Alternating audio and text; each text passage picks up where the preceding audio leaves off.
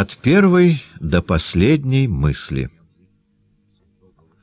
Всем известна старая истина, что самая прекрасная поэма — это история создания поэмы, ее рождения и развития, вместе со всеми событиями в жизни ее творца. Восхищенный сей мыслью Поль Валери, будто сам додумался до этого — многократно ее повторял и, кроме того, в качестве иллюстрации издал отрывки из дневника одной поэмы, разрозненные листки, отражающие историю его многолетней работы над юной паркой, давшей поэту, по его убеждению, самые счастливейшие мгновения в жизни. В дневнике представлена лишь небольшая часть. Исчерпывающей истории творческого процесса — никогда не удается ни распознать, ни написать.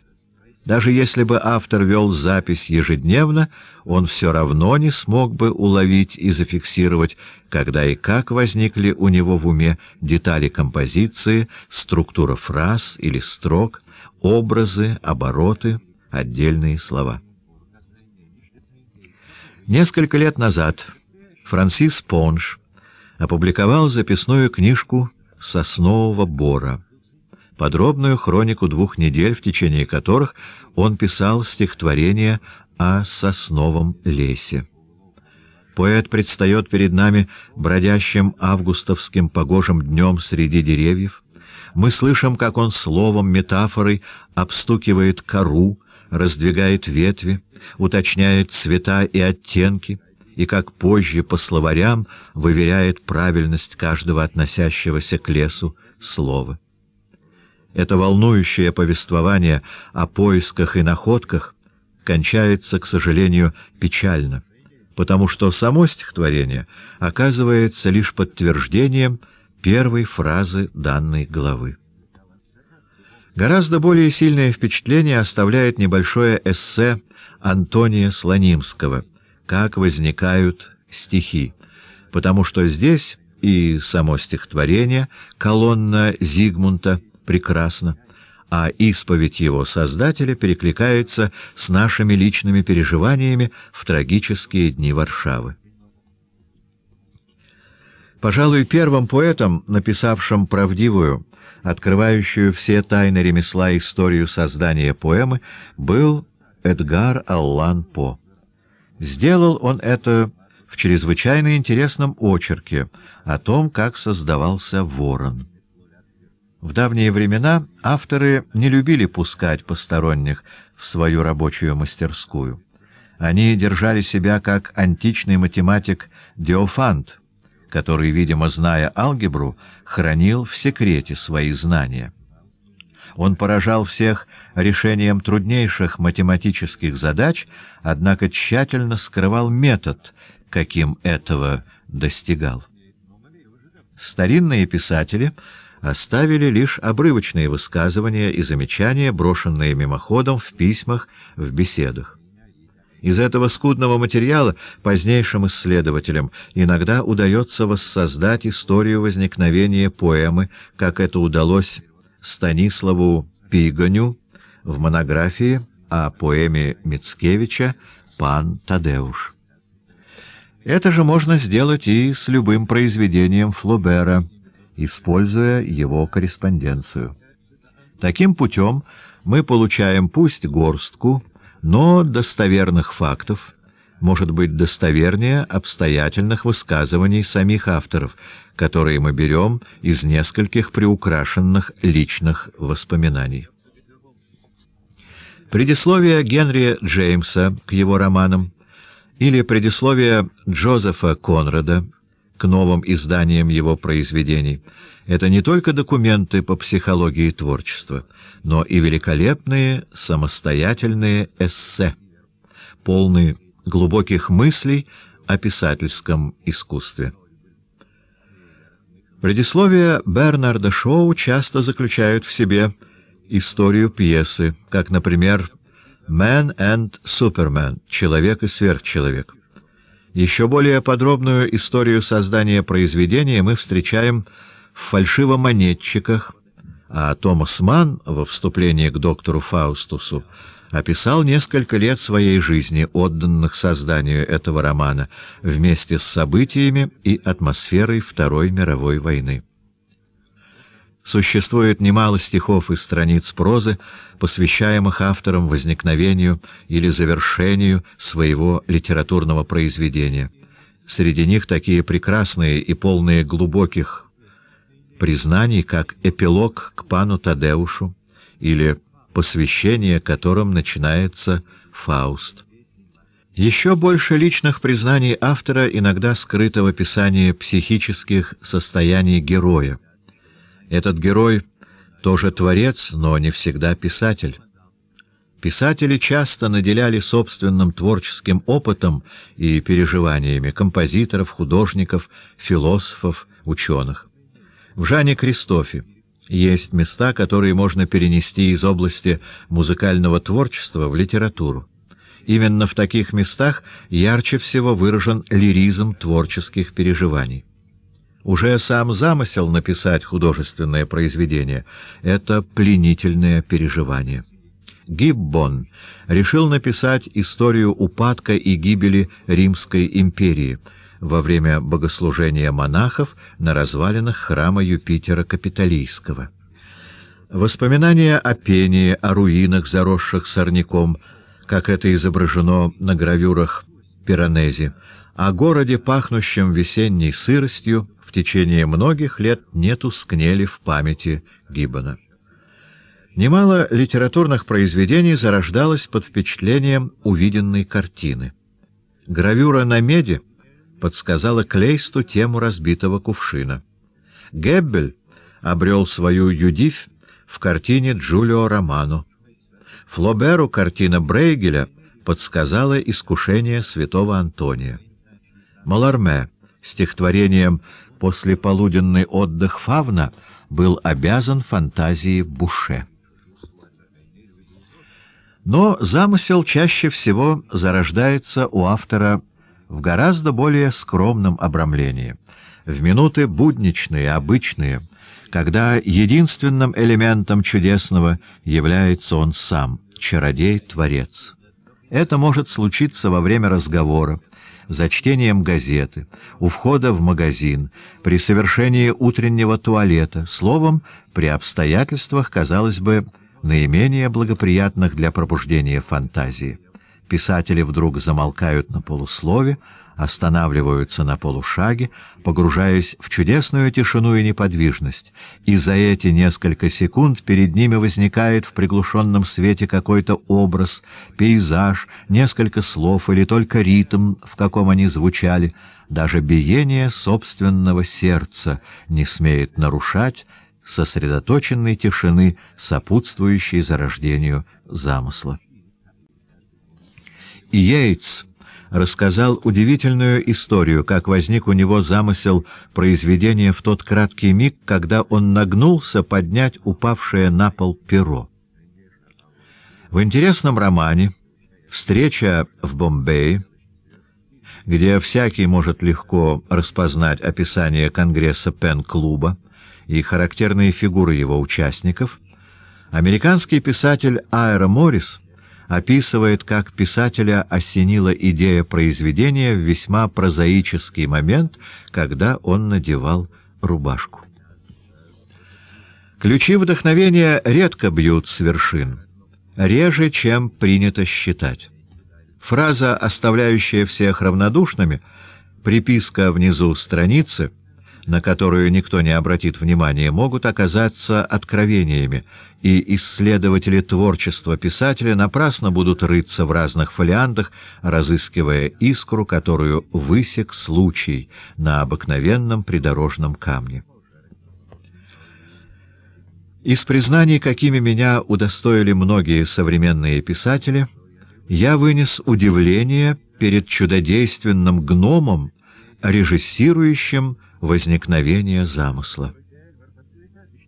Вот кто-то, войдя в пустую комнату, при виде расставленных вокруг стола стульев, вдруг наталкивается на великолепную тему, не имеющую ничего общего ни с этими стульями, ни с этой комнатой.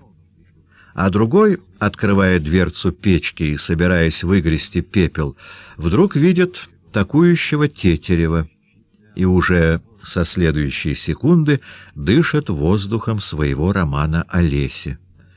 Среди реквизита, которым пользуется гномик, встречались и консервные банки, и часы на костельной башне, и запах свежевыглаженного белья, и бородавка на щеке случайного попутчика в метро.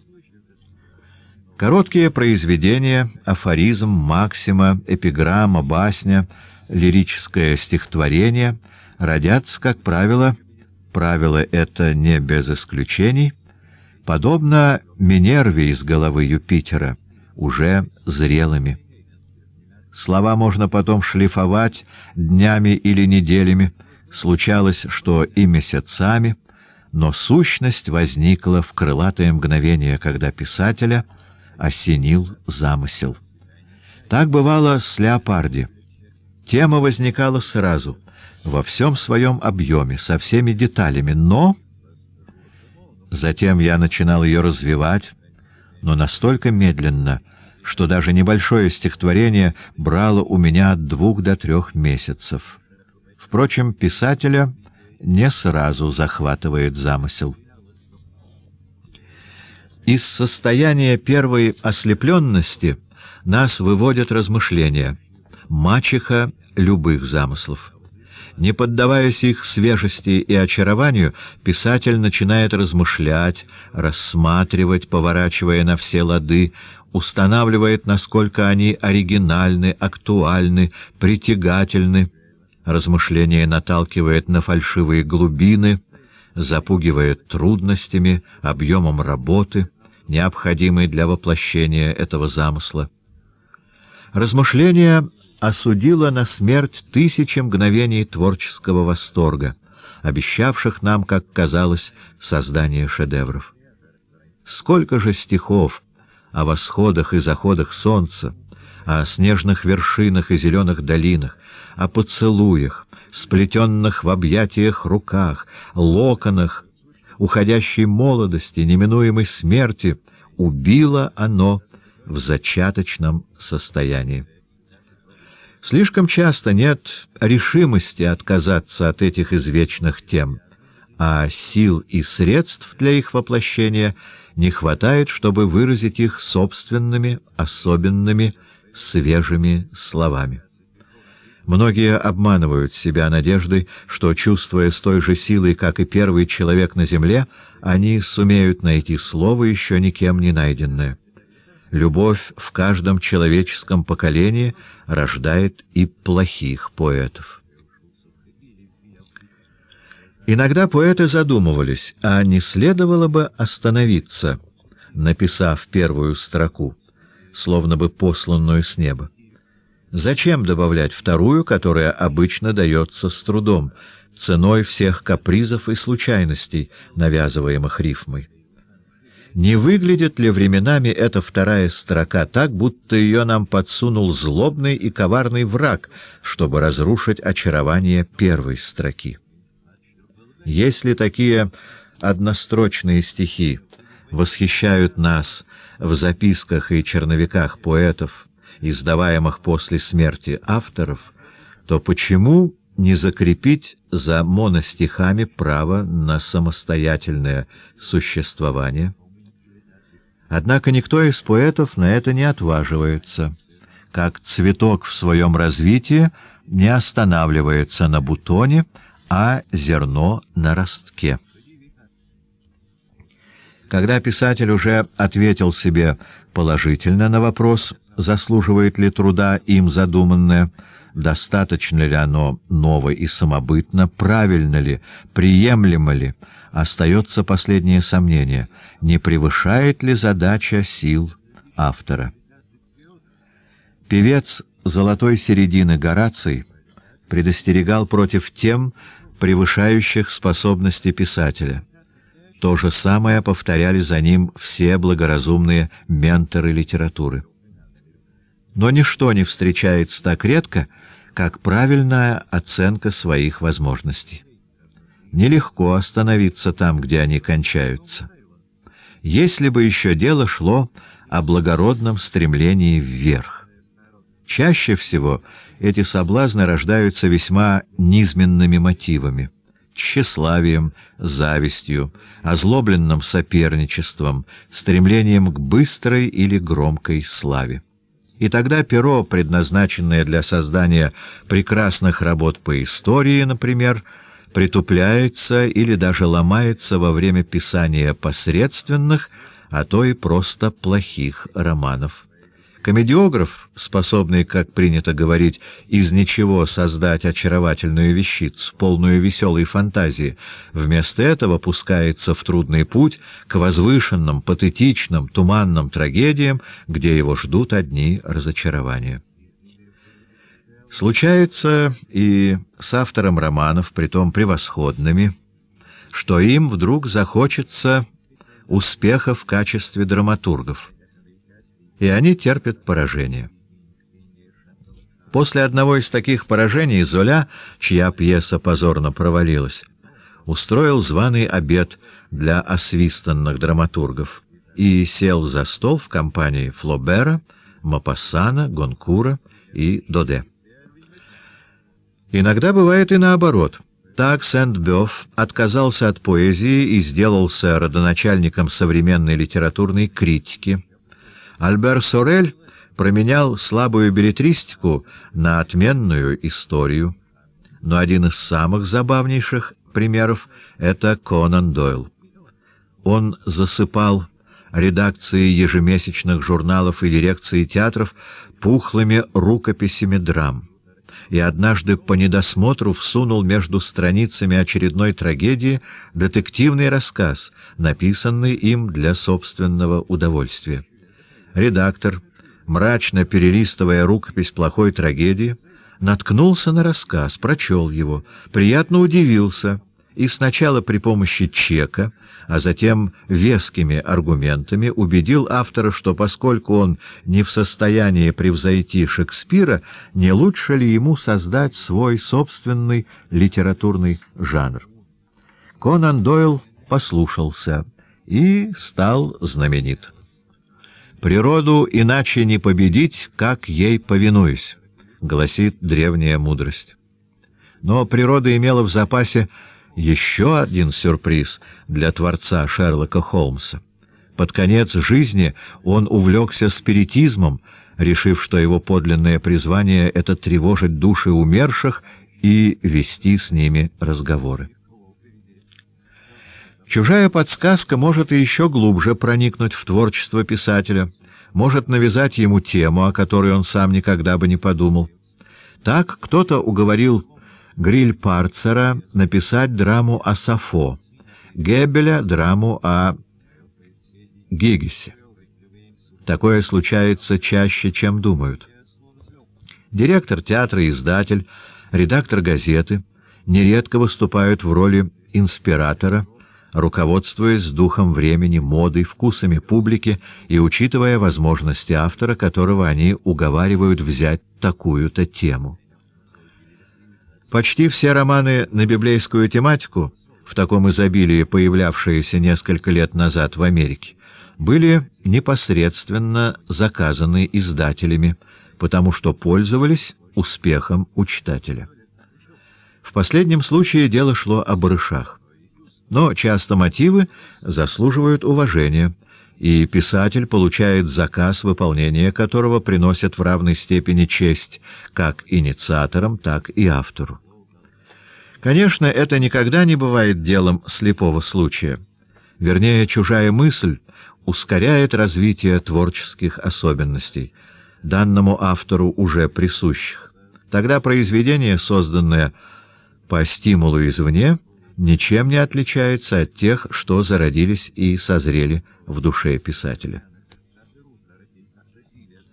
Кто четко различает характер и границы своего дарования и вместо того, чтобы бунтовать, будет сам себе послушен, обязательно добьется успеха, а может быть даже и счастья, столь редко выпадающего на долю хороших писателей. Этот путь предписывает рассудок. Но рассудок... Вспоминаю слова Леопольда Стаффа на одной его лекции. «Рассудок — это разум без крыльев». Я всегда вспоминаю эти слова в качестве девиза для внутренней борьбы, какую без устали приходится вести с самим собой каждому Творцу, стоящему перед дилеммой. Мерить ли силы намерениями или намерения согласовать с силами? Все, что есть в нас смелого, мужественного, пламенного, все, что еще не застыло в рутине, все, что упорно, упрямо и дерзко, все это дальше и дальше отодвигает финишную черту нашего бега. Не всегда достигают цели. История литературы полна примеров благородных поражений, а латинский поэт написал для них достойную эпитафию — для великих достаточно и одного пожелания. Тут уже не распоряжается гномик со своей волшебной торбой замыслов. Их ищет писатель сам. Вспомним письмо Сенкевича, где он обещает после беллетристических мелочей начать новую фазу творчества. «Пора ударить в великий колокол идеи», в такие минуты писатель редко что-либо видит ясно. Он только чувствует, как сердце или ум требуют от него службы делу или идеи, которые ему дороги. Но тут, как пергюнтовские оборотни, его сразу же обступают наклонности и привычки, выпистованные в душевном комфорте.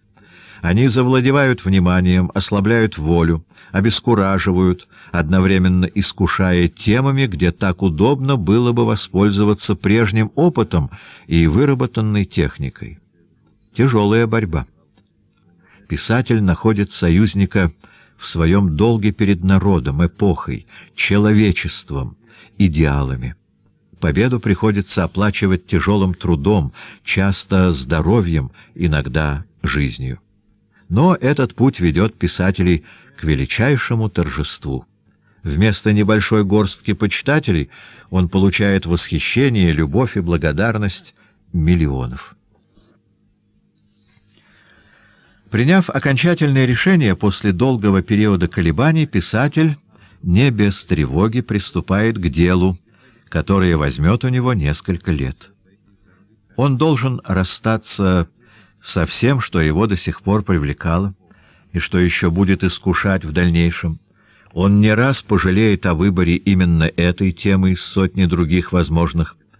В горькие минуты каждая иная покажется ему и лучше, и более заслуживающей усилий. Придется отвергать все требования и предложения, которые предъявят ему новые дни, новые дела, новые идеи, и заставить их ждать своей очереди — или просто забыть о них. Люди стремительного пера, например, Лопе де Вега, уже намного счастливее. Они не позволяют надолго приковать себя к одной вещи, и некоторые из них лишь на закате жизни сводят счеты со своей художественной совестью, как это сделал старый Крашевский, читая «Огнем и мечом» Сенкевича. У других замыслы и планы, отодвинутые главной работы, но не желающие сдаваться, позже могут просочиться в эту главную работу в качестве отдельных частей, эпизодов, причем иногда они привносят с собой какой-нибудь новый мотив, изменяют первоначальный план. В каждом произведении литературы, даже на первый взгляд нелепом, я хотел сказать нелепом, как у футуристов, но воздержался, поскольку футуристы — это уже далекое прошлое. Есть своя система, композиция, служащая определенной цели и подчиненная определенной логике. Возникающий замысел — это как бы первое дыхание, это контуры, тень. Они расплываются и ускользают. Несколько позднее к первой теме прибавятся новые, трудно схватываемые, колеблющиеся, только заостренное внимание, напряженное воображение и неуступчивая мысль начнут их группировать и упорядочивать. Здесь происходит, как в космогонии Анаксагора. Нус, разум, вносит гармонию в рассеянные, беспорядочные элементы. Без дисциплины мысли нет настоящего творчества.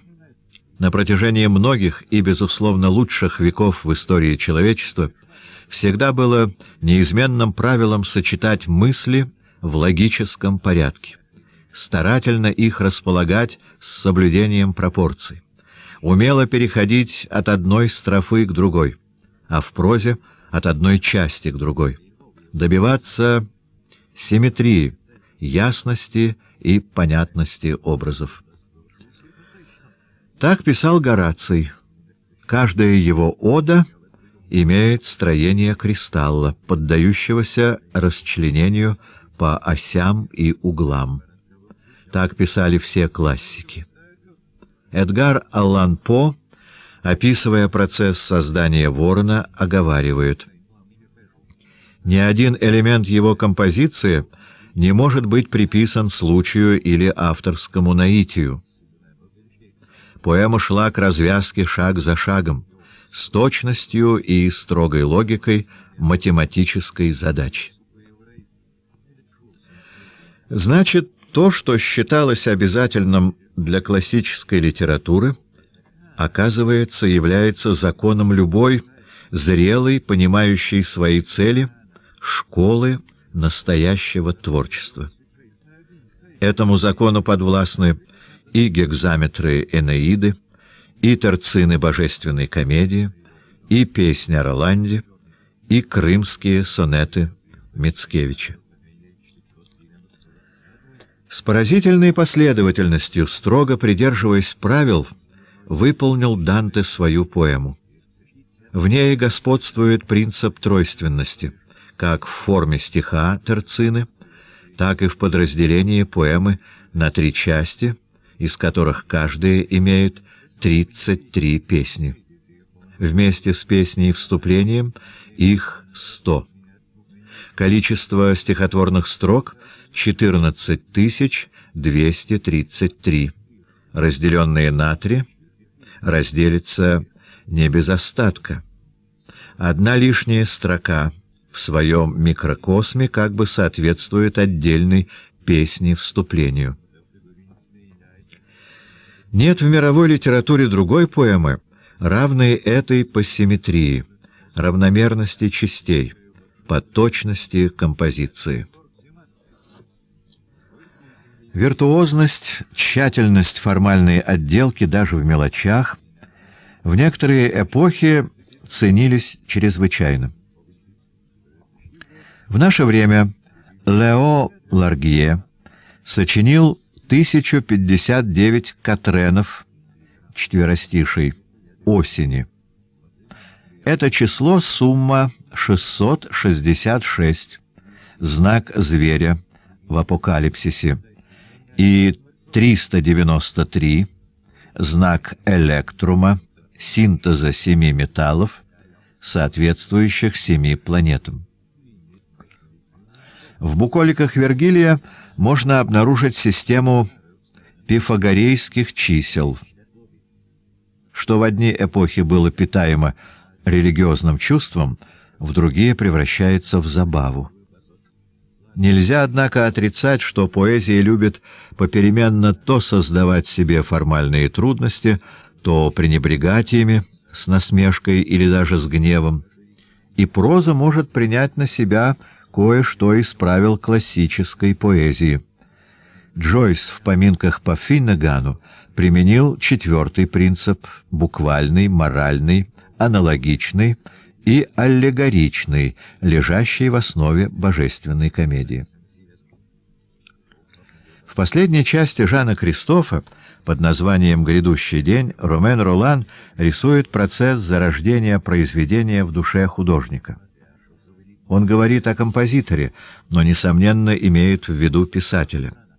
Сначала изображает фазу беременности замыслом, когда Творец колышется темной радостью спелого колоса, когда в нем играют ритмы нарождающейся новой жизни.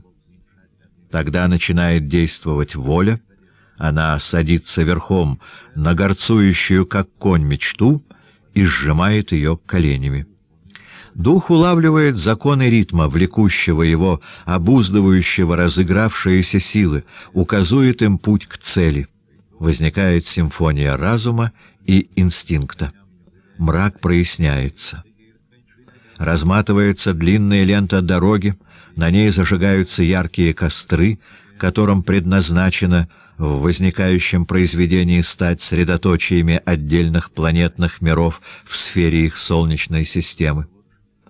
С этого момента намечаются главные очертания образа.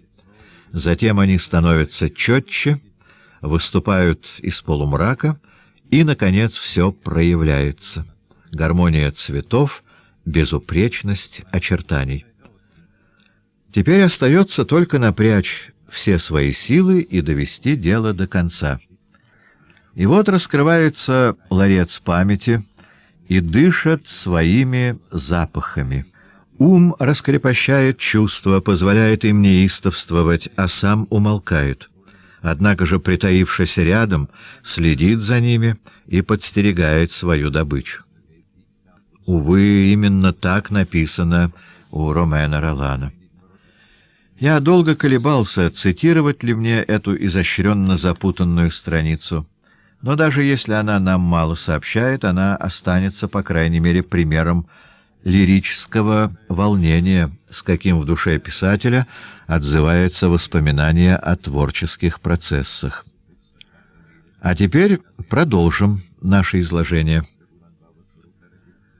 Компонование произведения может происходить перед началом работы или по мере того, как работа продвигается. По этим двум методам можно различить две категории писателей. Вопреки всему, что говорилось в осуждении авторов, которые, прежде чем приступить к работе, составляют подробный план, надо заметить, что этот метод отнюдь не свидетельствует об отсутствии вдохновения или фантазии, и совершенно незачем, высмеивая первых, усиленно расхваливать вторых за непосредственность, искренность, за удачи, достигнутые неожиданными ходами мыслей, бегущих вместе с пером. И опять же, совсем не обязательно — как считает Шопенгауэр, писателя, начинающего думать над вещью, лишь усевшись за письменный стол, относить к худшей категории авторов. Здесь имеют место просто-напросто различия, вытекающие из черт характера, вкусов, воспитания, привычек. Писатель порывистый и нервный, не привыкший к порядку, никогда не снизойдет до составления предварительного плана из простого нежелания исписывать страницы, которые так легко потерять. Флобер составлял план романа в течение многих месяцев, ежедневно работая по много часов. А закончив план, говорил, «Мой роман готов, остается только его написать». И план был настолько подробный, что последние главы Бювара и Пекюше, которых он не успел закончить перед смертью, в плане выглядят так, словно это уже окончательный текст. У Ипсона, в молодости работавшего аптекарем и в силу своей профессии завязавшего крепкую дружбу с духами порядка, имелась шкатулка со множеством отделений. Каждое отделение предназначалось для одного из персонажей драмы, над которой в ту пору работал писатель. Целыми месяцами он ничего не писал, а только совершал длинные прогулки в одиночестве и возвращался с запасом новых черт характеров героев, обрывков диалогов, целых сцен. Все это он записывал и раскладывал по соответствующим отделениям шкатулки. Работал как пчела — Едва соты оказывались заполненными, все отделения насыщены медом, драматург садился писать.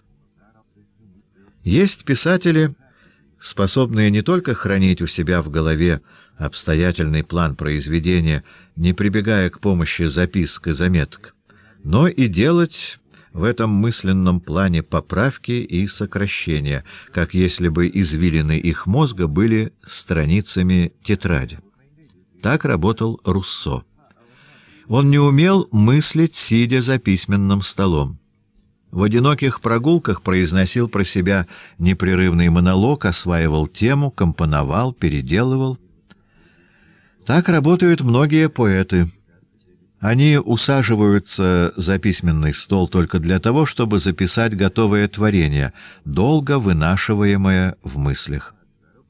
По сути своей, план или композиция произведения — это не что иное, как сосуществование писателя с темой, фоном, персонажами, настроением, тональностью. Это постепенное прояснение густого мрака, окутывающего произведение, которому предстоит родиться. Каждый приходящий день приносит частицу света. Многочисленную группу составляют писатели, как бы органически неспособные при создании произведения предначертать себе цель и путь к цели. Это вовсе не посредственности или бездарности. Мы встречаем таких и среди величайших. Все, что они вначале планируют, что заблаговременно обдумывают, в часы работы развивает ветер. Они — игрушки случая, капризов воображения, неожиданностей. И никогда они не уверены, в каком направлении пойдет работа. Внезапно от проложенного тракта их отвлекает тропинка и они с удивлением видят себя в незнакомой прелестной долине, о существовании которой, отправляясь в путь, даже не подозревали. Необычное или настораживающее слово, услышанное в мирной беседе, мысль, почерпнутая из только что отложенной книжки, мимоходом замеченная картина — Наконец, вся пышная флора ассоциаций, вырастающая из каждой фразы, вот источники изменений и переделок, развития и богатства создаваемого произведения. Известны случаи, когда продуманная и хорошо подготовленная драма внезапно обращалась с комедией, а над комедией уже с первого акта начинали сгущаться зловещие тени и действующие лица ее постепенно приближались к катастрофе. Рифма у поэтов — великая чародейка. В поисках созвучий поэт идет по пространствам языка, как за эхом в горах, и, сворачивая с намеченной дороги, открывает новую. Неожиданное непредвиденное слово оказывается завязью новой мысли, нового образа, новой черты, иногда нового персонажа, новой части поэмы. Сколько строф Беневского или «Короля духа» возникло таким образом у их автора Юлиуша Словацкого. Подчас можно даже разглядеть след мысли, бегущие за словами, которые уводили поэта в сторону.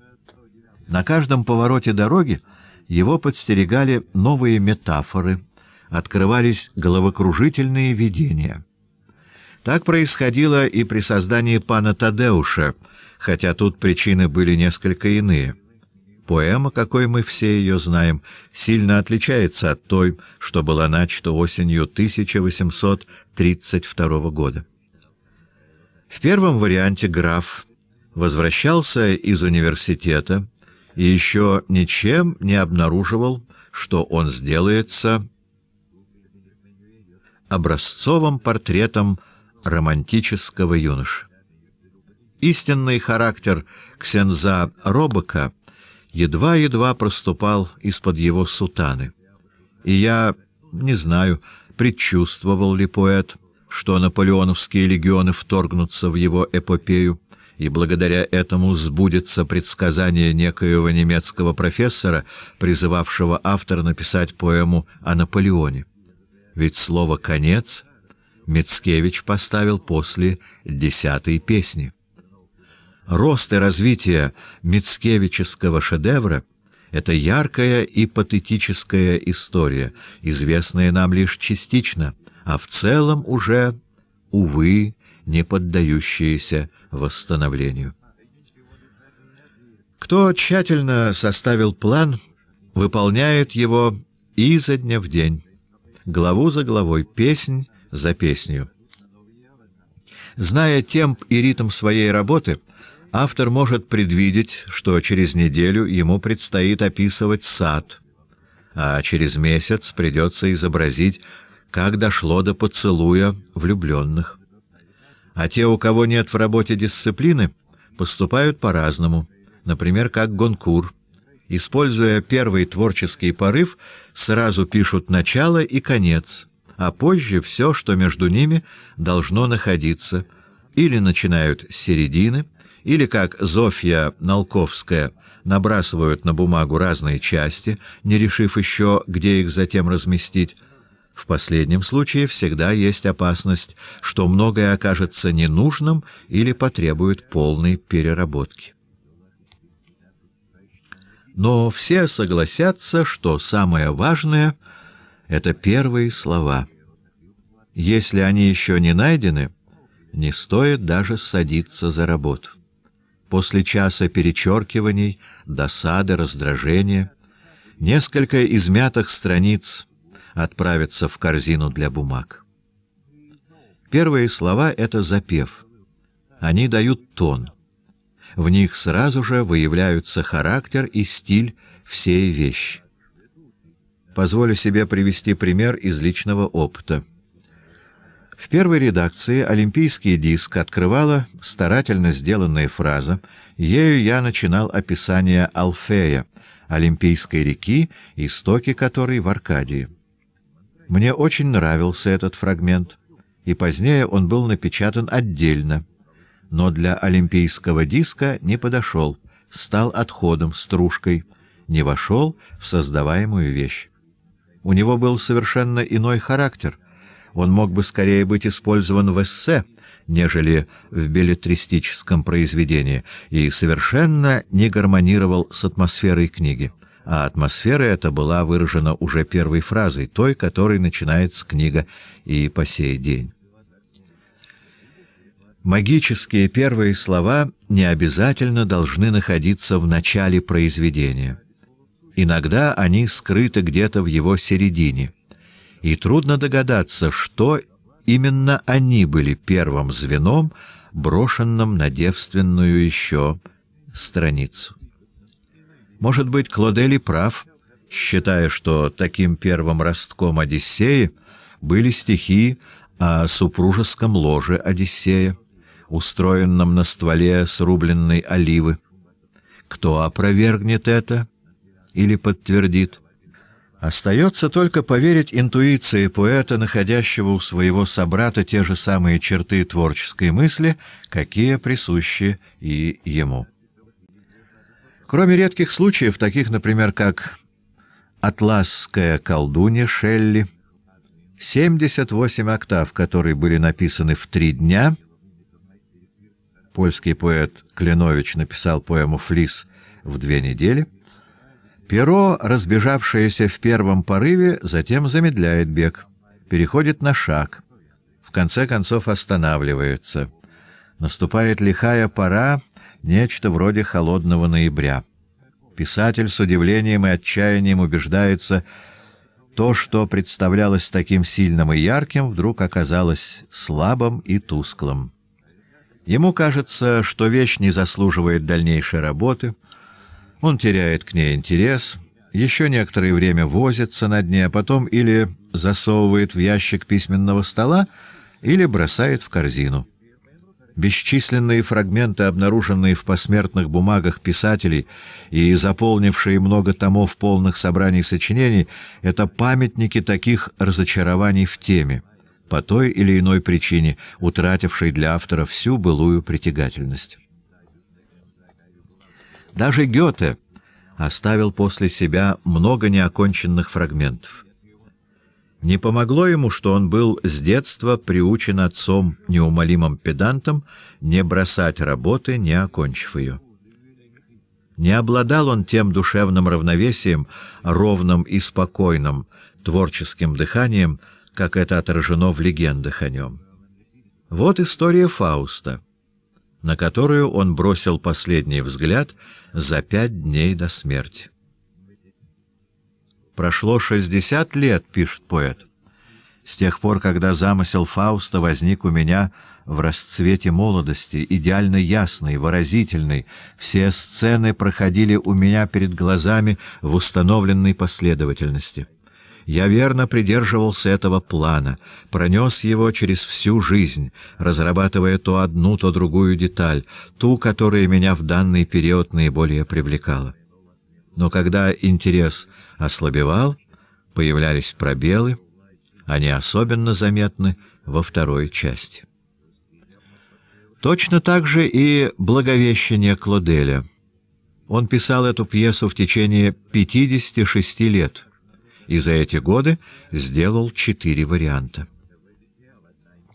С разочарованиями, разлуками, возвращениями связана история каждого крупного литературного произведения. Иногда автор откладывает его на очень долгое время и пишет много других вещей, как бы совершенно позабыв о неоконченном. «Спасение» Джозеф Конрад несколько раз откладывал и потом возвращался к нему, а закончил лишь через двадцать лет. Так происходит потому, что писатель оказывается перед пустотой, и ему нечем ее заполнить. Не хватает или опыта, или знаний о данном предмете. Чаще всего хотелось бы все переделать, поставить вверх ногами, нарушить уже установленный порядок, потому что все вдруг показалось фальшивым, условным, нелепым. Примером крупных осложнений в работе над произведением служат «Черные крылья» Каден Бондровского.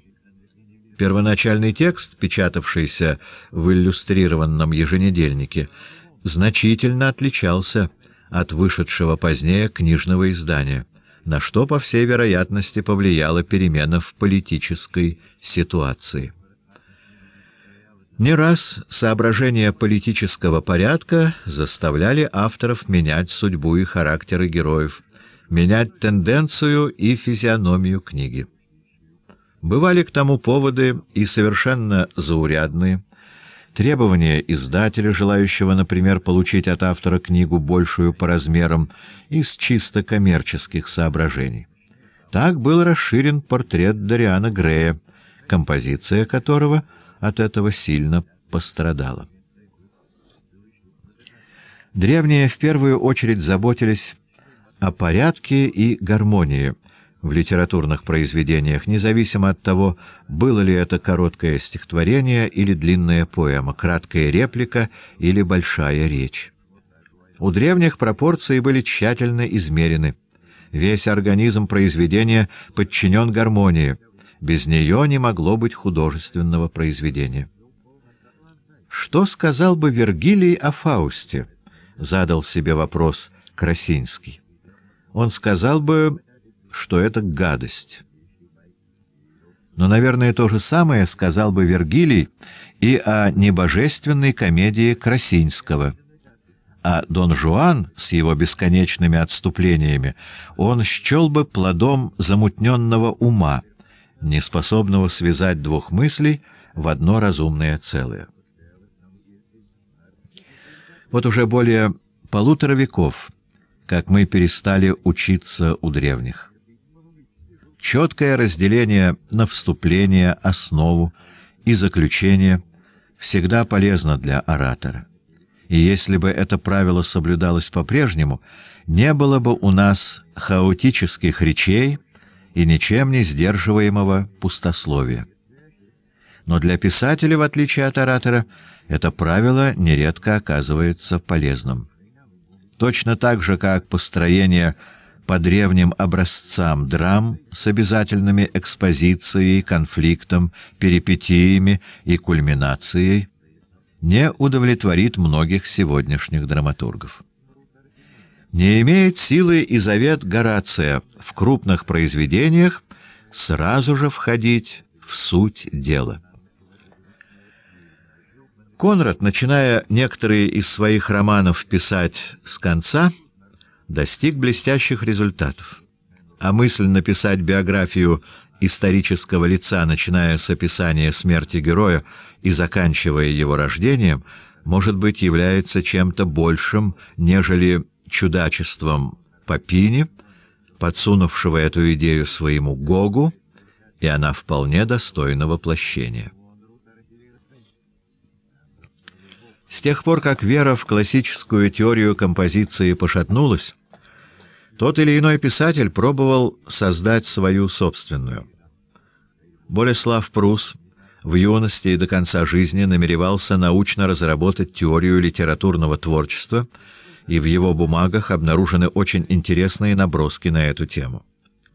Являясь представителем позитивизма, он для каждого вопроса составлял обширные и сложные схемы, сейчас пока недостаточно ясные, так как даны они фрагментарно, но импонирующие тщательностью анализа, которому он подвергал абсолютно все, от краткого очерка до крупного романа. Просматривая эти хорошо продуманные наброски, нельзя не заметить, что в своем собственном творчестве автор «Куклы» не следовал этим правилам, забывал о всех им же самим сформулированных предписаниях и позволял фантазии и темпераменту увлекать себя, добавим к счастью. Если в композицию произведения вкладывается столько труда и столько о ней говорят, в похвалу или в порицание, причина этого заключается в том, что композиция предрешает жизнеспособность и красоту художественного организма, создаваемого писателем. Хорошо композиционно построенное произведение обладает качествами здорового телосложения. Всяческие же уродства и болезненные изломы, ведь бывают же произведения хромые, горбатые, чехоточные, могут жить лишь благодаря какому-нибудь особому привлекательному качеству, как, например, красивые глаза или могучий интеллект у калеки. Но их путь к признанию как современниками, так и потомками гораздо труднее. Правда, потомки часто получают это произведение в иной форме, не в той, в какой задумал и оставил автор. Спустя несколько веков после Гомера «Илиада» и «Одиссея» были разделены на 24 песни, и местами настолько неудачно, что Гомер вряд ли бы это одобрил. Восьмая книга «Одиссеи» заканчивается на середине разговора, а продолжение его перенесено уже в девятую книгу. Но что только не вызывает восхищения и не находит себе подражателей. Такой способ заканчивания принял Вергилий, а за ним и другие.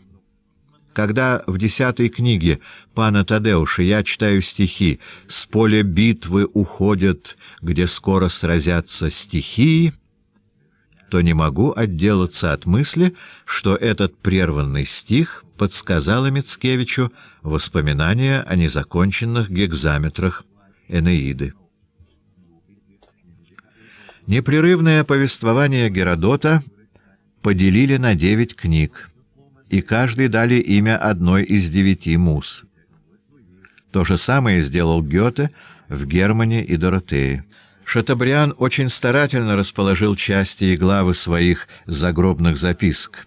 Позднейшие издатели немилосердно их перекроили. Так происходит со многими произведениями, самими авторами, поделенными на части или тома. В последующих изданиях это разделение часто меняется, приспособляясь больше к формату книги, нежели к ее композиции.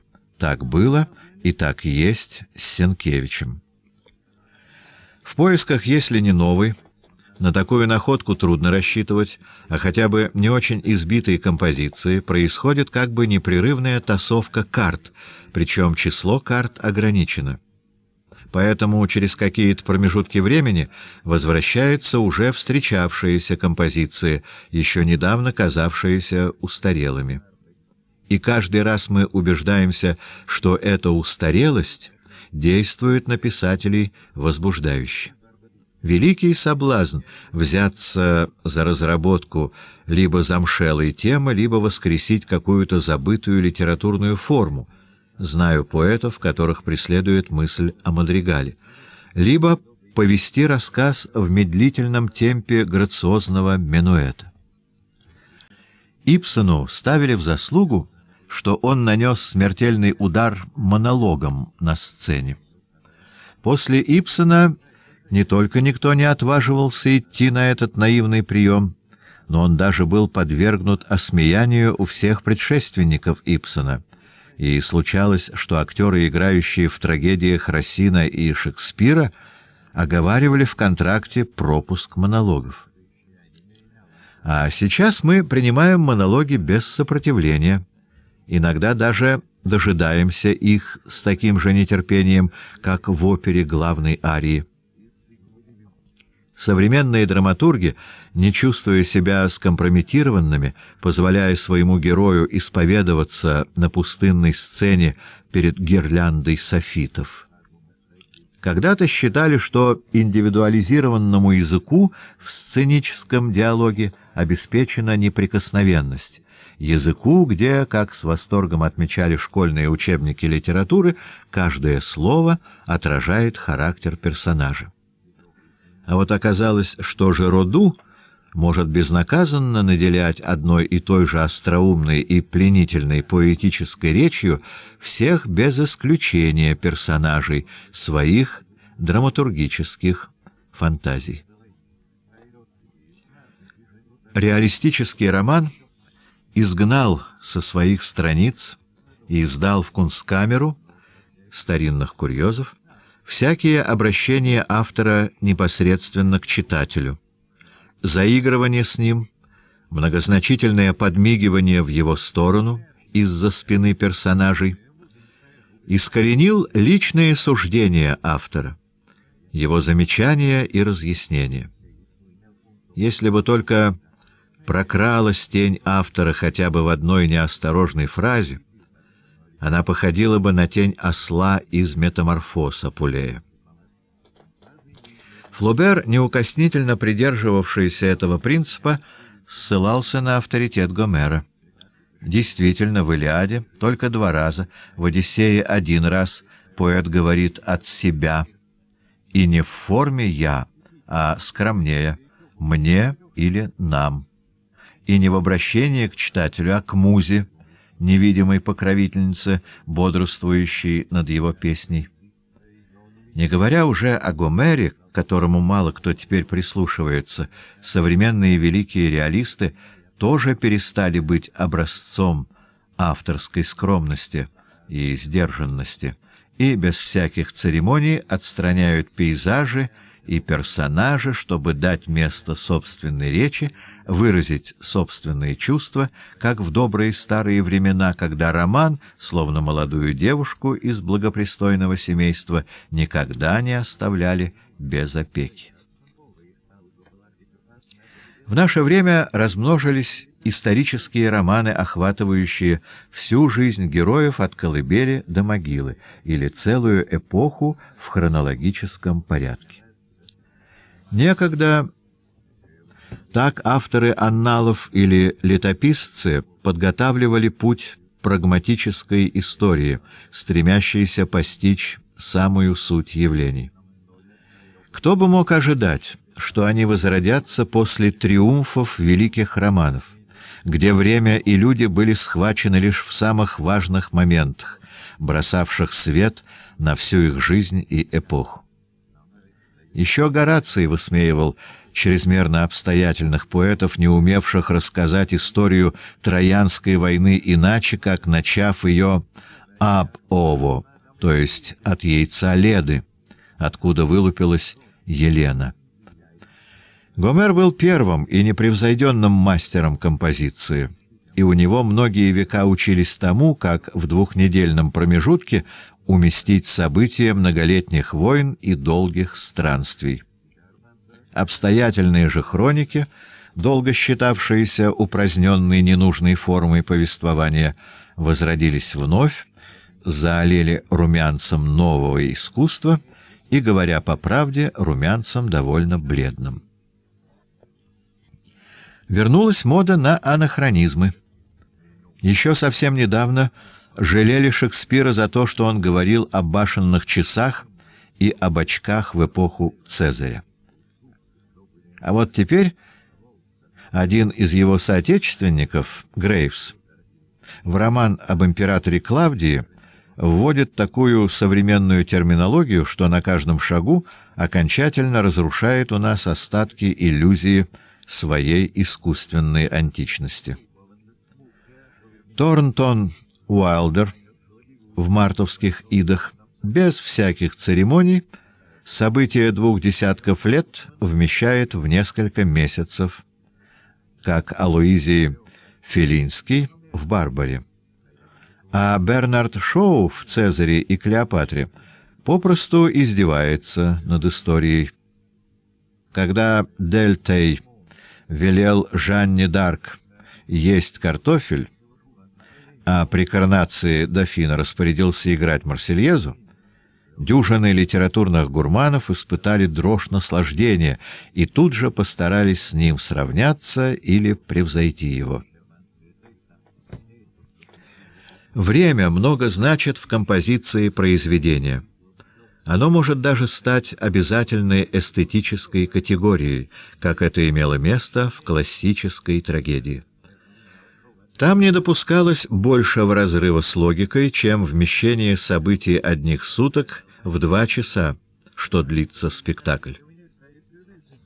Ипсон в свой романтический период, упивавшийся вихрем лет, борьба за престол, Пергюнт, позже писал пьесы «Кукольный дом», действие которых длилось ровно столько, сколько сам спектакль. В отношении времени скупость привлекала писателей в той же степени, что и расточительность. Действие божественной комедии, овеянное вечностью, длится 174 часа, то есть столько, сколько продолжается странствие поэта с того момента, как он заблудился в лесу, и пока его не поразила молния в империях.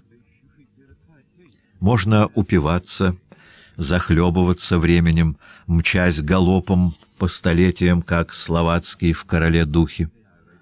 И можно получить небывалое удовольствие от одного единственного оборота Земли. Создать о времени одного оборота достойный эпос было мечтой многих поэтов — но воплотил ее только Джойс в «Улиссе». Задолго до Джойса авторы романов огорчались, что им приходится отбрасывать столько материала, беря отрезок жизни, к которому обязывает литературное произведение. Старый Антони Троллоп сказал от имени всех, «Незачем рассказывать о том, что произошло между Элеонорой Хардинг и Мэри Болт. К счастью, ни историк, ни романист не обязаны слышать всего, что говорят его герои и героини, будь иначе не хватил бы не только трех, но и двадцати томов. Пруст не испугался двадцати томов и позволял себе воспроизводить не только полный разговор дюжины персонажей, собравшихся в гостиной, но даже мимолетным ситуациям, мгновениям, жестам посвящал исчерпывающие монографии. Создается впечатление, будто это стало возможным только во времена, когда микроскоп вошел в повседневное употребление, и когда замедленный кинофильм расчленил полет стрелы, материализовав мысль Зенона из Элеи. Роман Пруста, над которым время бодрствует уже в названии и пронизывает все его ткани, — является реализацией мысли, что произведение искусства — единственное средство возвратить минувшие дни. Выросший в литературной атмосфере Пруст много раз садился за письменный стол с чувством, что хотелось бы что-нибудь написать или надо бы что-нибудь написать, пока, наконец, не уселся над листком бумаги с уверенностью, что есть о чем написать. Эта уверенность снизошла на него как наитие. Он понял, что носит в себе материал для литературного произведения, накопленный собственной жизнью. Среди дешевых развлечений, пустых часов, не заполненных никакими событиями, среди мелких чувств и ничего не значащих разговоров, бесчисленного множества уходивших мгновений, слой за слоем откладывались впечатления, наблюдения, и они вдруг поднялись в его сознании волной боли и тоски, мучительной жаждой все это возвратить, повернуть время вспять и заставить его течь от устья к истокам. Современные физики, без всякого уважения к Аристотелю и Канту, выработавшим для времени независимое положение, отодвинули его на двусмысленную позицию, где нелегко уберечь извечную последовательность прошлого, настоящего и будущего. Этим воспользовался Олдос Хаксли в романе «Слепой в газе» и скомпоновал жизнь своих героев примерно как ребенок, складывающий кубики, не заботясь о зрительной целостности того, что они должны изображать. Но такой метод использовали уже и романтики. У них герой то созревает, то вступает в весну жизни, то сидеет и оказывается на пороге смерти, то вновь возрождается с улыбкой на пухлых алых губах. Это иной мир, нежели тот, где неизменно среда наступает после вторника, а обед после завтрака. И, может быть, в будущем столетии окажется, что понятие времени как четвертого измерения физики XX века создали под влиянием поэтов. Писатель живет в двух временных измерениях одновременно. В том, которое творит он сам, и в том, которому подчиняется при взгляде на стрелки часов, когда видит рассвет и сумерки, смену времен года. За исключением кратких, насыщенных лиризмом мгновений, жизни творчества никогда не бывают синхронны. В этом есть и своя прелесть, и свои преимущества, и свои неудобства. Чувство, вызванное контрастом, лучше всего поможет воспроизвести в солнечном блеске юга образ родных туманов и зим, людей в шубах, моряков с заиндивелыми усами. Здесь я имею в виду пребывание Гоголя и Диккенса в Италии. Руссо уверял, что только в завываниях зимнего ветра не сходит на него песнь весны. Знойное стихотворение Еже Либерта «Июль» помечено датой 25 января 1922 года. Точно так же Уланд свои весенние песни — писал зимой. Другие же писатели, а иногда даже эти же самые, но при иных обстоятельствах, должны иметь перед глазами то время года, которое наступило в их произведении. Иногда они прерывают работу и ждут, пока придет нужная пора. Одни только воспоминания вдруг оказываются слишком постной и малопитательной пищей для воображения. Как это ни удивительно, но описания самых опасных приключений и путешествий выходили из-под пера людей, ведущих сидячий образ жизни, и случалось, что такой писатель, оказавшись в конце концов на корабле, плывшем по маршрутам его вымышленных путешествий, принимался писать о людях своего городка или квартала. А вот пример, как личная жизнь писателя может вторгнуться в произведения абсолютно неличного характера. Мишле записывает у себя в дневнике. «Жена умерла, сердце мое растерзано. Но как раз это отчаяние дало мне огромную силу, почти демоническую. С мрачным наслаждением я углубился в агонию Франции XV века описал мучительные кошмары, которые были и во мне, и в моей теме. Так личная драма историка переплетается с картинами безумия Карла VI, пляски смерти, морального распада той эпохи. В данном случае настроение автора, по крайней мере, совпало с характером темы. А сколько раз бывало наоборот, и писатель-юморист сочинял самые веселые страницы в мрачный или страдальческий момент своей жизни. Кто далек от таких вещей, столкнувшись с ними, мог бы в отчаянии заломить руки, как сделал бы это при виде моряка, беспечно играющего на дудочке, когда корабль швыряет по волнам разбушевавшаяся стихия. Даже самые заядлые отшельники не способны отмежеваться от внешнего мира так, чтобы современность не нашла бы хоть какой-нибудь лазейки к ним. Самое осторожное перо всегда мимоходом нечаянно заденет вчерашнее или сегодняшнее событие, и оно проскользнет в текст сравнением, метафорой, междометием. Классическая филология умеет вылавливать такие неожиданные намеки на тогдашнюю современность, и они вознаграждают ее, открывая даты произведений с сомнительной хронологией. Биографы тысячекратно демонстрировали свою проницательность, отыскивая у авторов едва уловимые намеки на государственный строй, семейные неурядицы, физические недомогания. Все на нас воздействует, все нас изменяет.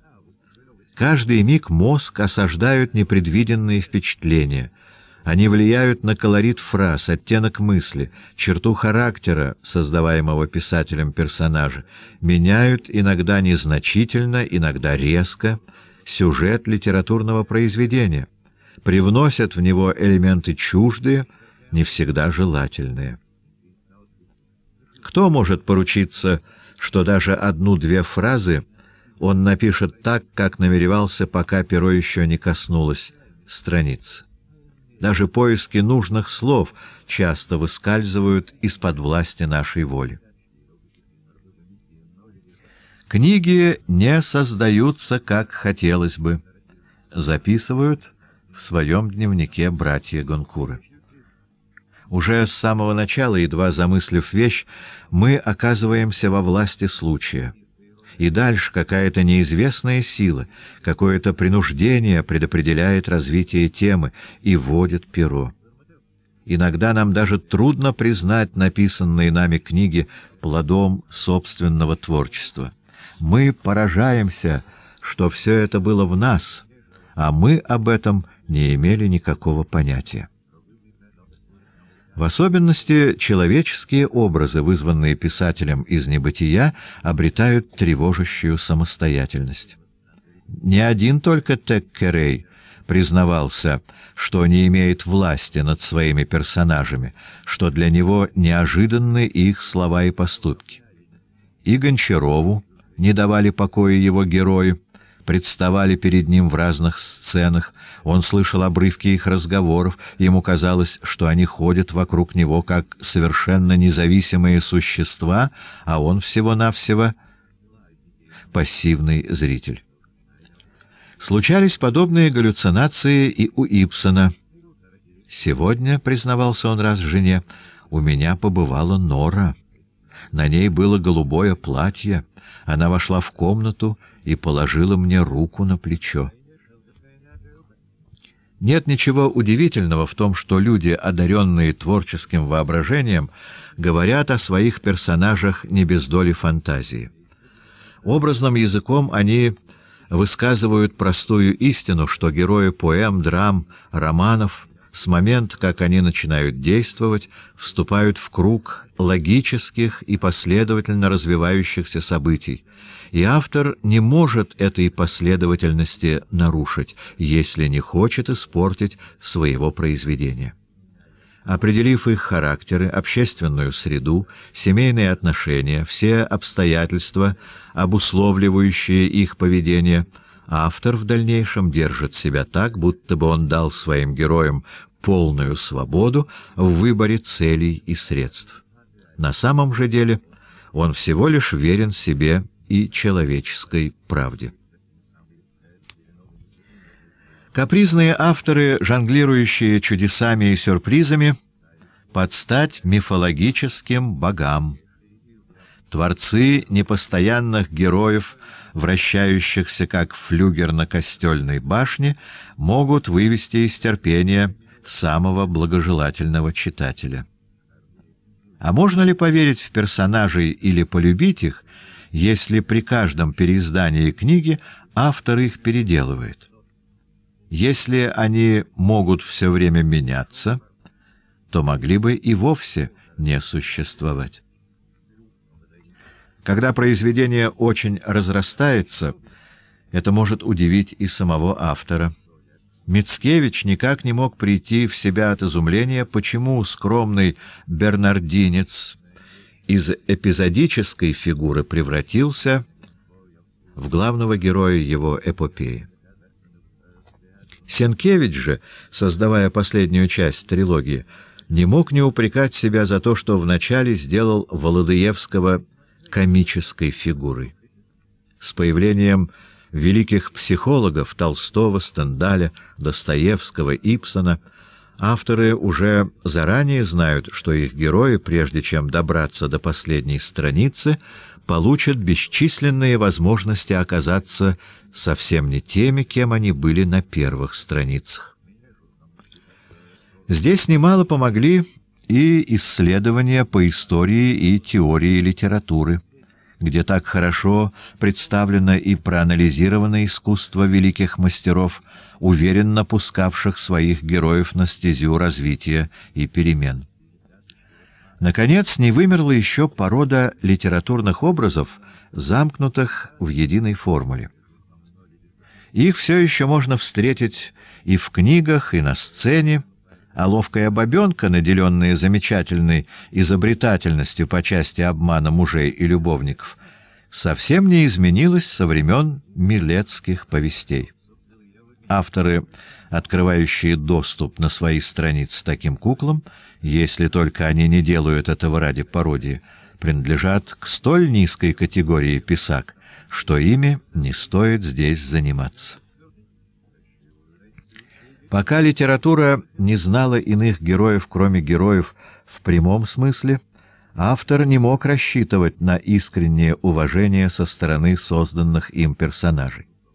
Если бы ожили его боги, титаны, владыки, гордые рыцари, и взглянули бы с высоты на его скромную творческую лабораторию, они решили бы, что поэт, создавая их, всего лишь выполнил свой долг — и должен быть им признателен за красочные сны, которыми они заполнили его ночи, и за прекрасные звонкие слова, которые он неустанно искал, чтобы о них поведать. Но простые, обыкновенные люди, пришедшие им на смену и унаследовавшие от них название героев, никогда бы не поняли забот, беспокойств, огорчений и хлопот, которые они причинили писателю собой и своей жизнью. Они ни за что бы не поверили, что в описание их скромного жилища или обеда, состоящего из миски супа и куска хлеба, писателям вложено столько труда. Они очень удивились бы, узнав, что прекрасный и тонкий ум занимается ими много дней, что их судьбы, детали быта, беседы лишают его сна. Возможно, а, пожалуй, и наверное, они сочли бы это преувеличением или просто выдумкой. И не один, а многие писатели были бы с ними здесь солидарны, потому что сумма усилий, вложенных художниками слова в реалистический роман, не у всех встречает признание. В Польше над этим посмеивался Лесьмян, во Франции — Поль Валери. Оба считали бессмыслицей в описании банальных обрядов и повседневных событий вкладывать столько артистизма, сколько вкладывал Флобер, который воздвигал стилистические памятники серому быту провинциального мещанства. Так выразился Валерий, сам признававшийся, что не способен написать фразу «зашел в кафе» и велел подать бутылку пива. Валерий ничего не интересовало за пределами интеллектуального праздника жизни. Правда, есть много произведений, как бы страдающих гипертрофией искусства, художественности. В них видна несоразмерность между средствами и средой, которую эти средства воссоздают с таким блеском.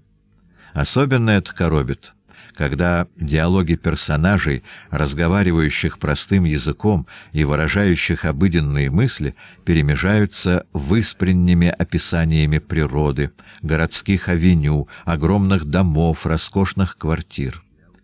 Создается впечатление, будто эти беседующие между собой простачки заблудились среди великолепных декораций, приготовленных для какого-то торжества куда более значительного, чем их скромное существование. Как знать, может быть, и некоторые романы XIX-XX веков будущим поколениям покажутся столь же искусственными, как нам буколики придворных поэтов. Однако никто нас не разубедит, что писатели на протяжении многих веков могли выбирать лишь привилегированные темы и героев. Выбор определяло происхождение, уровень культуры, богатство, образование, исключительность. И вот наступил новый расцвет с того момента, когда литература признала, что обычная жизнь достойна воплощения в совершенной художественной форме. Входя в соприкосновение со словом, вещи и события освобождаются от банальности. Их озаряет блеск необычайного.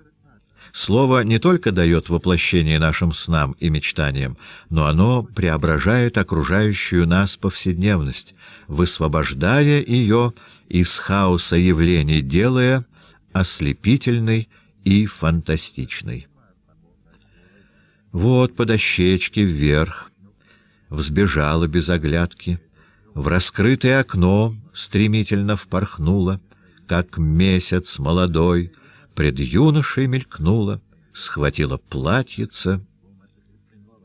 Эта ничтожная мелочь, запечатленная в слове поэта, идет в бессмертие, где она встретится с Ахиллом, надевающим панцирь. Каждый стих, каждая фраза — памятник мгновениям, предметам, людям в мимолетности их жестов, улыбок, помыслов.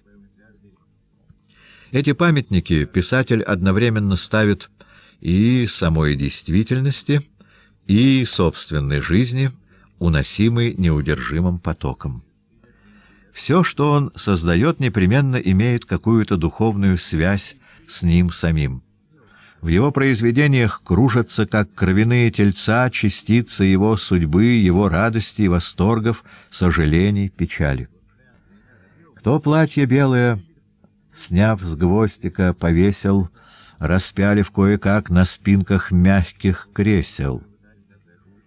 Для читателей пана Тадеуша это всего лишь одна из многих деталей в описании комнаты Зоси, и образ белого платьица едва задержит взгляд, скользящий по страницам.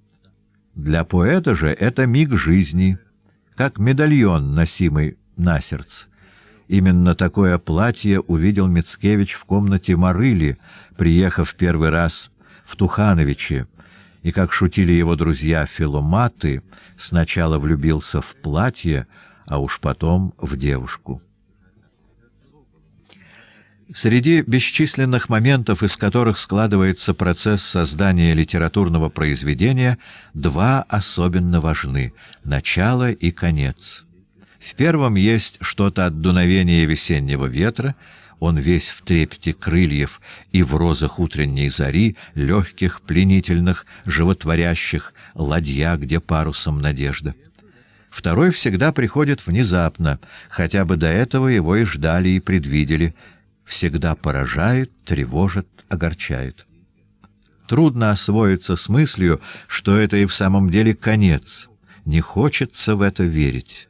На завтра или в следующие дни сомнение возрастает, писатель опять возвращается к последней странице, меняет, добавляет новую, дальше развивает прерванную тему, пока не остановится, не убедится в своей ошибке и не оставит первоначального окончания.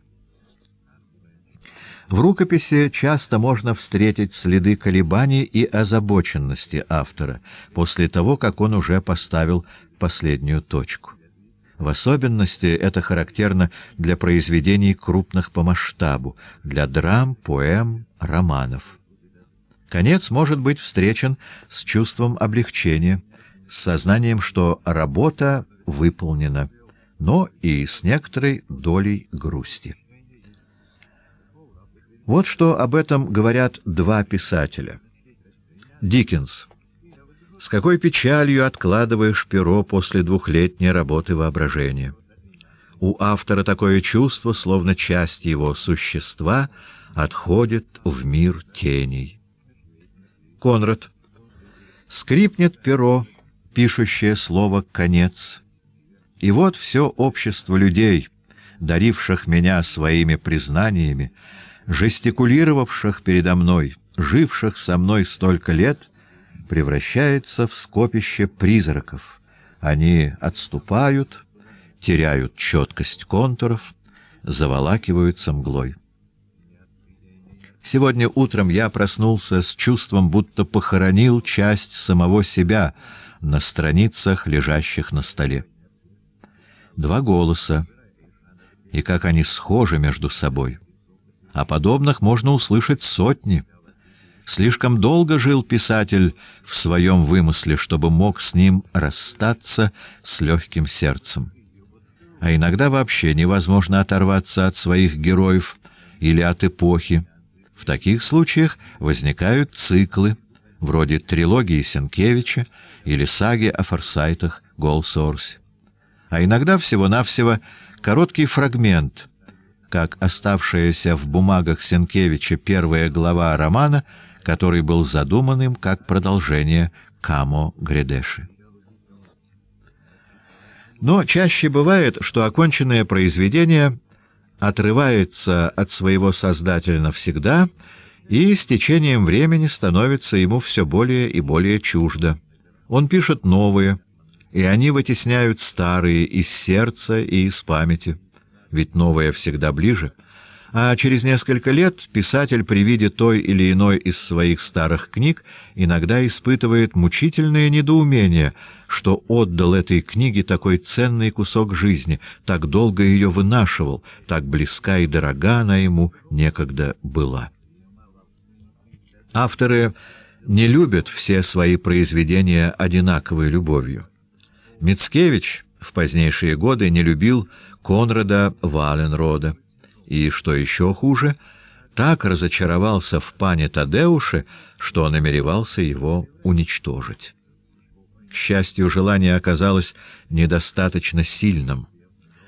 Вергилий в завещании распорядился уничтожить Энеиду, если при жизни он ее не закончит.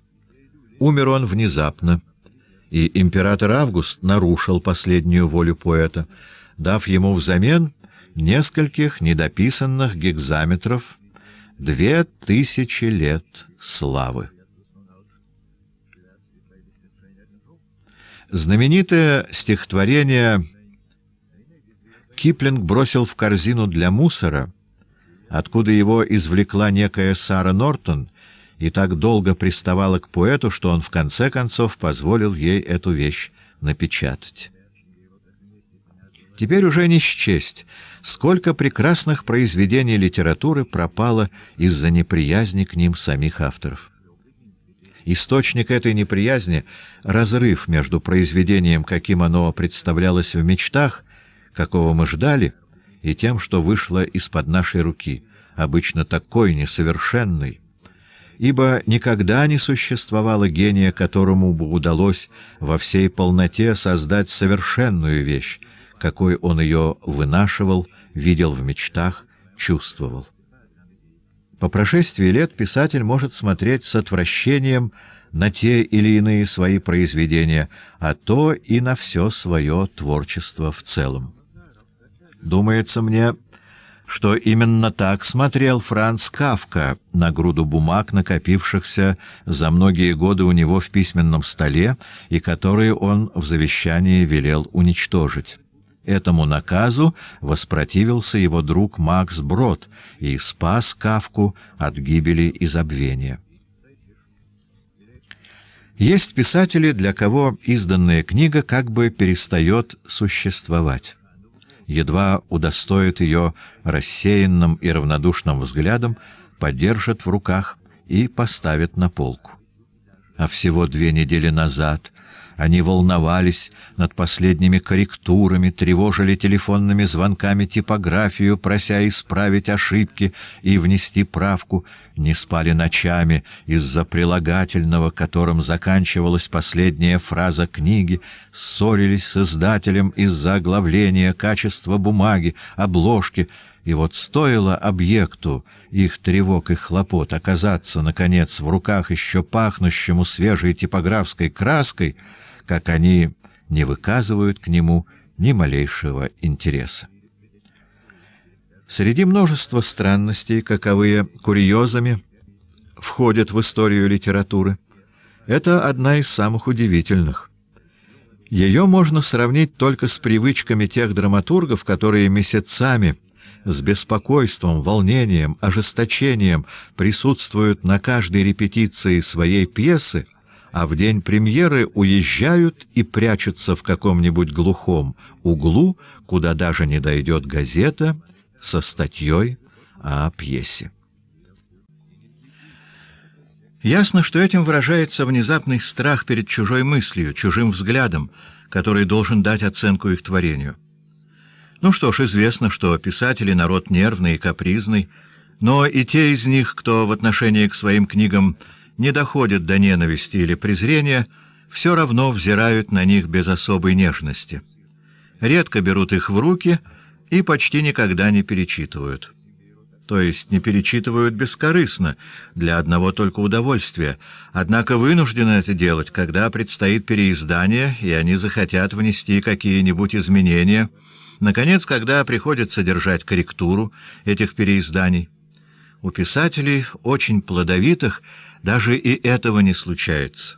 Со своими старыми книгами они поддерживают связь исключительно посредством договоров, заключаемых с издателями. И забывают о них, словно никогда их не писали. Гёте случилось однажды наткнуться на несколько разрозненных страниц, и он прочел их с большим интересом, а когда начал выяснять, откуда они взялись, оказалось, что автором был он сам — можно даже испытывать к своим книгам неприязнь, отвращение, не держать их у себя. Бывало и такое. Хорошо знают свои творения только поэты из тех, кто мало пишет и подолгу вынашивает в себе каждый стих.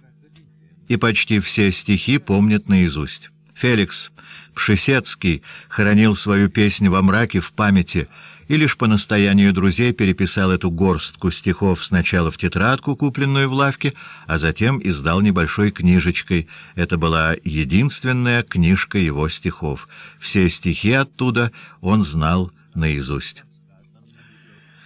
Мне приходилось наблюдать, как по-разному относятся писатели к собственным книгам. У одних они стоят в красивых переплетах, в хронологическом порядке каждое издание — и иногда представляют самый обширный раздел личной библиотеки, а у других рассованы по разным углам, как ненужное старье. Никогда они не могут их найти, очень часто эти книги растрепаны и грязны, в случае необходимости таким авторам приходится свои книги брать в библиотеке. Этих писателей вполне удовлетворяет, что творения их разошлись по свету, и эти книги больше их не занимают. Быть может, законченные вещи потому имеют для нас столь мало значения, что мы всецело заняты теми, которые мечтаем написать. Эти книги могут родиться, а могут так и остаться ненаписанными. Скрытый союзник Литературное произведение не существует вне общества. Можно, конечно, себе представить, что оно создается одинокой личностью, выключенные из среды мыслящих, обладающих даром речи существ. Но это будет случай настолько исключительный, что им займутся или фантасты, или люди, исследующие патологические отклонения. Ни узник, ни отшельник, если они увековечивают в письменной форме свои переживания и размышления, не могут быть вне общества.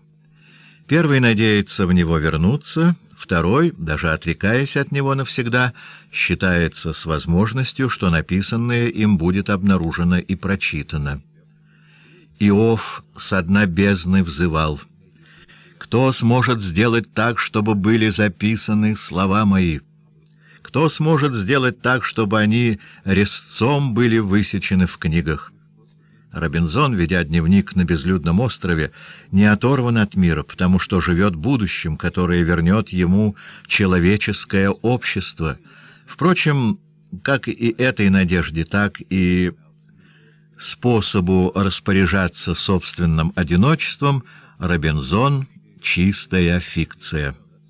Потому что настоящий Робинзон, то есть его прототип Селькирк, так страдал от одиночества, что не только не помышлял о писании, но и говорить разучился. Лишь психиатрам известны состояние острой графомании, где важен сам процесс письма в полном отрыве от мысли, о каком бы то ни было читателе. Есть вещи, о которых говорят, что они не предназначались для публикации. Личные, интимные признания, заметки, письма — но тайны для того и существуют, чтобы их разоблачать. Не следует думать, что только с появлением хищнического книгопечатания начали издавать посмертные бумаги, остающиеся после писателей. Уже в первом веке до нашей эры была придана огласке корреспонденция Цицерона. «Письмо — предатель. Кто поверяет ему свои мысли, не должен рассчитывать на сохранение их в тайне». Даже черновые наброски не застрахованы от этого. Они могут привлечь внимание исследователя, и он обнаружит в них компрометирующие писателя тайны его работы, например, заимствование чужих мыслей, но может произойти и обратное — реабилитация в мнимых провинностях. Так Юзеф Беркенмайер, перетряхнув записи Сенкевича, доказал, что автор «Огнем и мечом» знал, читал и продумал произведения, в незнании которых его несправедливо обвиняли. А что же говорить о признаниях, сердечных излияниях и мыслях, о добродетелях и пороках, сведениях счетов с собственной совестью, поисках пути к совершенству или ядовитых замечаниях о друзьях и знакомых, тайный реванш за безупречную предупредительность и благожелательность в обществе. Неприкосновенность и тайна этих записей зависят от известности писателя. Если она превышает средний уровень, к этим бумагам обязательно протянется любопытная и алчная рука. Правда, в Польше такие документы могут рассчитывать на безопасность. Пройдет столетие, прежде чем кто-нибудь заглянет в них – Чаще всего они гибнут на мусорной свалке или дожидаются военного пожара, и тот кладет конец их сиротской доли. Только в последнее время в результате чудовищных опустошений в рукописном фонде начали в широком масштабе в Польше публиковать мемуары, какие чудом еще уцелели после войны. Дело это заслуживает всяческого одобрения. Абсолютной искренности не существует. Не раз перо останавливается на середине страницы, не раз глаза, смотрящие на слова, незапятнанные ложью, устрашаются тени чужой неведомой фигуры, которая когда-то в будущем будет склоняться над этими страницами. Достаточно мига такой рефлексии, и чистота внутреннего голоса окажется замутненной. Мы настолько тесно связаны с людьми, настолько тщательно они за нами наблюдают, подслушивают, даже когда мы находимся в полном одиночестве, что все это дает о себе знать, стоит лишь взяться за перо. Ренан, будучи семинаристом, отторженным от мира в своей келье в Сен-Сюльпис, еще далекий от занятий литературой, наклоняясь над страницей своего интимного дневника, чувствует себя так, будто потомки уже заглядывают из-за его плеча в эти страницы. В конце концов, писатели, ведшие дневники, примирялись с судьбой, заранее зная, что все их секреты будут оглашены. Отказавшись от иллюзий, якобы они беседуют один на один с собственной душой, они перешли на публичную исповедь. У литературной исповеди солидные традиции — Ее открывают размышления Марка Аврелия и исповедь святого Августина. Исповедь Жан-Жака Руссо, передразнивая полную смирение и раскаяние исповедь Августина, сделалась образцом лживого эксгибиционизма. Руссо при жизни исповедь не издал, а его продолжателям в этом жанре не захотелось ждать посмертных публикаций, поэтому уже Ганкур еще при жизни опубликовал несколько томов дневника, которые вел вместе с братом. В наше время также поступили Ян Лехань, Жюльен Грин, Франсуа Муриак, Поль Клодель, Шарль Дюбо кончилось тем, что интимный дневник сделался полноправным литературным жанром, особенно во Франции, где он даже санкционирован премией, предназначенной для лучших произведений в этой области. Все, что запечатлевается в письме, настойчиво стремится оторваться от автора и, как произведение искусства, вступить в мир похвалы и порицания, блеска и забвения. Дневник, публикуемый том за томом Жюльеном Грином, представляет собой выбор почти ежедневных записей писателя. Автор, делая выбор, не отдает предпочтение важному перед незначительным. Для него главное — чистая правда. Последнее слово о ней он оставляет для посмертного издания. Хотя он и одержим страстью к правде, это не мешает ему не терять над собой контроля, и критически оценивать других. «Я не знаю дневника писателя», — говорит он, — «где бы правда была высказана до конца». Наиболее искренние люди могут отважиться лишь на полуправду. Действительно, никто не способен дать больше. Как в теле, так и в душе есть вещи, которых человек никогда не осмелится поведать. Кому бы то ни было — это не удалось даже Полю Леотану, столь вызывающе нескромному. Не только в интимных записях мысль о близком человеке отводит перо от слов, которых стыдится откровенность, но в еще большей степени тень близкого человека распоряжается произведениями, предназначенными писателем к публикации. Любовь, вдохновляя поэзию, всегда имела в виду любимого человека — подсказывая чувства, ситуации, образы, обороты, и таким путем возникали произведения, как бы рассчитанные на единственного читателя, и настолько им заполненные, что, казалось, каждое слово выговорено только для него, ждет его улыбки, слез, объятий, даже вкрадываются сугубо интимные выражения, понятные только им двоим, любующимся друг другом сквозь радугу слов — преображенных желанием, стремлением, любовью. На произведение может подействовать любая форма человеческой привязанности. Иногда матери бодрствуют над творчеством сыновей, не вмешиваясь непосредственно, но уже одним своим молчанием уводя от нежелательных мыслей. Имеют такую силу и иные чувства — жалость, даже страх, как это случилось с Пшебышевским, который, боясь своей второй жены, кто хоть раз ее видел, понимал Пшебышевского и почти оправдывал, очернил в книге «Мои современники» личность и память Дагне. Таким единовластным деспотом бывал некогда и деспот в прямом смысле — император, король, князь. И гнет его особенно был тяжел, если он бывал образован.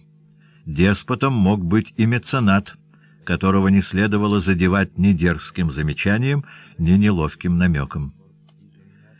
Сдерживают откровенность писателя и просто знакомые ему люди. Сюда относятся друзья, лица, у кого он бывает, определенный круг лиц, где более или менее все друг друга знают, и встречи с кем неизбежны. Первые статьи Сент-Бёва о Шатабриане источают густой фимиам похвал. Окончательный суд критик ради прекрасных глаз мадам Рекамье откладывает на будущее. Не стоит раздражать могущественных дам, от которых он зависим. Но когда весь этот мирок мало-помалу вымирает, Сент-Бёв, не стесняясь, сдирает с Шатабриана все украшения, и жалкий скелет бывшего кумира безжалостно выставляет на обозрение новому поколению своих читателей. Тесный круг родных и знакомых не только действует сдерживающе, не только тормозит, но и оказывает давление, подсказывает темы, воздействует на творческий процесс писателя сильнее, чем тому кажется и в чем ему не хотелось бы себе признаться. Будь иначе, не говорилось бы столько о разных музах и эгериях. Но случается и наоборот. Можно писать вопреки, наперекор. Сколько раз писатели окунали перо в желчь, накопленную от совместной жизни с определенным окружением. Это они, невыносимые, ненавистные, проклятые, заменяли автору читателей всего света. Это им мстило за себя слово, воспламеняя гневом невинные писательские души. Архилох, используя свои распри с тестем, даже создал особый жанр язвительной поэзии — еще теснее, чем просто с обычным окружением, писатель связан с друзьями, коллегами, соперниками, и нередко такой клан, будь то литературный салон, кафе или определенная литературная группа, проявляет в отношении писателя деспотизм, от какого можно освободиться лишь ценой полного разрыва или бегства. До сих пор мы говорили как бы о тесном семейном мирке — и слишком долго заставили ждать основную фигуру настоящего читателя, того, кто не нуждается в иносказательных определениях, а заслужил свое наименование читателя вполне законно в часы общения с литературным произведением, оставаясь при этом для автора невидимым, далеким, неизвестным. Тревожащий своей таинственностью адресат с неведомых улиц — житель маленьких городов, селений, деревень, прохожие, останавливающиеся перед книжной витриной, тот, кто свободную минуту посвящает книжке, читая на скамейке в сквере, в вагоне, в кровать. Скрытый союзник или враг. Читатель, сам того не ведая, является соавтором книги еще задолго до того, как она до него дойдет. Он живет с автором в часы колебаний, борьбы и решений. Автор ощущает на себе его взгляд, ждет его смеха или слез, готов отступить, если заметит у него на лице гримасу нетерпения, недовольства, гнева. А иногда эти самые симптомы вдохновляют автора, и тогда он начинает дразнить и возмущать читателя. Невидимый читатель, хотя и безличный, обладает удостоверением личности, где указаны его вероисповедание, подданство — национальность, происхождение, возраст, гражданское состояние, имущественный ценз, пол. Некоторые писатели пишут в расчете только на женщин, другие — на молодежь, интеллигенцию, крестьян. Они хотят находиться в ладу с их чувствами, приспособиться к их понятиям, и если должны им противоречить, то будут это делать, считаясь с ними, не отходя от их предубеждений, будут писать так, чтобы не исказить своих намерений и не выйти за черту восприятия своего читателя. Такое тайное соглашение может на века обеспечить преимущество и господство в литературе определенной направленности или представителей определенного класса. В польской литературе такое преимущество долго сохраняло за собой дворянство. Его жизненные идеалы, симпатии и антипатии, его представления о Польше и ее истории создавали писатели, даже не принадлежавшие к этому сословию, даже враждебные ему. В другие эпохи или в других обществах наделяли подобной властью городское мещанство, военных, крестьян, духовенство, касту чиновников. С распространением книгопечатания в XIX веке читательская масса чрезвычайно увеличилась, произошло разделение на сферы, И с тех пор перед писателем открылся богатый выбор, кому он хочет адресовать свою книгу — людям с положением или неудачникам, образованным или невеждам, какому общественному классу, каким политическим страстям собирается служить. В этом разнообразном пейзаже имеются полосы, на первый взгляд, узкие, на самом же деле весьма обширные, например, такие, которые принято называть читатели бульварной литературы. За исключением очень предусмотрительных и проницательных дебютантов в литературе, которые сразу же безошибочно находят путь к определенной ими выбранной категории читателей, все остальные дебютанты, юные, несобранные, но самонадеянные, устремляются в литературу наугад. Их первая книга «Крик в ночи». Начинающий писатель не знает, кто его услышит и кто откликнется. Он принимает в расчет все, кроме молчания. Ему представляется невероятным, чтобы в огромном людском муравейнике не нашлось горстки людей, готовых его выслушать, понять, полюбить. И вот именно это невозможные вещи происходят. Сэвидж Лэндор продал всего лишь два экземпляра своей первой книжки. Один купил Кольридж, другой — Квинси. Этого было достаточно, чтобы Сэвидж Лендор не чувствовал себя одиноким.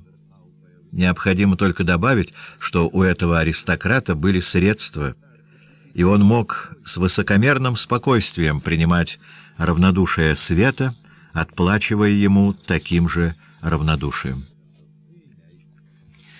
Человека на протяжении всей его жизни терзает голод оценки. Каждый его поступок — хотя бы и самый незначительный, каждая горстка связанных мыслью слов взывает к оценке. То, что он признает за собой сам, никогда его не удовлетворит. Ему нужна оценка со стороны других людей. Это желание присуще уже ребенку, забавляющемуся игрушками. Но страшно представить писателя, который равнодушен к оценке своего творчества — в какой безлюдной пустыне этот человек похоронил свое отчаянное одиночество. Писатель — человек как бы увеличенного масштаба. Ему свойственно это чувство испытывать в гораздо большей степени. Несколько одобрительных голосов этого голода не утолят, и он, как Гёте, сочтет, что не стоит писать, если нельзя рассчитывать на миллионы читателей. Ныне мы знаем, что Гёте — смело мог на это рассчитывать. Но вот несколько неожиданных фактов. Накануне Первой мировой войны в книжных магазинах легко можно было достать экземпляры первого издания западно-восточного дивана, а второе издание вышло более чем полвек спустя. Герман и Доротея расходились так плохо, что издатель «Фивек» старался заманивать покупателей подарками. А тут их не наберется и тысячи. Молчание сразу же ломает малодушных, упорные не поддаются, еще настойчивее ищут своей дороги, как Стендаль. Его о любви было продано всего несколько экземпляров, а теперь почти каждый из покупателей того издания чуть ли не удостоен специальной монографии. Большинство писателей стараются понять зловещую тишину и извлечь из нее для себя урок. Бальзак вначале штурмовал публику трагедиями и историческими романами, надеялся напасть на ту же золотую жилу, что и Вальтер Скотт, пока всеобщее молчание не вывело его из заблуждения. Драматург имеет возможность познакомиться со своей публикой хотя бы поверхностно, по лицам, жестам, по внешнему виду, и если у него есть охота, может в дни спектакля наблюдать за ее непосредственными реакциями и даже подслушать в антрактах обрывки разговоров об его пьесе. Писатель, имеющий дело лишь с читателями, никогда их не видит или видит чрезвычайно редко. Они откликаются в письмах, но письма пишут лишь самые смелые из них. Читателям свойственна странная застенчивость, и им приходится иногда преодолевать ее годами, чтобы отважиться написать автору. Исключая письма несправедливые и бранные, все остальные автор принимает с признательностью. Это ведь тоже своего рода событие, когда из тумана, окутывающего безымянную читательскую массу, внезапно возникает чье-то имя, комната или изба, куда проникло твое слово, где его любят и ценят.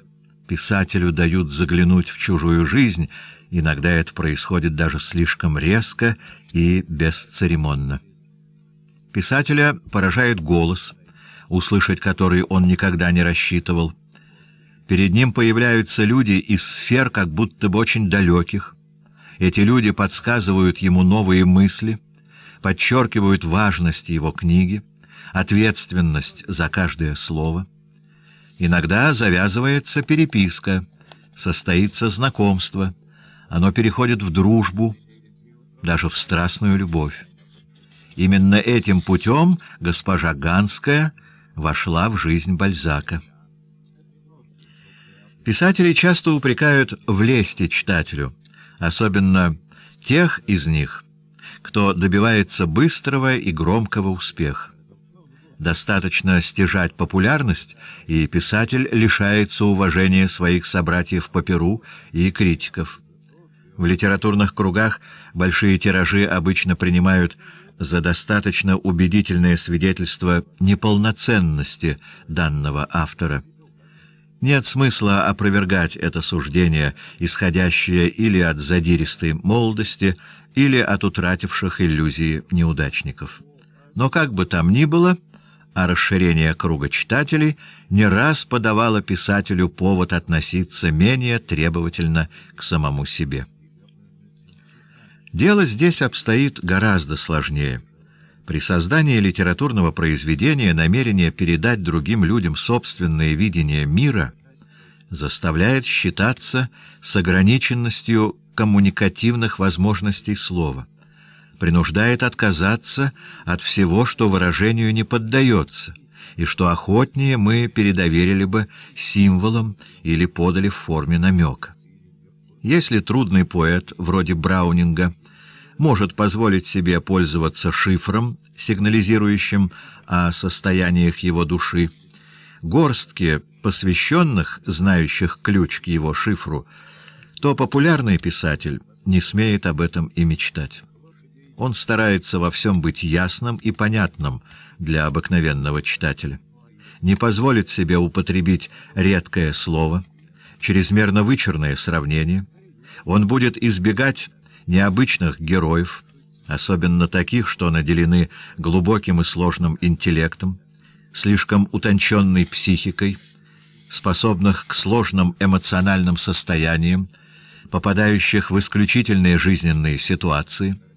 Иными словами, писатель вынужден принять на себя весь груз банальности и иногда несет его поистине героически.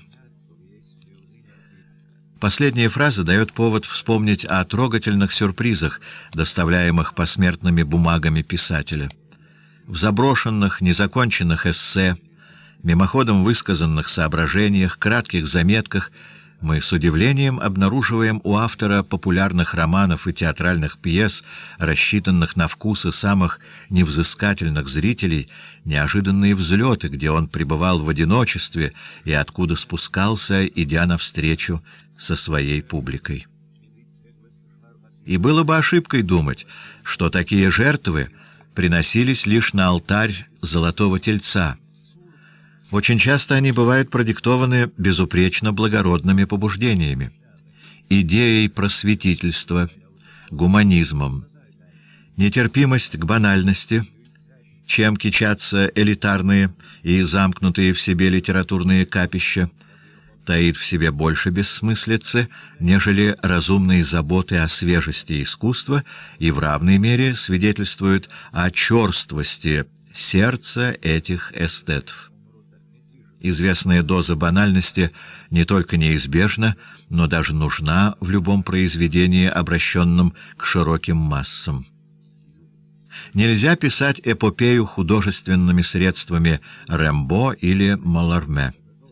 Данте, несмотря на всю свою поэтическую дисциплину и принципиальность, обращается к банальным терцинам, чтобы освежить хрустальные фантастические чертоги рая дыханием обыкновенного земного воздуха. Но, об этом, к сожалению, редко вспоминают, есть авторы, пишущие приземленно из скромности. Эта редчайшая в литературном мире добродетель все же имеет своих представителей и подчас одаренных таким чарующим нимбом, как это было с Болеславом Прусом. Прус, который был мудрее, умнее, образованнее большинства своих читателей, никогда над ними не возвышался. Обращался к ним как равный к равным, проявляя доброжелательность и уважение.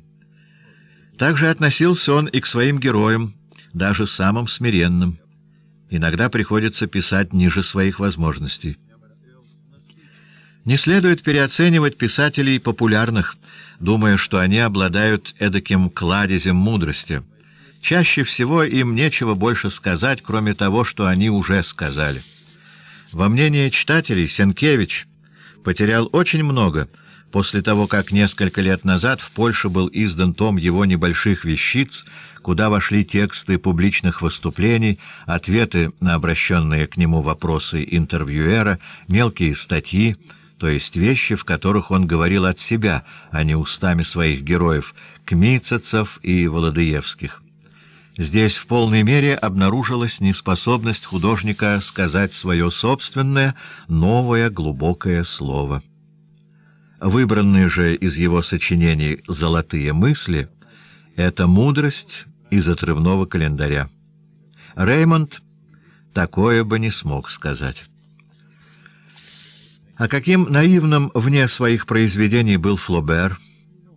Пруст просмотрел его сравнения и увидел, что ни одно из них не превышает умственного уровня персонажей его романов. Это еще не совсем убедительный аргумент, если бы мы не располагали перепиской Флобера.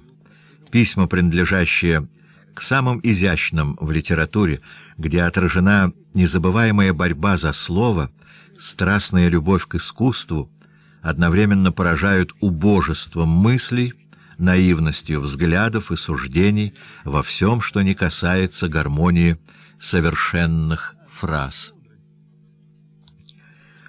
Есть весьма чуткие писатели. Говорю это не в осуждение, потому что быть чуткими заставляет их не только читатель, но и в гораздо большей степени стремление к популяризации своего искусства, которые стараются разнообразить жанры, темы, стиль. Флобер, используя двойственность своей природы, производил систематически плодосмен. То погружался в реализм, то жил фантастикой. Предприимчивая мадам де Кайяве заставила Франца написать «Красную лилию», считая, что в литературном фонде ее друга должен иметься светский роман, иначе могли бы подумать, что он ни на что иное не способен, кроме забавы эрудицией. Конрад в позднейший период творчества избегал морской тематики, отдавая предпочтение темам все более отдаленным от его первых романов, в полной мере используя и свое воображение, и творческую силу. Злоупотребляя разнообразием жанров и тематики, перебрасываясь с романа на драму, с эссе на лирику, можно совершенно сбиться с пути и потерпеть неудачу в каждом из этих жанров. Мало найдется писателей, чья жизнь от начала и до конца протекала бы гладко и ровно в соответствии с одними и теми же убеждениями и идеалами. Большинство подвержено различным переменам. Например, безмятежность, веселость, сластолюбие изменяют человеку, и для него начинается период тяжелых раздумий, печали, меланхолии. Он отказывается от наслаждений жизни. Писатель, впадающий в такое состояние, уже не может рассчитывать на читателя, которого он до сих пор услаждал. Очень немногие из его читателей воспримут перелом в его творчестве и останутся ему верны, но зато он обретет других. Происходят очень глубокие перемены и в психике, и в образе жизни. Принятие другой религии, другой общественной идеологии, участие в политической жизни, которой раньше писатель сторонился, перемена может явиться конечной фазой длительного процесса, может произойти и внезапно сама по себе или под влиянием других лиц, под впечатлением определенных событий, принуждающих писателя делать выбор, принимать решение, от чего бы он охотно уклонился, если бы не давление обстоятельств. Переменившись, писатель уже не думает о прежних читателях, а начинает искать новых. Если он знаменит, то не утратит и старых, но уже не они будут поощрять или сдерживать его. Так случилось с Честертоном после его перехода в католичество. Очень интересна в литературной жизни Франции история дела Дрейфуса. До сих пор этому уделяется еще много внимания, потому что из-за него целая группа выдающихся писателей внезапно оказалась в двух враждующих лагерях. Как на ладони видны там колебания, тревоги и смелые решения, осторожность рядом с отвагой, разрывы со старой средой и переход в новую. Благодаря многочисленным мемуарам мы как бы слышим откровенную речь, почти угадываем мысли тех, кому завтра предстояло потерять своих издателей, журналы, где они печатались, дома, где бывали желанными гостями, наконец, прежних читателей. Мы видим весы, на чашах которых колеблются известное прошлое и неизвестное будущее. Видны и результаты выбора, иногда до основания меняющие характер творчества, как это было с Жюлем Леметром. Первый том, выходящего сейчас к лучшим временам Анатолия Франца, в обработке Клода Авелина, содержит ряд статей и речей автора на фоне эпохи и дает нам ярчайший пример того, что можно было бы назвать литературной стратегией. Франц, вольнодумец и сторонник прогресса, долгие годы вынужден был скрывать свои истинные взгляды под разными масками и одеяниями, сглаживавшими остроту и радикализм его мыслей. Снисходительная ирония и добродушный, с виду только, скепсис не шокировали даже консервативный «Темпс» — «Время», где Франц писал еженедельные фильетоны. Первой откровенной книгой была «Под городскими вязами», и недаром Фаге после ее появления воскликнул «Инфан». Наконец-то осторожный скептик бурно ринулся в накаленную атмосферу современной жизни. Отдельные главы романа печатались на протяжении двух лет в «Эхе Парижа», но они не давали возможности составить верное представление о романе в целом, а конца пришлось ждать довольно долго. Но вот 24 декабря 1896 года Франц был выбран в Академию. 20 дней спустя роман «Под городскими вязами», уже давно готовый, но задерживаемый автором, появился в магазинах отдельной книгой. Еще не успели замолкнуть возгласы изумления, как впервые зазвучал голос Франца с высокой академической трибуны. Он защищал Армению. Так начался тридцатилетний период его общественной деятельности. Ни на день раньше, чтобы не проиграть Академию, его мечту с шестилетнего возраста. С момента, как он оказался выбранным, он мог позволить себе полную свободу высказываний. Это очень большое удовлетворение — иметь возможность открыто говорить о том, что считаешь полезным и справедливым — вздохнул он с облегчением в предисловии к жизни Жанны Д'Арк. Внезапная перемена поразила тысячи людей, раздались возгласы негодования, но за пределами Парижа их не очень-то было слышно. Приобретя новых сторонников, Франц не утратил прежних, а за граница осталась ему верна даже и после его смерти. Коль скоро я упомянул слово «заграница», ему следует уделить немного внимания. Оно не всегда имело одинаковое значение. В греко-римском мире в эпоху Римской империи никакой заграницы, собственно, не существовало. Никто не предназначал своих произведений для партов или для китайцев. Два языка — греческий и латинский. Греческий в большей степени обслуживали весь круг тогдашних читателей. Для этих читателей писали и чужеземцы, например, евреи, единственный народ, обладавший в те времена собственной литературой. Филон из Александрии, Иосиф Флавий старались передать все сведения о своей стране, ее истории, традиции и литературе. То же самое на два века раньше делал для своей страны вавилонец Берос. В средние века латинский язык не знал границ, не было их и в эпоху гуманистов, которые мыслили в общеевропейских масштабах, а не национальных. Петрарку в один и тот же день увенчали поэтическими лаврами и Париж, и Рим. Клеменс Яницкий получил венок в Болонье. Сочинения гуманистов издавались повсюду, независимо от национальной принадлежности и места жительства автора. Писатель-гуманист писал не для читателя-соотечественника, а для читателя, родственного ему по интеллекту, кем бы этот человек ни был и где бы ни находился. Развитие национальных литератур воскресило те давно минувшие времена, когда римляне писали по-гречески, чтобы снискать интерес и похвалу греков, а греки — как, например, Полибий, писали, ориентируясь на римлян. Вкусы читателя-чужеземца, его типаж легко было распознать. Некоторые литературы нового времени завоевывали этого читателя без всяких усилий благодаря распространенности их родного языка. Раньше всего это удалось французской литературе. На французском языке уже в XIII и XIV веках писали даже иностранцы Марко Поло, Брунетто Латини.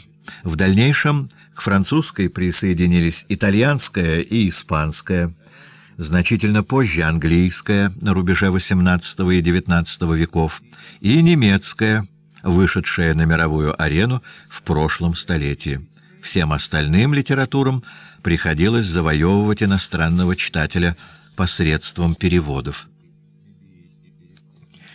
Английские и французские писатели редко ориентируются на иностранного читателя, так мало уделяют ему внимания, что иногда и не подумают ради него что-либо изменить в своем произведении.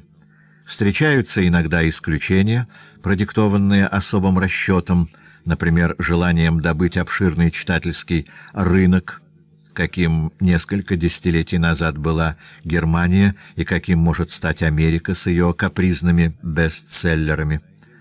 Может служить стимулом и прицел на получение Нобелевской премии.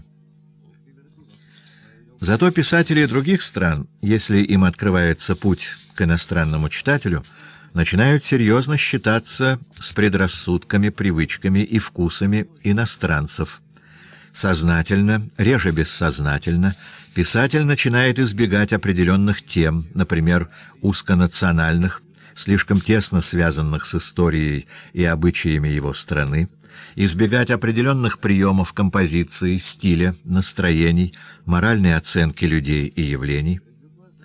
Я знал одного польского писателя, который, предвидя, что его будут переводить, избегал трудно выговариваемых фамилий, усложненной орфографии, не говоря уже о том, что фабула была настолько лишена локального колорита, как если бы автор даже польский пейзаж считал помехой.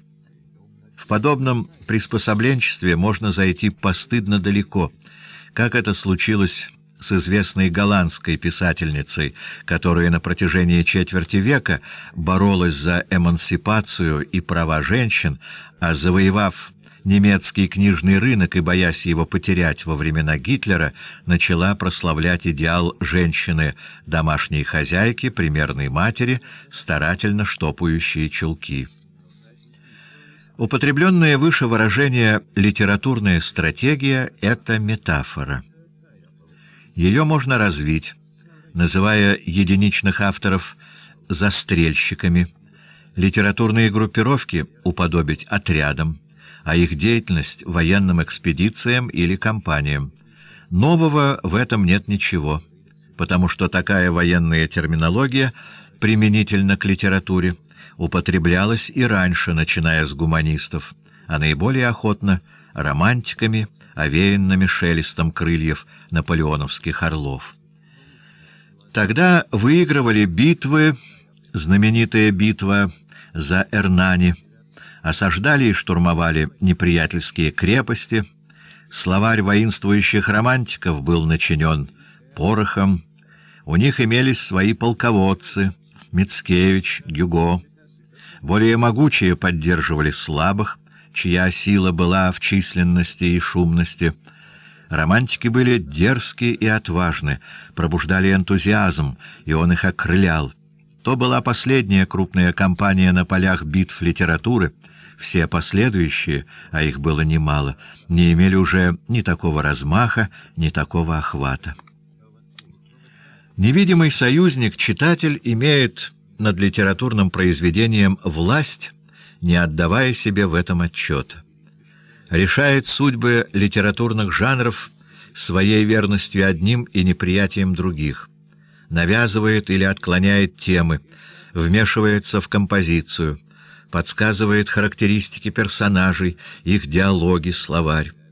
До чего деспотичны были французские литературные салоны эпохи монархии, беспощадные к неаккуратным и нескладным оборотам в прозе, а в стихах ни одно прилагательное не смело оторваться от своего существительного и отскочить в следующую стихотворную строку ужель явился он по лестнице сокрытый.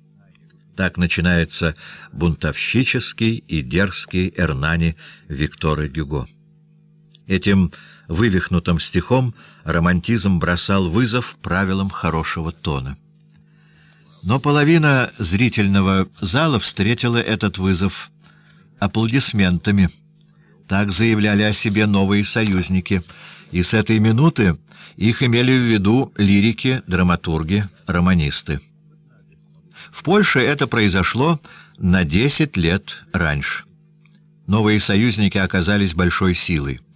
Писатели-романтики половиной своей славы были обязаны энтузиазму читателей — этот энтузиазм придавал писателям смелости, оплодотворял, наделял огромной продуктивностью, объятые восторгом души творцов мчались навстречу новым формам, новым идеям.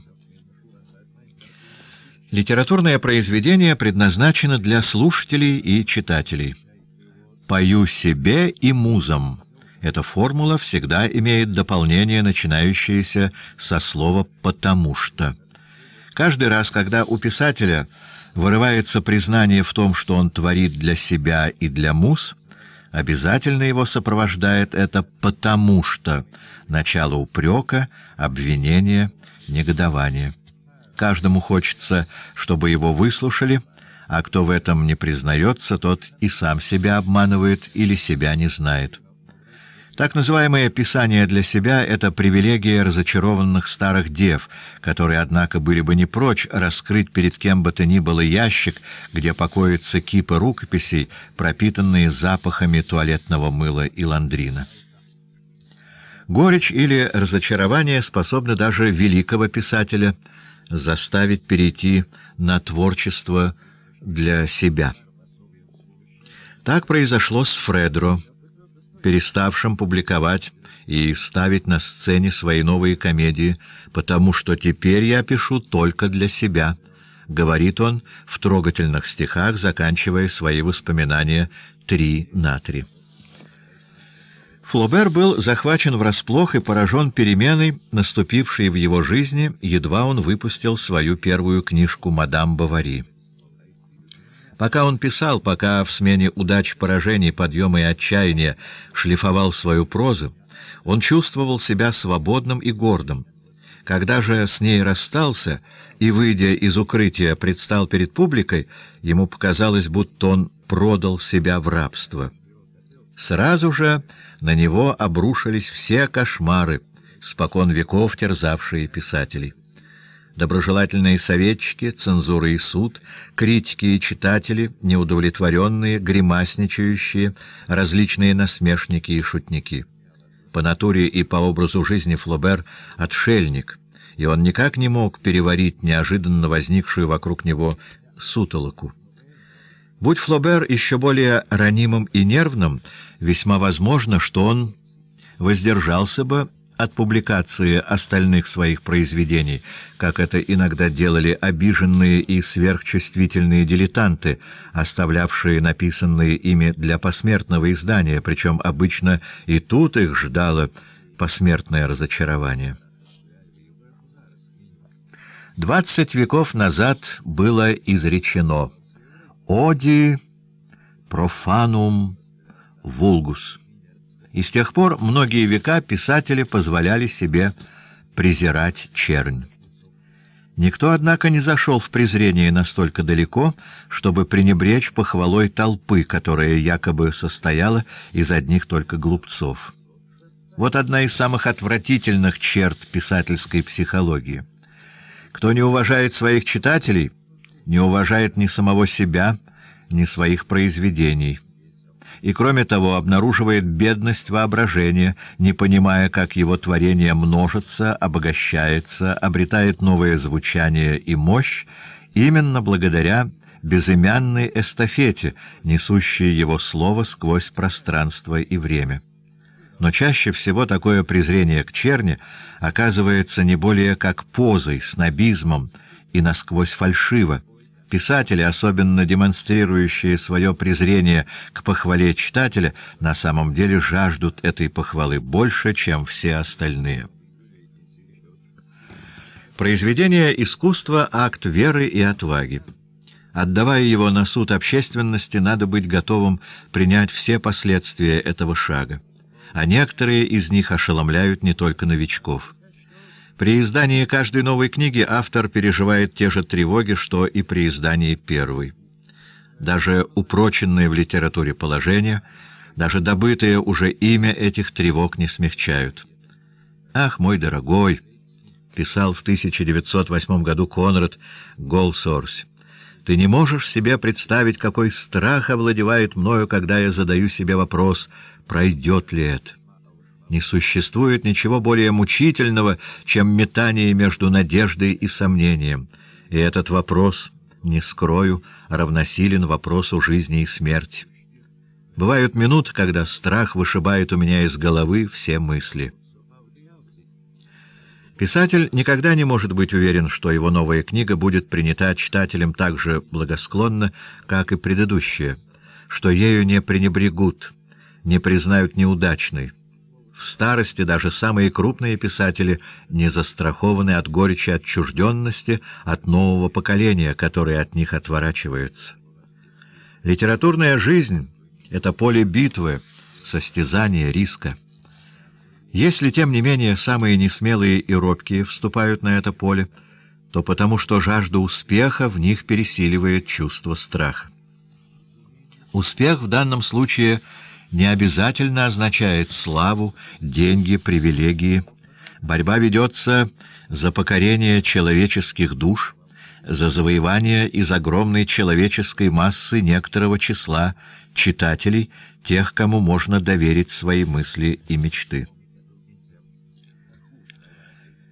В изложенных выше соображениях мы довольно близко подошли к сравнению писателей с политическими деятелями, и теперь нам не уклониться от этого сравнения.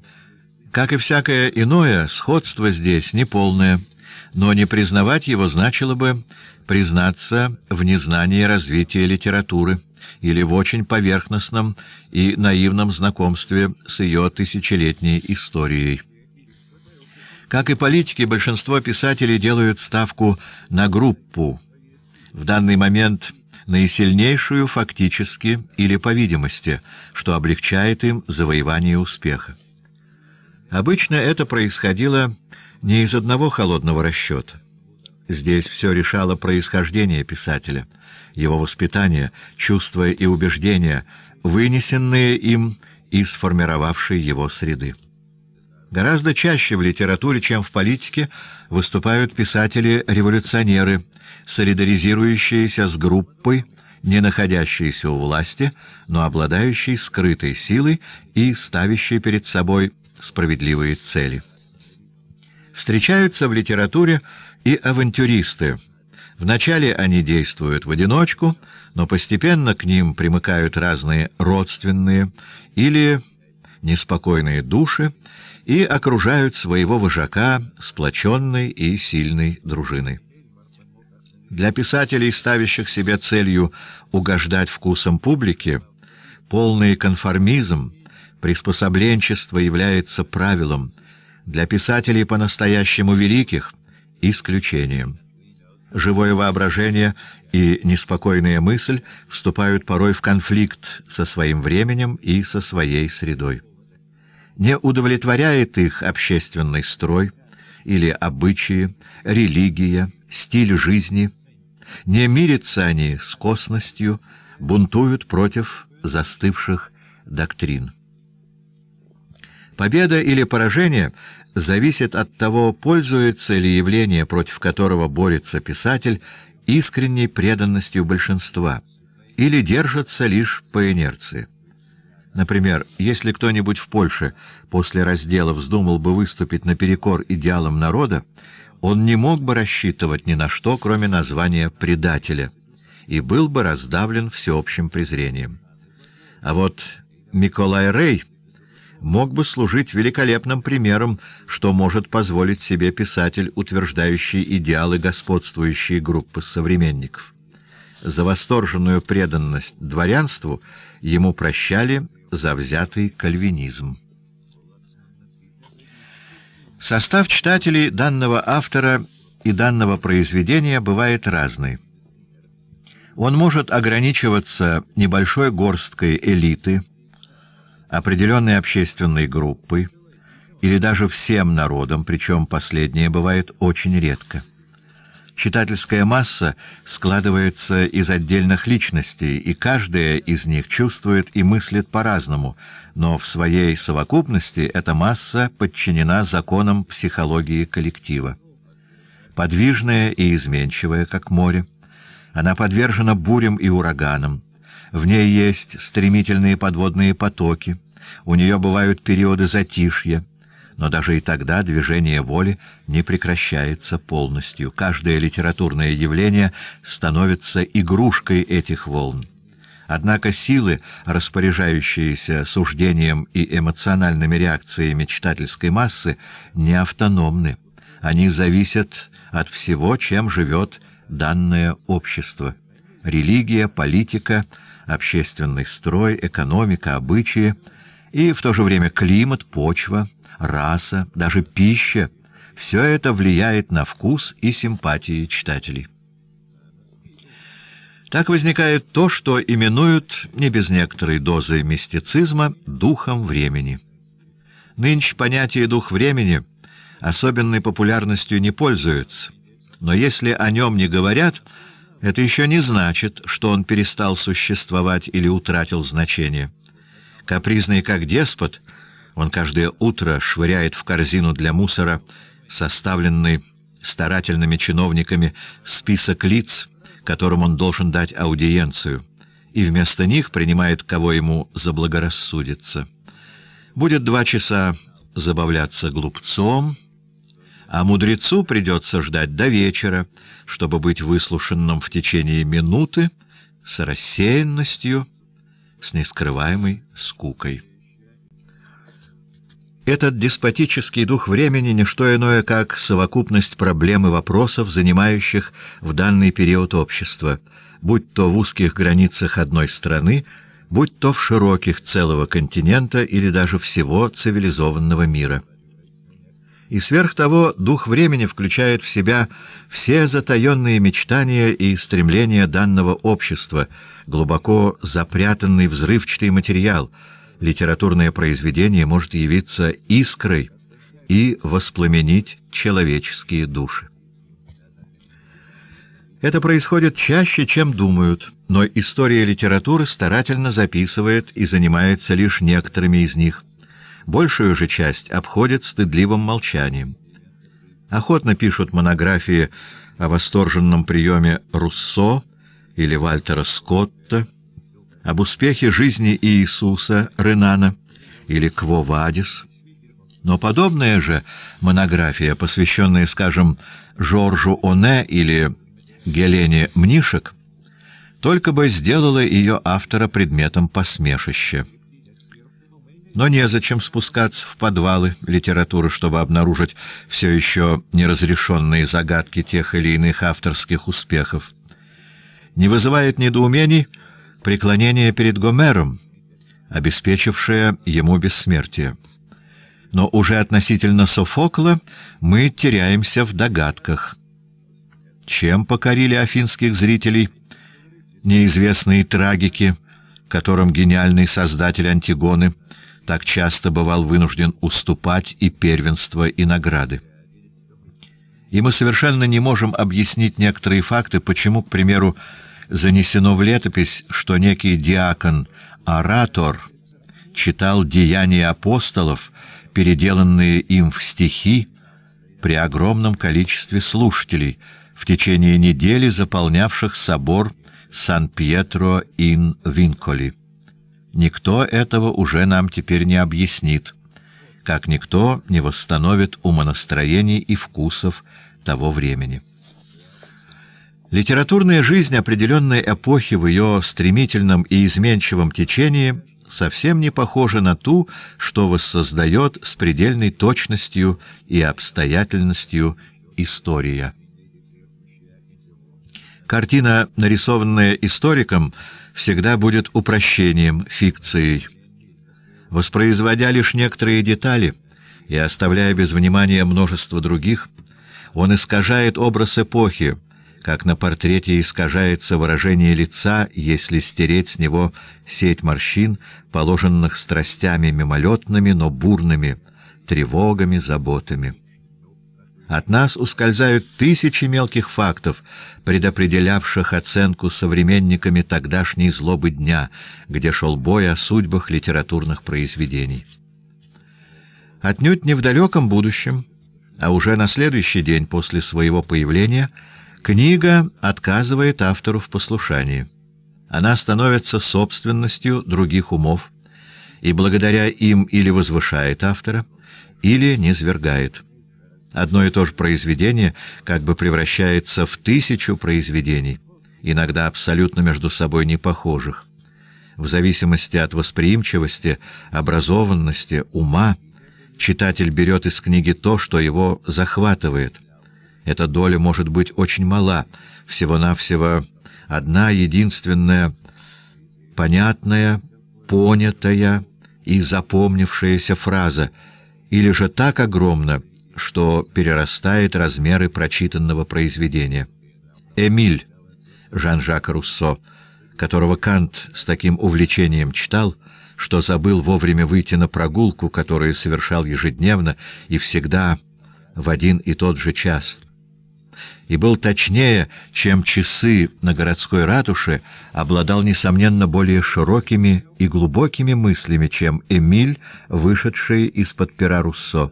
Поля этой книги были испещрены размышлениями гениального философа. По наброскам, замечаниям, беседам о прочитанной книге, великих мыслителей и писателей, мы видим, как они одним своим анализом словно бы придают этим книгам орлиные крылья. Автор никогда не может предвидеть, что вычитают из его книги.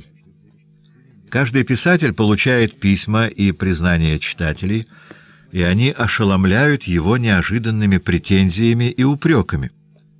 Самый скромный читатель не удержится, чтобы не вписать собственной души в текст чужой. Точно так же обстоит дело и с критиками, хотя они не любят в этом признаваться. Искреннее остальных были критики-импрессионисты, король которых Анатоль Франц называл свои критические статьи приключениями собственной души, а в мире книг. Исследователям литературы надо бы отказаться от заблуждения, будто они способны на безупречно объективный анализ литературного произведения и не вносят в него ничего личного. В каждую последующую эпоху книга, если ей удается выплыть за пределы своего времени, живет иной жизнью, иногда совершенно фантастической, и никто из первых читателей ее бы не узнал. Самому добросовестному исследователю не удастся восстановить то впечатление, какое данная книга производила на своих современников, не только дальних веков, но и более близких нам. Безотносительно к ее дальнейшей судьбе, книга прежде всего есть продукт своего времени. Она для этой эпохи написана, связана с ней тысячами нитей, и она, эта эпоха, чаще всего предрешает ее дальнейшую судьбу.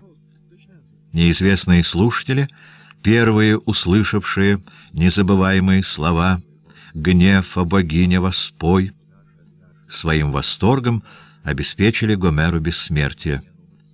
А полтора века спустя для их потомков правитель Афин Пизистрат уже принимал меры для сохранения верного текста Илиады.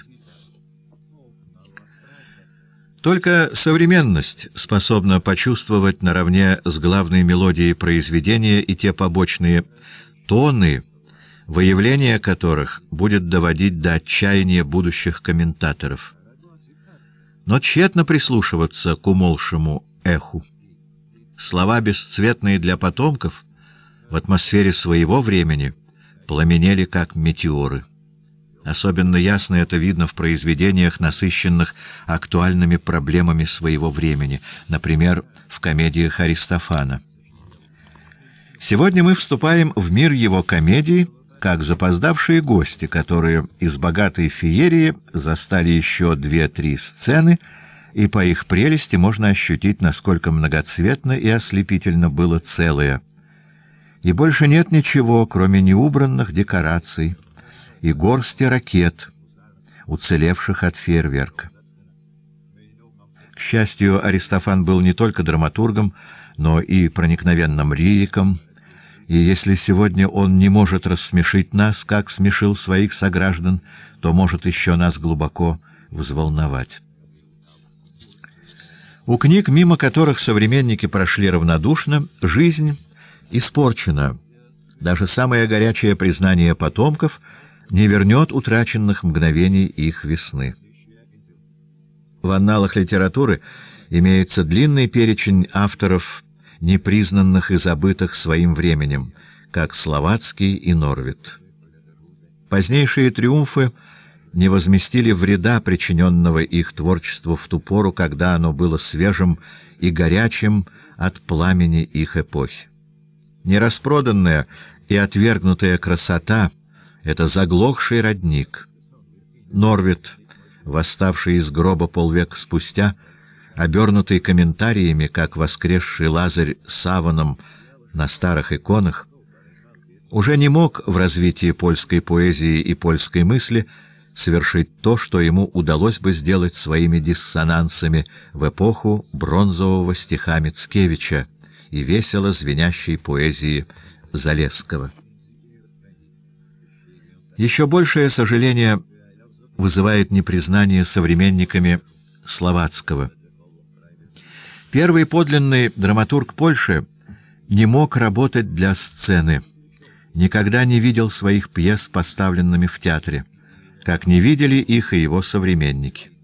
И почти никто их не читал. Жар этого одинокого творца в конце концов остыл, вспыхнув в последний раз угасающим пламенем, проникновенными фрагментами, величественными в их недоработанности, поэтической версией рабов Микеланджело. Непризнание Словацкого исказило картину развития польской драмы. Нетрудно себе представить, какой бы она выглядела, если бы шла под знаком театра Словацкого и при его деятельном участии. Нас трогают пророческие обращения Стендаля к читателям, которые еще не родились, но редко кто понимает весь трагизм этого крика сердца. В нем отчаянный стон произведений, отвергнутых своей эпохой. А ведь литературное произведение имеет огромные обязательства перед своим временем. И все, что мешает этому, зловредно и заслуживает осуждения. Но разлад между писателем и его эпохой может возникнуть и по вине самого писателя. На это в свое оправдание любят ссылаться те, кто проглядел и недооценил писателя. Здесь снова невольно вспоминаешь Словацкого. Он вывез с собой в эмиграцию пленительные стихи о своей молодости, действительно прекрасные стихи, и сразу же из-за них поссорился с польскими эмигрантами, теми, кто боролся и страдал в восстании 1830 года, кто только что был низвергнут с вышины в бездну поражения и не мог говорить и думать ни о чем ином, кроме своей несчастной доли и несбывшихся надежд. Эти люди не приняли ни его монаха, ни Гуго, ни Змия, ни его несвоевременного байронизма, как и повествующего о созерцательном и мечтательном детстве поэта «Часа мысли». Свыклись с тем, что от него не услышишь слов нужных, как хлеб насущный, и в результате не заметили их тогда, когда его творчество было переполнено ими. Особенно поражает в таких случаях слепота критики. Нет более сурового суда о польской критике, чем она сама над собой произнесла, проглядев Словацкого и Норвида. Примеров таких, правда, менее ярких, но красноречивых, недооценки нашей критикой выходивших книг можно привести довольно много. Причины тому бывали разные. Предубеждение и злая воля — неспособность оценивать вещь как произведение искусства, приверженность трафаретам, господствующим в данный период. Гощинский одной опрометчивой статьей сломал перо величайшего польского комедиографа Александра Фредро. Критика, благодаря своим представителям, сама является частью литературы можно привести работы, превосходящие книги, которым они посвящены. Критика зависит от литературы, так как она является для нее материалом. Критика исследует литературу, объясняет и оценивает. Иногда она довольствуется скромной ролью посредника между писателем и читателем, иногда же выступает судьей и выносит приговор. В последнем случае – она верна своей этимологии. Глагол, определивший ее название, значит «судить». И слово «критика», суть ее, восходит к грекам. В очень отдаленные времена, еще в VI веке до нашей эры, патроном доктринерской, неизменно придирчивой критики был Ксенофан из Колофона — философ, осуждавший Гомера во имя чистоты религиозных понятий.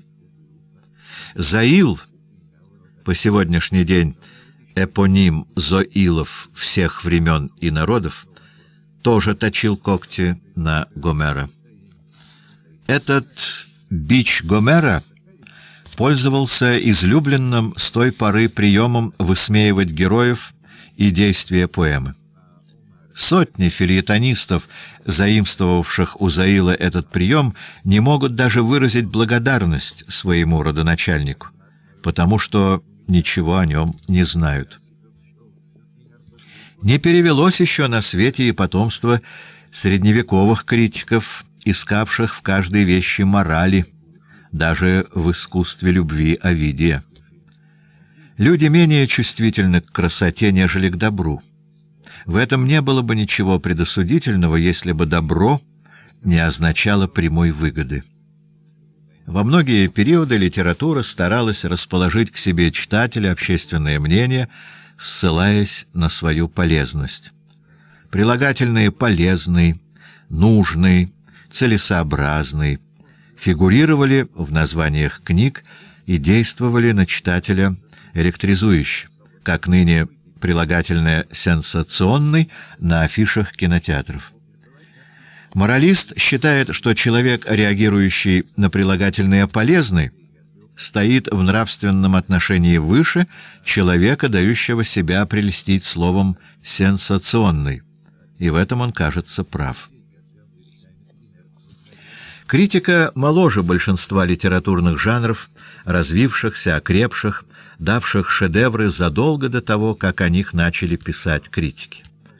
Но и позже бывало, что критика, во всяком случае в понимании близком нашему, время от времени угасала, замолкала.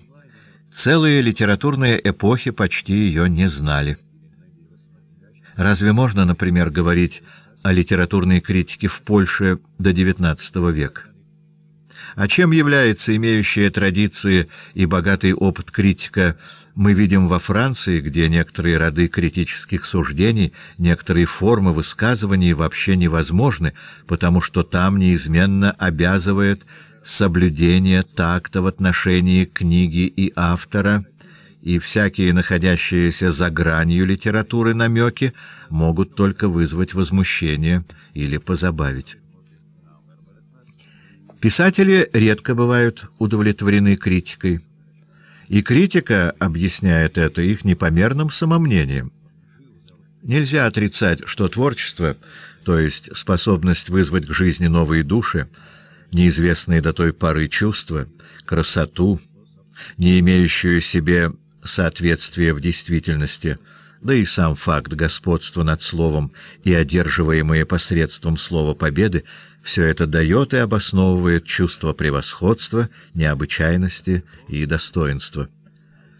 Можно составить антологию литературных шедевров, и на ее величественных страницах законное место заняли бы «Я памятник воздвиг» Горация и стихи импровизации Мицкевича но вряд ли можно серьезно относиться к крикам непризнанных гениев, голосам претенциозных бездарностей, не всегда, правда, смешным, временами очень печальным. Особенно огорчает писателя несоразмерность между его работой и усилием читателя, каким является критик. Кто из писателей мучительно не содрогнется, услышав о своей книге. Прочитал ее одним духом за несколько часов. Сказанные с добрым намерением, как похвала, эти слова содержат в себе жестокую иронию. За несколько часов. Так и видишь при этом стремительный пламень, испепеляющий сотни, тысячи творческих часов. Даже в фемиаме похвал, расточаемых критикам, писатель не может скрыть своей горечи, видя, как критик галопом промчался по его книге. «Прошу только об одном», — писал Монтескье во вступлении к духу законов. «Но опасаюсь, что мне будет в этом отказано. Пусть никто, бегло прочитав книгу, не выносят поспешного суда о работе, на которую потрачено 20 лет. Его просьбу выполнили лишь в наше время. Только классики или равноценные им крупные мастера прошлого могут рассчитывать на исключительное внимание. Критики вникают в каждое их слово. Но здесь критик уступает место литературоведу. Современность даже и своих великих выслушивает рассеянно. У Конрада есть такая фраза Хороший писатель — это писатель, взирающий без особой радости и без чрезмерной печали на приключения своей души в мире критики. В таком случае хороший писатель — это не только человек, владеющий своим мастерством, но и честный по характеру, знающий себе цену, ее он не занижает притворной скромностью и не завышает высокомерием. Его писательская совесть спокойна, чье-то безответственное суждение не собьет его с толку. Автор чувствует себя в своем произведении хозяином, он не любит, чтобы бесцеремонно нарушали границы его владений и не терпит поучений от каких-либо пришельцев.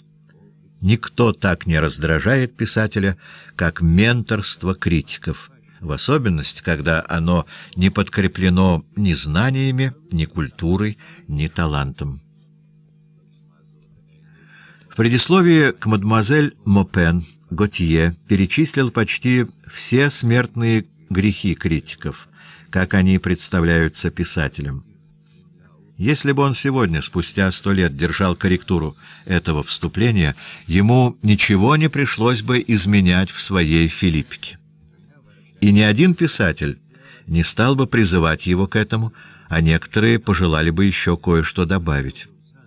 В прошлом писатели со своими критиками дрались на дуэли, подсылали наемных убийц, чтобы те их, если не убили, то хотя бы хорошенько поколотили, клеймили ядовитым словом, обрекая их частенько на мрачное бессмертие. Таких имен много кружатся в книгах Вольтера. Жаль только, что не появился новый Кастильоне и изящно не описал респектабельного идеального критика, стоило бы это сделать. Намеком на такой идеал был диалог Оскара Уайльда «Критик как художник». Камень преткновения для всех, кто в критике готов увидеть что угодно, только не произведение искусства. Уайльд пренебрегал современной ему критикой, особенно газетной. Наперекор ей, поскольку она никогда не была ему благосклонна, заключил союз с читателями, и читатели принесли ему славу, столь громкую, что критике, в конце концов, пришлось покориться или, по меньшей мере, умолкнуть. Воспользовавшись ее молчанием, заговорили те, кто видел в Уайльде великого писателя. Продолжалось это недолго. После личной катастрофы Уайльд исчез с литературного горизонта Англии. Его имя было предано анафеме. Ныне его имя звучит вновь, и критика, когда пишет о нем в связи с новыми изданиями или возобновлениями пьес, искупает старые ошибки трезвостью оценок и тактом. Читатель, направляя перо писателя, не выходит из своей безымянности, как и театральный зритель — Первый дает знать о своем существовании числом проданных экземпляров книги или ее нетронутым тиражом, второй — полными сборами, аплодисментами или освистанием пьес. Критик же обращается к писателю непосредственно и прямо. Писатель знает своих критиков, если не всегда лично, то хотя бы по внешнему виду, во всяком случае, ему хорошо известны их взгляды, мнения, предубеждения. Он заранее может предвидеть, кто из критиков выскажется за него, кто против. От силы характера писателя зависит, с кем он будет больше считаться, потому что бывают враги, приносящие честь, и почитатели, чьи кадила источают яд. Если в определенный период в литературе существует великий критик, то есть человек большой культуры, горячего сердца, порывистого воображения, проникновенного ума, искреннего энтузиазма к рождающимся произведениям, он наверняка выскажет свое мнение о книгах современных ему писателей, отличное от мнений безымянной читательской массы. Бывает, что между писателем и критиком возникает тесная дружба, И критик побуждает писателя реализовать дремлющие в нем возможности. Столь благотворно действовал на Конрада Ричард Кёрл. А какова выдающаяся роль Хенкеля, редактора журнала «Варшавская библиотека»? Из своей скромной комнатки он распоряжался судьбами многих книг, в их число вошло несколько шедевров. Но бывают и такие писатели, которые ни от кого не принимают советов, уверенные, что никогда не поддадутся влиянию чужой мысли. Они бы с негодованием протестовали против сказанного здесь, считая это недостойной инсинуацией. И очень дурно поступили бы. Как никто не знает своего голоса, что за удивление, когда услышишь его с магнитофонной ленты? Потому что голос подчинен внутренней акустике, совершенно отличной от внешней. Так и писатель свое произведение видит в себе вместе со всем, что он чувствовал и мыслил, его создавая, но что не вошло в него. У каждой фразы есть длинная и богатая история — и она могла бы быть проанализирована и разъяснена, но, приняв окончательную и беспощадно краткую форму на бумаге, фраза лишается каких бы то ни было возможностей воссоздать в чужом сознании всю свою предварительную и иногда очень яркую жизнь.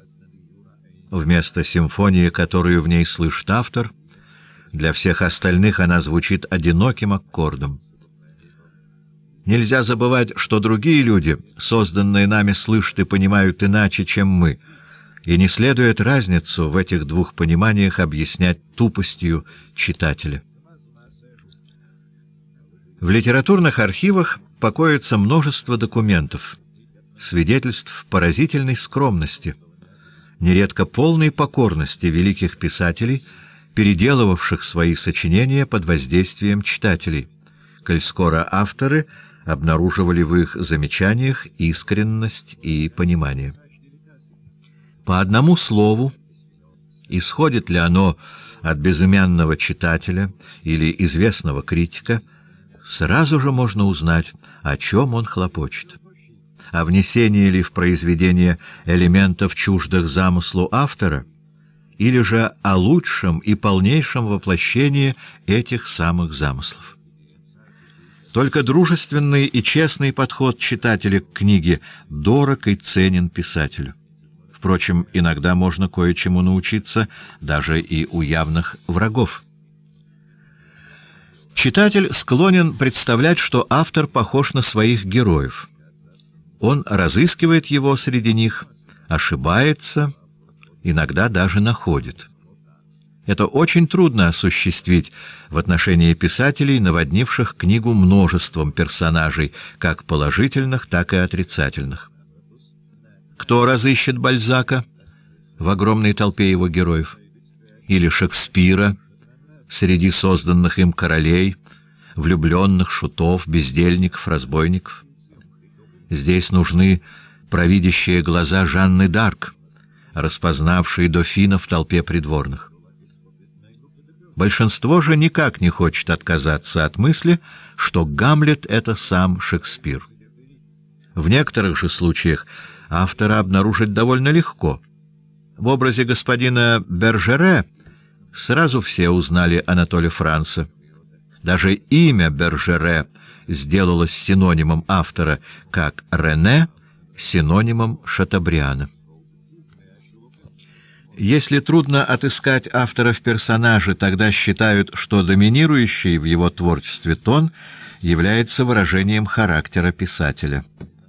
Рабле ни у кого не оставил сомнений, что был обжорой, пьяницей, распутником, в то время, когда Рабле один из умнейших и образованнейших людей XVI века, прикрывал свои дерзкие мысли красочными одеяниями, взятыми из лубочной литературы, где царил бесстыдный и толстый маршо.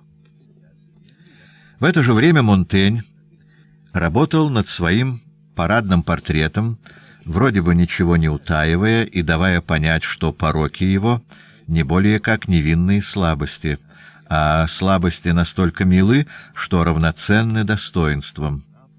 Значительно дальше, сделав довольно размашистый шаг, вошел Руссо, который вначале, благодаря новой Элуизе и Эмилю, представился миру как воплощение нежности и доброты, а затем решил то, что там было только намеком, развернуть в искренний рассказ о своей жизни и о себе.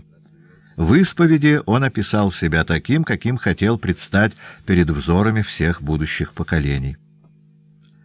Он не принял в расчет историков, роющихся во всех шкатулках, шкафах, архивах, книгах записей гражданского состояния, и ему, борющемуся в припадках мании преследования с клеветой и наговорами воображаемых врагов, даже во сне не могло присниться, что через сто, двести лет неведомые ему люди смогут так основательно испортить его портрет.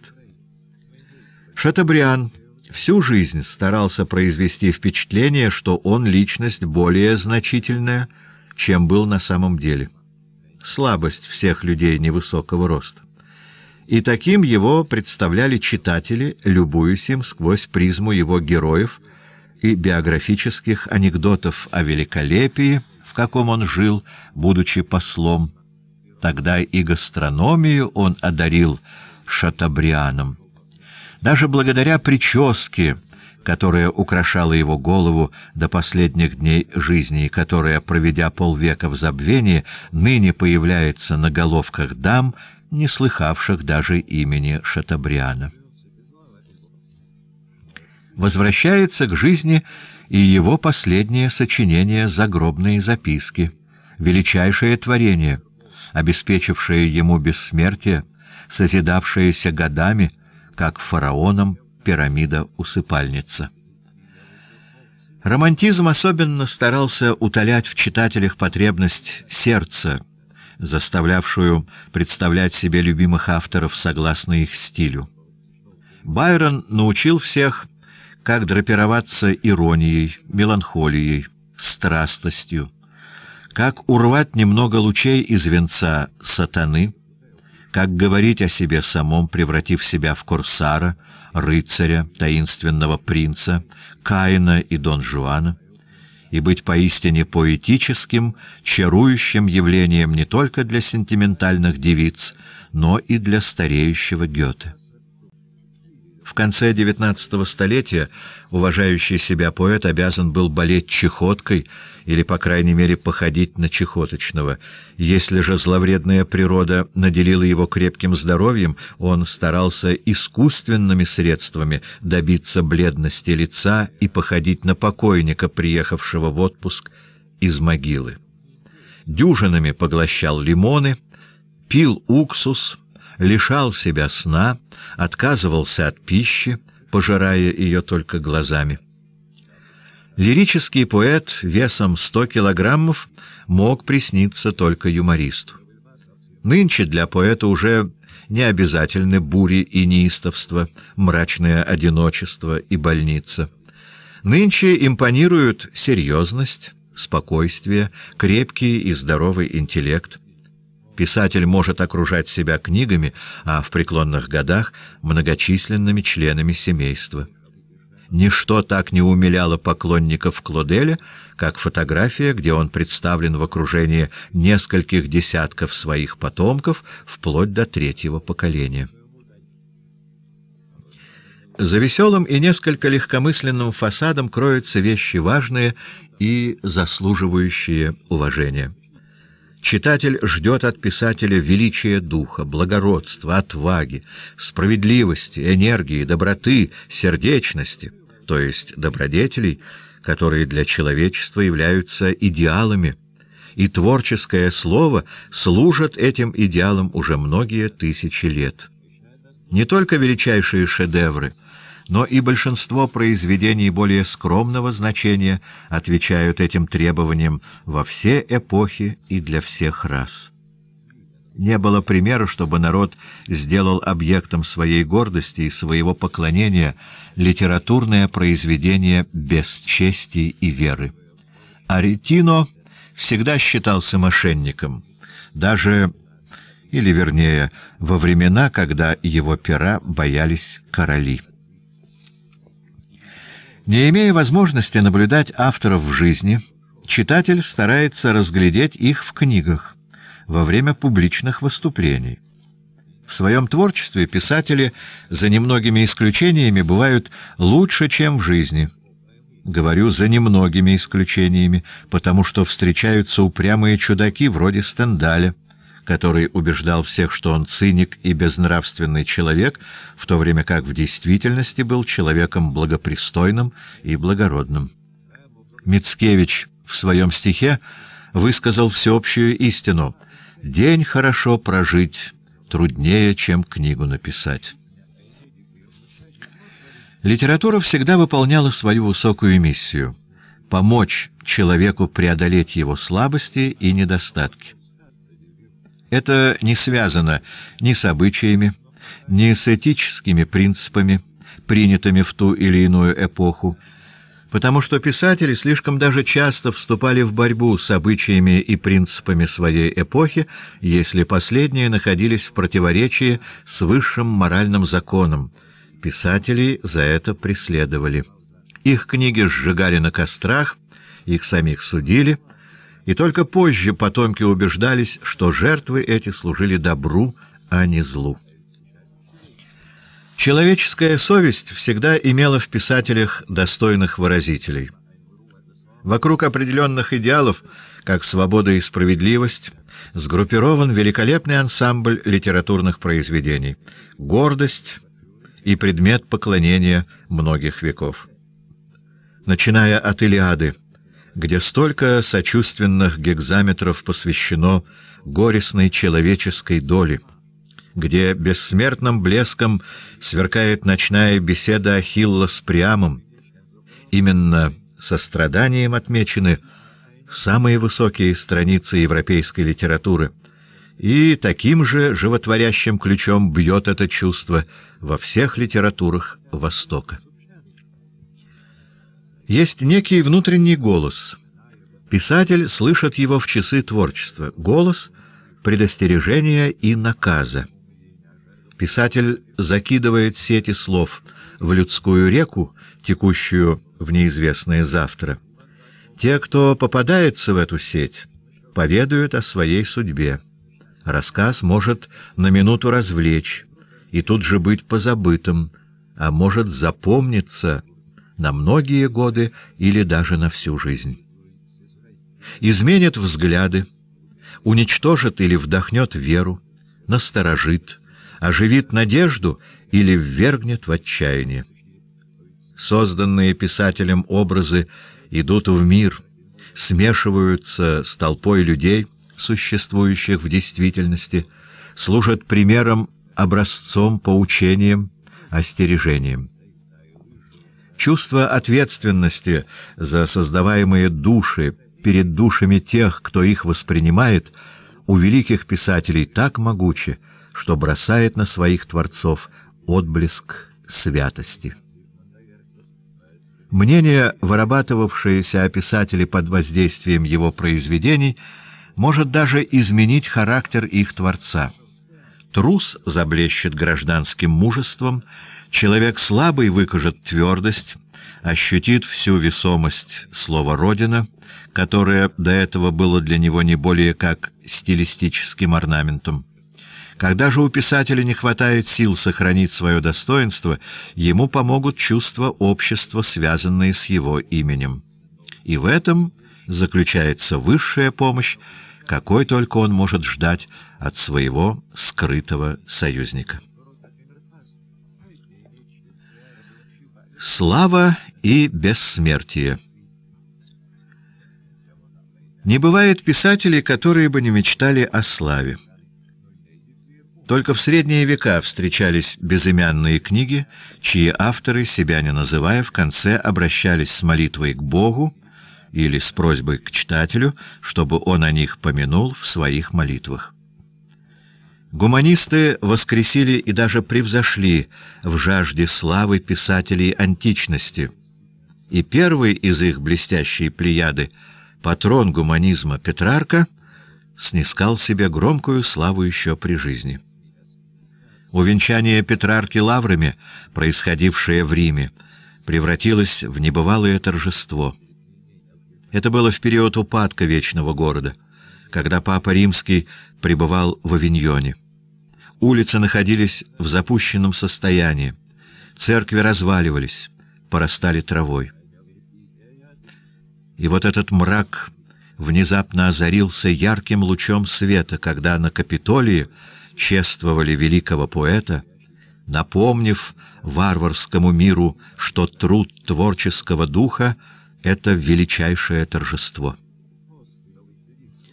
В Ореццо, где родился Петрарк, городские власти показали ему его собственный дом, бережно сохраняемый горожанами. В Бергамо некий золотых дел мастер, у которого Петрарка останавливался, приказал покрыть позолотой комнату, где ночевал поэт. Папы, императоры, короли, титулованная знать заманивали его на свои дворы, вели с ним переписку, просили о беседах. В Венеции он восседал по правую руку дожа. Много паломников приходило издалека, чтобы только посмотреть на него. Такая громкая слава еще не является свидетельством одних только заслуг и гениальности. Факт этот — результат обширных мероприятий, требующих постоянного надзора. В письмах Петрарки есть доказательства этому. Он умел популяризировать себя, правда, не теряя при этом собственного достоинства — и умел использовать друзей, не приступая границ благопристойности. Но иногда шел и на весьма нелестные для него компромиссы. Например, жил при дворе жестоких и коварных Висконти, чего ему не мог простить его верный Боккаччо. В позднейшие века многие гуманисты сравнялись славой с Петраркой — а Эразм Роттердамский, пожалуй, даже превзошел его. В свою эпоху он был значительной фигурой. Своими письмами он оказывал честь папам, королям, кардиналам. Гуманисты, умело распоряжаясь добытой славой, следовали заветам древних. Цицерон многих мог кое-чему научить. В Древнем Риме перед литературным произведением не открывалась широкая дорога. Распространяемое в рукописных копиях, оно или требовало от автора материальных затрат, весьма значительных, или делалось жертвой переписчиков, гнавшихся за барышами. Автору предстояло много хлопот — нанять помещение, собрать лиц, готовых прослушать читку, добиться благосклонности слушателей, которые потом могли бы похвалить его творение на форуме, для чего надо было расположить их к себе вкусными обедами. Литературные обеды в эпоху Августа были распространенным явлением. Сатире было что сказать о таких обедах, где кушанья подавались на столь же низком уровне, что и поэтические творения хозяина-устроителя обеда. В этот же период возникли и расцвели первые литературные салоны, которые в дальнейшем прошли приобретая разные формы, через Средневековье, с поэтическими турнирами при дворах, потом превратились в собрание гуманистов и, наконец, вышли в те блестящие созвездия литературных салонов, какие имела каждая эпоха французской литературы, и эти созвездия не погасли и по сей день. То были гениальные штабы кампаний по завоеванию славы. Через эти салоны проходил путь к наградам и орденам, к синекурам, сменившим прежние бенефиции и пребенды, к выгодным договорам с издателями и директорами театров, к редакциям влиятельных журналов и, наконец, путь в академию. Командовали там женщины — и ни один лавровый венок из тех, что не утратили свежести и по сей день, был сплетен их красивыми и ловкими руками.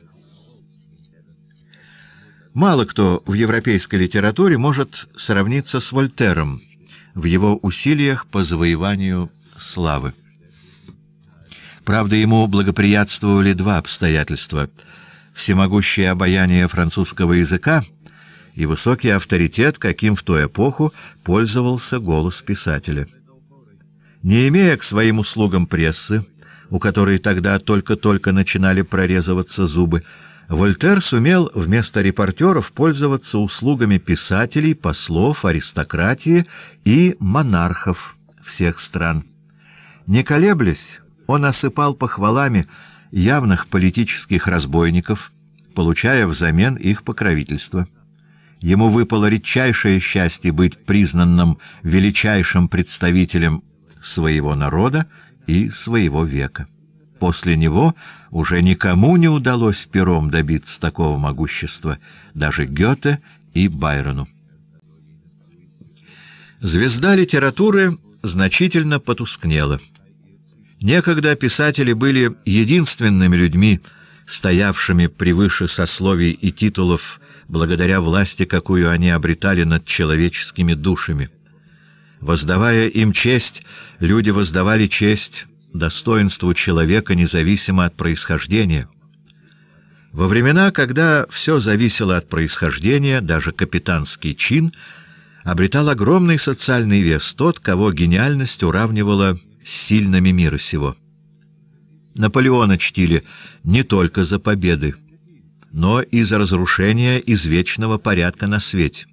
Он низверг старые династии, на их развалинах воздвиг свою империю и дал измученным народам миг злорадного удовлетворения «человек из низов», как было принято выражаться, растоптал замшелые пергаменты родословных.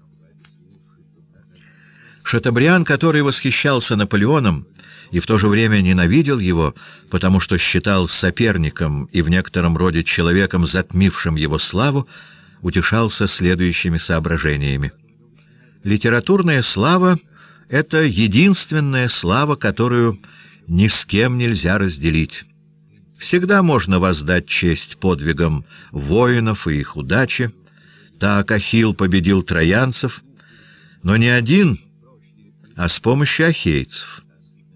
Зато Гомер сам, без чьей-либо помощи, создал Илиаду. И без Гомера мы ничего не знали бы об Ахилле. Мысль, высказанная Шатабрианом, стара как мир, как мир литературы. В этом мире всегда считали, что делать историю способен любой глупец, а чтобы описать его деяния, надо быть великим человеком. Нетрудно составить антологию голосов всех эпох, выражающих уверенность в том, что бессмертие слова — несомнение бессмертия действия. В качестве примера достаточно одного голоса Бекона. Итак, мы видим, насколько прочнее памятники ума и знания, нежели памятники силы и рук. Разве стихи Гомера не существуют более двадцати пяти веков, не потеряв при этом ни единого слога, ни единой буквы? А между тем, за это время бесчисленные дворцы, храмы, замки, города приходили в упадок и исчезали с лица земли. Невозможно получить абсолютно верных изображений или статуй Цезаря, Александра, Кира, как и королей и великих личностей позднейших веков, а образы людских мыслей и людского знания запечатлены в книгах неизменными, и время им не вредит, они всегда свежие. В наши дни как меланхолический Рене, так и мудрец из Верулама испытали бы минуты острой горечи не только при виде головокружительных политических карьер, но и еще более неожиданных конкурентов кинозвезд, боксеров, атлетов. Это их автографы заполняют альбомы девиц, чьи прабабушки мечтали о подписи поэта. Даже в Америке, где молниеносный успех является освященным принципом, и тем более в остальных частях света, имеются писатели, которые терпеливо ждут славы и сами не торопят ее приход. К их числу принадлежат натуры сдержанные, скромные, чувствительные, смиренные труженики, сами не знающие, что цель, какую они перед собой поставили, ведет к величию. И они просто-напросто слишком горды, чтобы унижаться хлопотами о славе и почестях. Из их числа судьба выбирает некоторых и увенчивает их запоздалой, но благородной славой. Бывает она милостива и к несчастным, ищущим выхода из своей горькой доли в самоубийстве.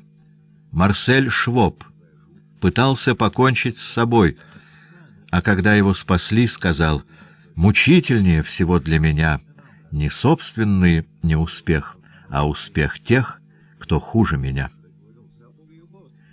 Комедия «Бурде» выходит из печати — и роман Беннета «Великий человек» в популярной форме изображают закулисную жизнь издательства, где полно интриг, коварства, где главная реклама. Писатель не всегда оказывается здесь стороной пассивной или жертвой. Иногда он превосходит предприимчивостью издателя. Довольно распространенный обычай надписывания экземпляров — только что вышедшей книжки с посвящением покупателю, случайно встреченному в книжной лавке, некоторые писатели расцветили самыми фантастическими затеями. Были такие, что надписывали книги на верхней площадке Эйфелевой башни или сидя на слоне, а то и в клетке с альвятами, и на убранной гирляндами цветов лужайки, или же в обществе кинозвезды. За последнее десятилетие нам довелось быть свидетелями нескольких инсценированных скандалов, мнимых похищений, которыми жаждущие громкой славы писатели создавали рекламу своим книгам, некоторые прибегали к истории известным способом, чтобы привлечь внимание публики, к дуэлям, разводам, и все это с густой приправой статей, интервью, фотографий. Бенджамен Кремье — хорошо знавший изнанку литературной жизни Франции, как-то сказал мне, показав на модного писателя, «Вот, человек, способный продать родную мать, если это только повысит тираж его книги на сто тысяч экземпляров». Боже мой! Два года назад я видел книги этого автора у букинистов на набережной Сены, запыленные, никого не привлекающие, безнадежно устаревшие. Пока писатель жив, он действует.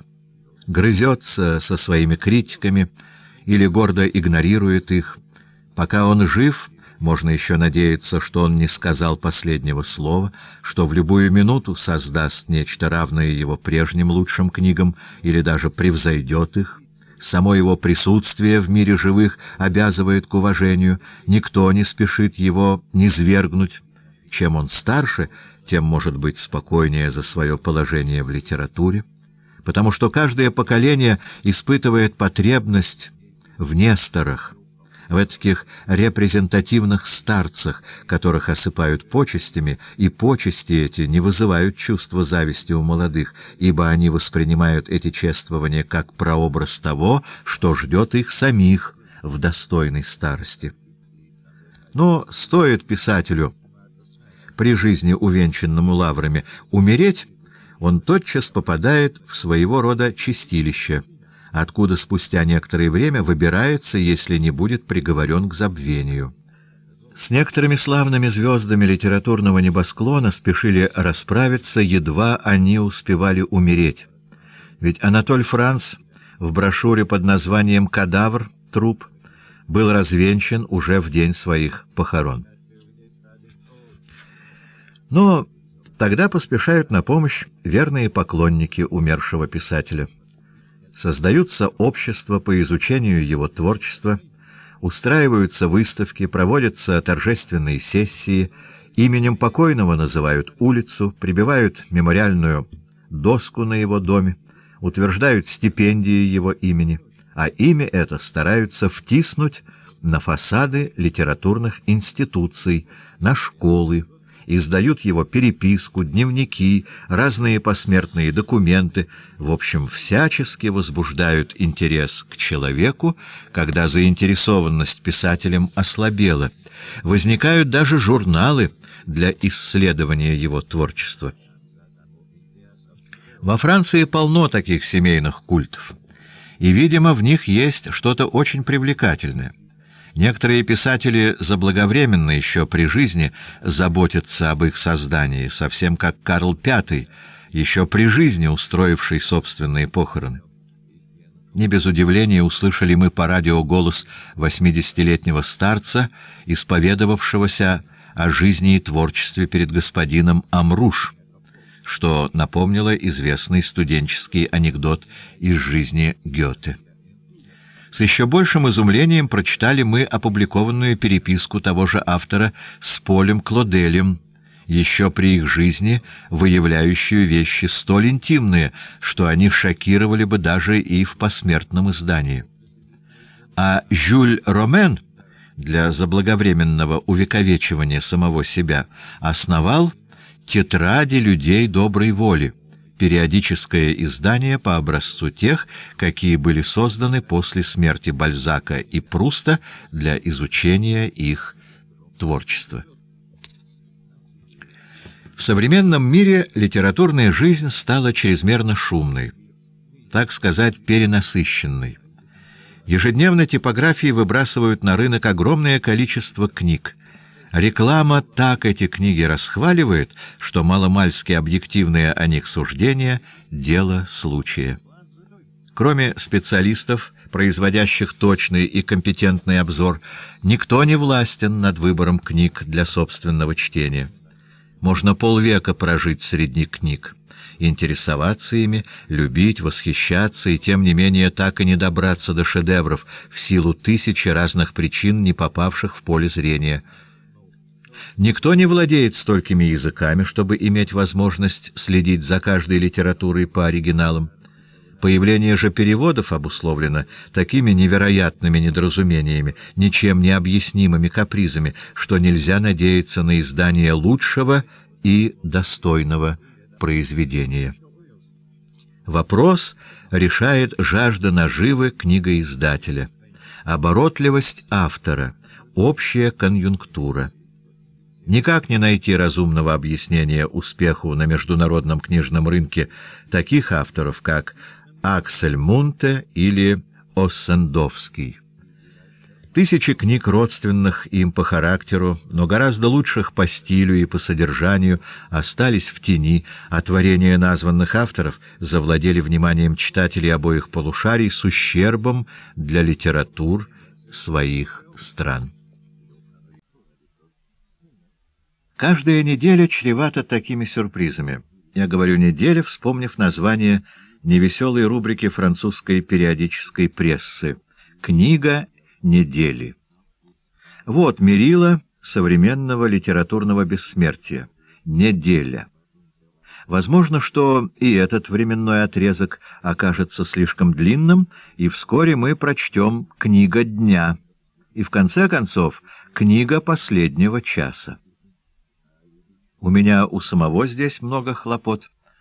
Каждый день почта доставляет мне, кроме еженедельников и ежемесячников из стран великих литератур, множество периодики из таких стран, как Австралия, Новая Зеландия, Ямайка, Южная Африка. Я читаю их по обязанности, и мною овладевает глубокая печаль при виде стольких фамилий, из которых каждая имеет право сослаться на свои труды, на свои заслуги. Еще мучительнее впечатление от журналов, приходящих из таких стран, как Индия, огромных, густонаселенных, с тысячелетними традициями, с литературой на нескольких дюжинах языков, с фантастическими названиями. Самое пристальное внимание, самая могучая память с этим не справится. Да и чему помогут здесь внимание и память, если в этой чаще не продвинуться дальше имен и названий? Ежегодно на мой письменный стол сваливается гигантский том «Библиография переводов», появившихся за истекший год во всех странах мира, где тысячи авторов штурмуют читательскую массу всех рас, народов и языков. Невеселые мысли приходят и на международных литературных конгрессах. Там мы встречаемся с выдающимися, даже знаменитыми писателями, с некоторыми знакомимся лично, завязываем беседы, позже ведем переписку, взаимно одариваем друг друга авторскими экземплярами, если они написаны на понятном для нас языке. Но все остается делом счастливого случая — Вдруг нас заинтересует какое-то замечание, внезапно возникнет взаимная симпатия, и это даст нам возможность проникнуть в один из многочисленных мирков, заслуживающих нашего интереса и уважения. Но, увы, тысячи других, не менее достойных, прошли мимо нас и сгинули во мгле. А между тем в этом легионе писателей, борющихся за то, чтобы их выслушали и признали, в каждой эпохе есть несколько избранников, кому посчастливилось избежать забвения, и они могут взирать с высоты своих памятников на вечно текущий поток. Наравне с торжественными заседаниями в годовщину рождения и смерти памятники еще поддерживают веру в культ писателей и служат поводом для многих заблуждений. Глядя на фигуры, увековеченные в бронзе или мраморе, почти никто не подумает, что эти люди при жизни подвергались гонениям, забрасывались камнями, какую подчас вызывали к себе ненависть, пока смерть не вывела их за пределы злых страстей покажется диким, стоит только вспомнить, что было время, когда эти бессмертные, вознесенные славой над народами, находились в толпе, где их толкали. Они стояли в очередях, ездили на трамваях, в омнибусах, в третьем классе поездов, а в более отдаленные времена тряслись на жалких дрожках, запряженных клячей, или шествовали пешком, и их обдавали грязью, сметая с дороги сверкающие надменные ничтожества в лектиках и каретах. Кто, находясь на вершине однодневного могущества и столь же мимолетного величия, даже не знал их по именам. У неба литературы есть свои лазари, и они на кончике пальцев — подают каплю воды богачам, приобщая их к своему бессмертию. Могила возвеличивает.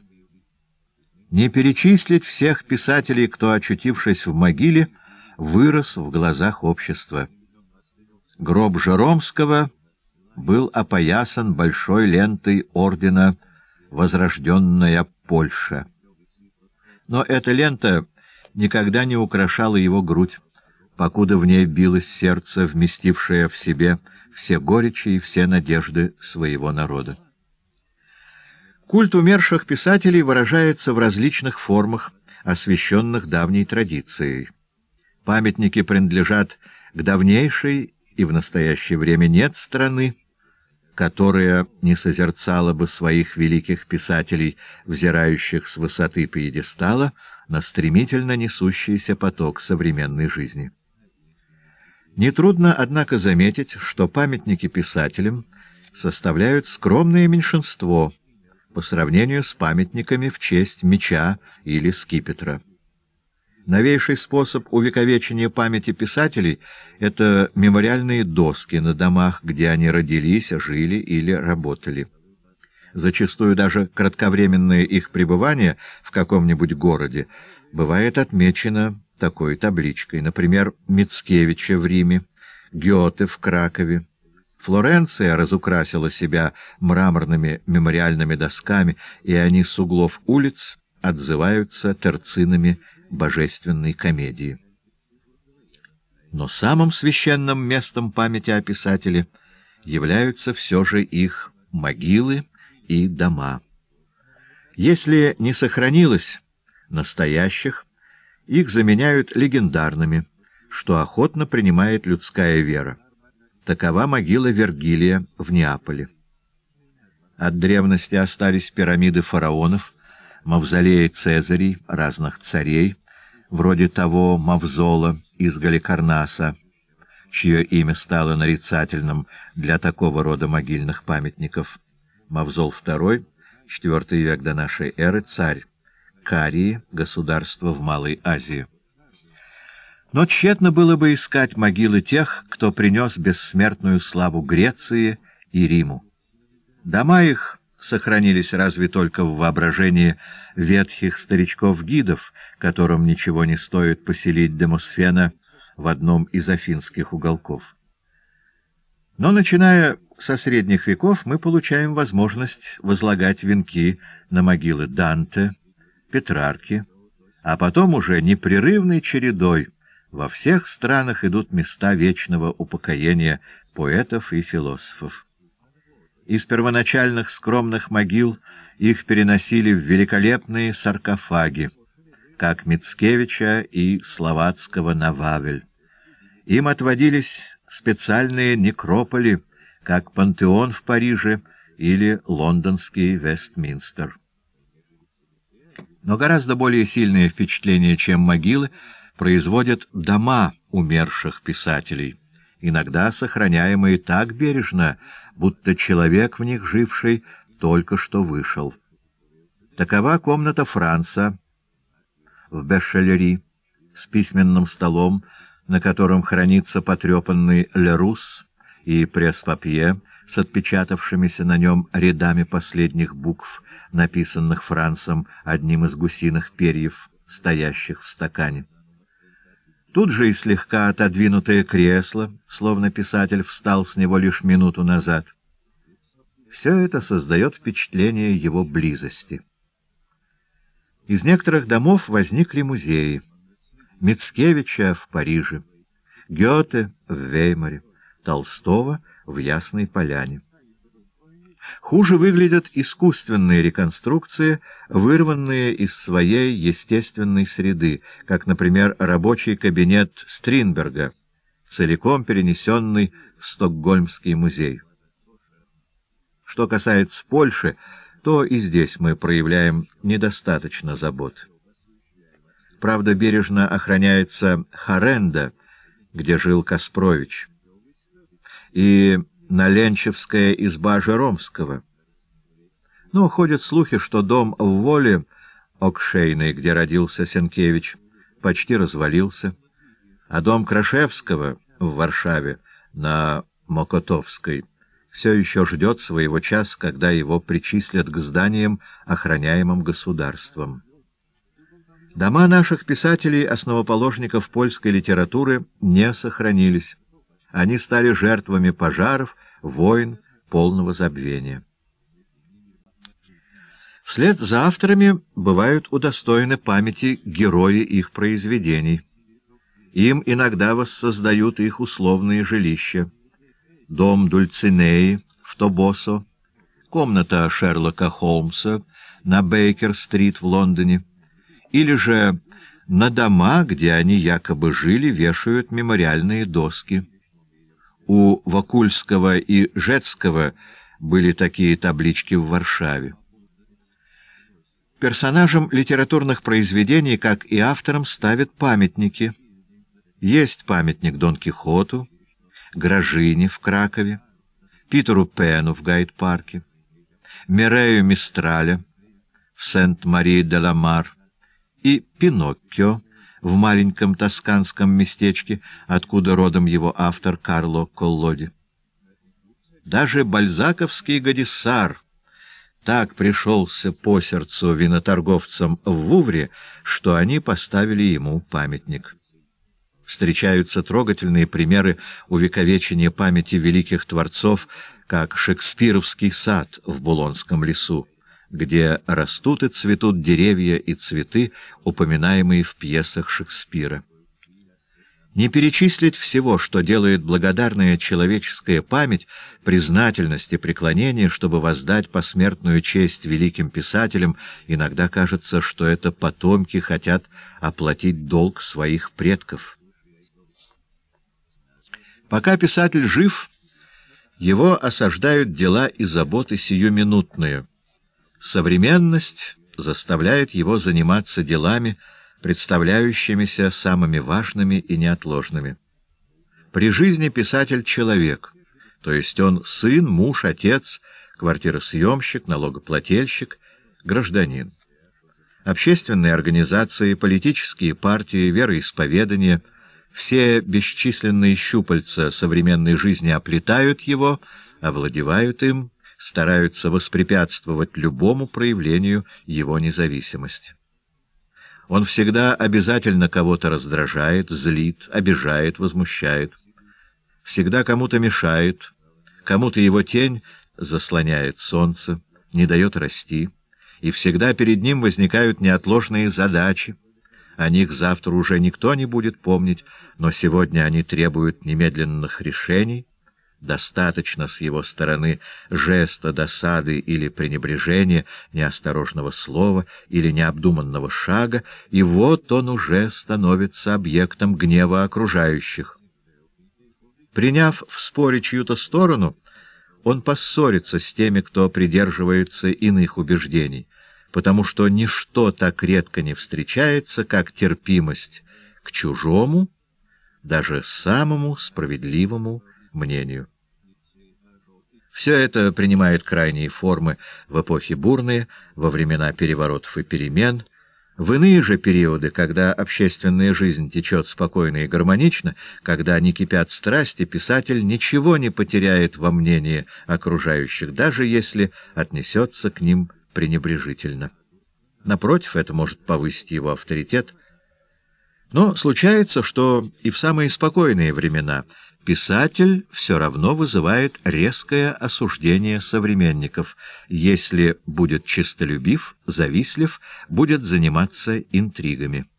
А эти дурные страсти могут захватить художника, стоит ему оторваться от своего благородного мира мыслей и слов и окунуться в мир, где кипят низменные страсти. После смерти писателя его имя очень быстро очищается от этой паразитической флоры, если только действительно он достоин жить в памяти потомков. Контуры его облика постепенно упрощаются. Суть его может быть выражена несколькими фразами, иногда двумя словами, а то и одним прилагательным. И вот великая и сложная личность писателя возносится в бессмертие в форме какого-нибудь звучного афоризма, который поколения будут повторять с волнением, с почтением, а, возможно, и с равнодушием. Весь пантеон литературы населен такими тенями, начертанными торопливыми и поверхностными штрихами, которые, как лента со словами на старинных портретах, содержат определяющий сущность этого писателя эпитет. Нет ничего печальнее пустых имен, смотрящих на нас с табличек на углах улиц, которые невозможно расшифровать без энциклопедического словаря. В Афинах есть целые кварталы — заполненные несметным количеством имен, известных только любителям античности. Нужна основательная эрудиция, чтобы в Париже не растеряться под табличками, увековечивающими на домах забытые имена. А перед каждым креслом бессмертных во французской академии, где читаются летании в память тех, кто некогда на них восседал, нельзя удержаться от чувства глубокой печали. Память европейской культуры перенасыщена. XIX век нагрузил ее огромным множеством имен из всех эпох и народов. В XIX веке произошло расширение горизонтов благодаря улучшению средств коммуникации, обмену мыслей между континентами, где обосновался цивилизованный человек и вошел в соприкосновение с иными культурами, познавал их и изучал.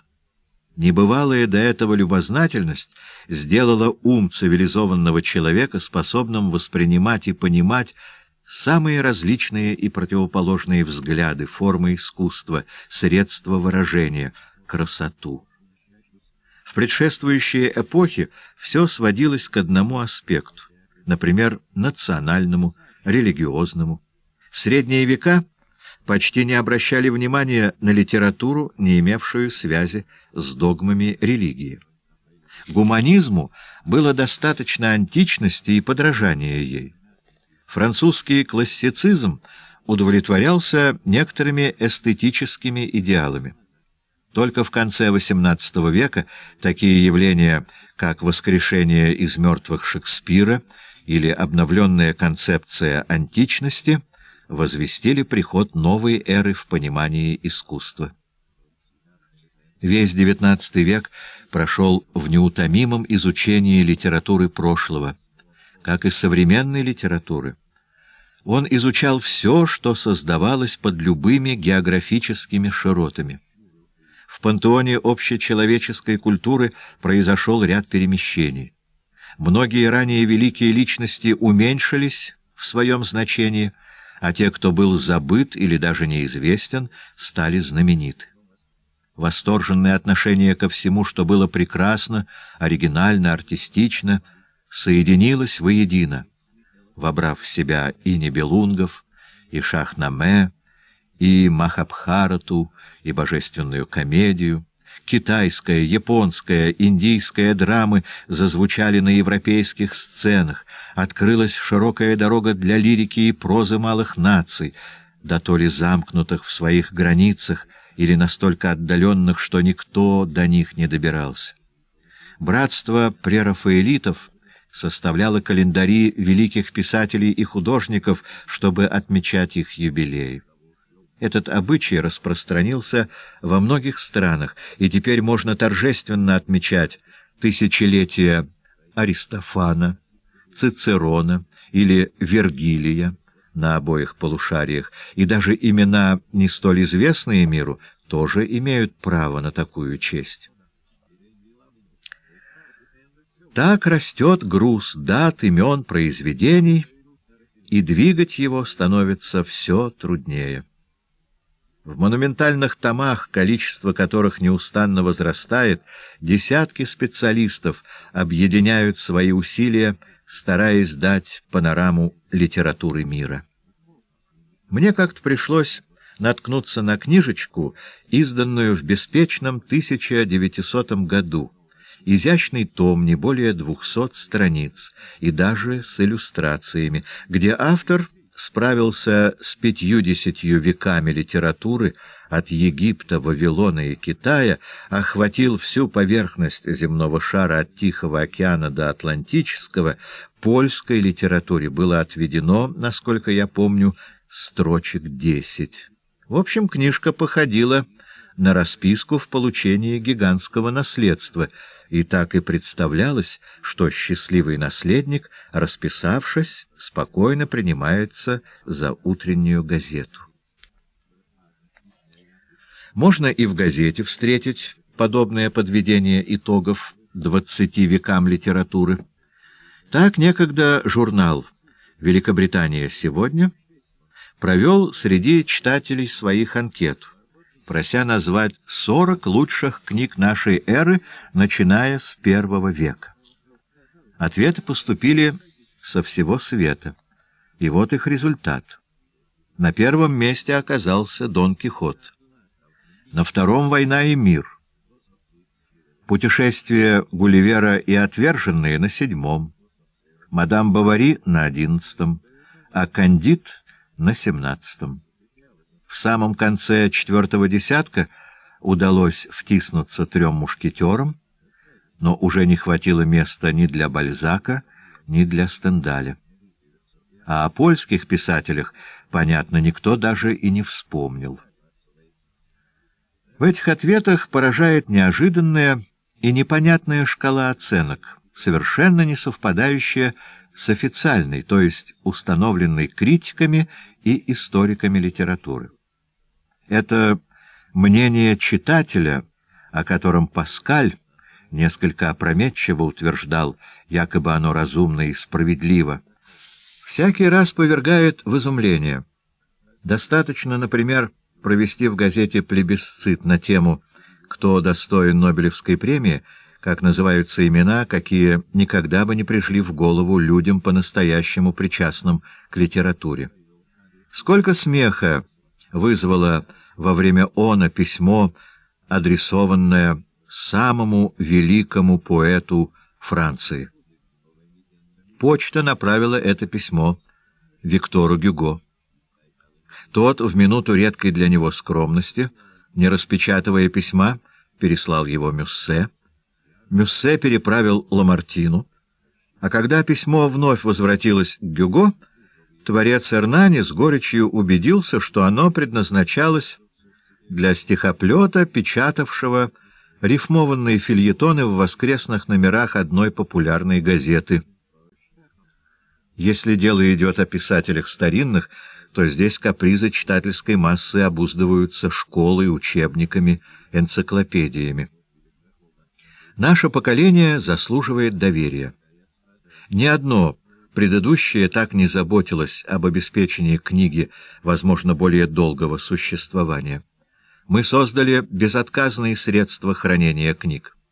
Крупные библиотеки в сейфах из железа и бетона, расположенных в подземных галереях, предохраняют обычный лист бумаги от ее исконных врагов — огня и воды, и принимают меры для защиты книг от разрушительных воздействий современной войны.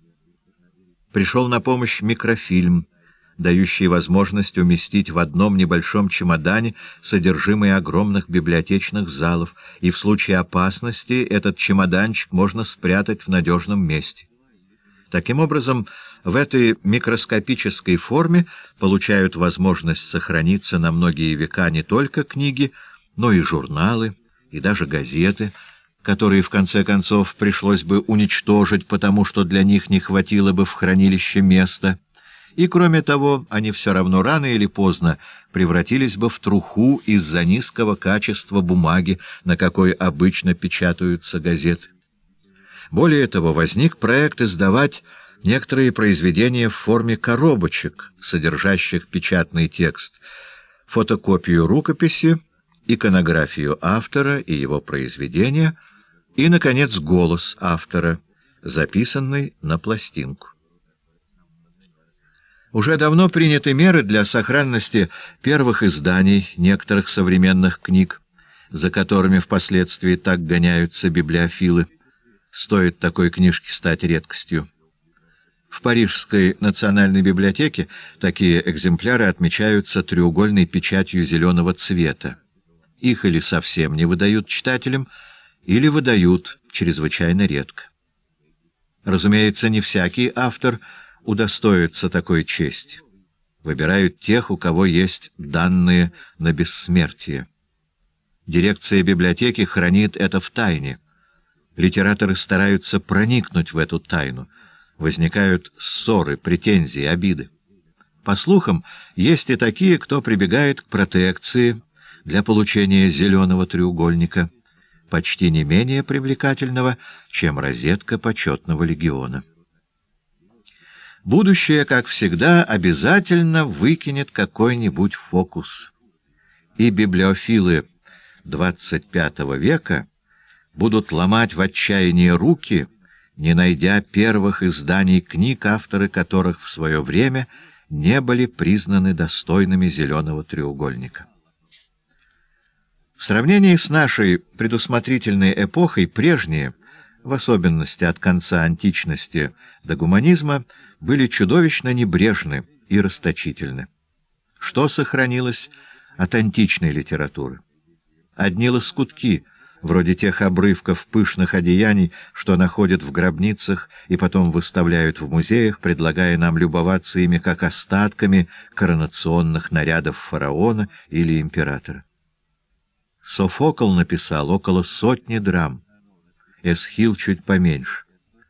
До нас от каждого из них дошло лишь по семи. Еврипид утратил свыше двух третей своего наследия. От Аристофана уцелела одна десятая. Алкей, Сафо, Тиртей, Архилох обращаются к нам разрозненными и короткими фрагментами. От многих ничего не осталось, кроме имени. Время от времени на какой-нибудь египетской помойке обнаруживают папирус, и он поражает нас новым, да то ли неизвестным творением древней литературы.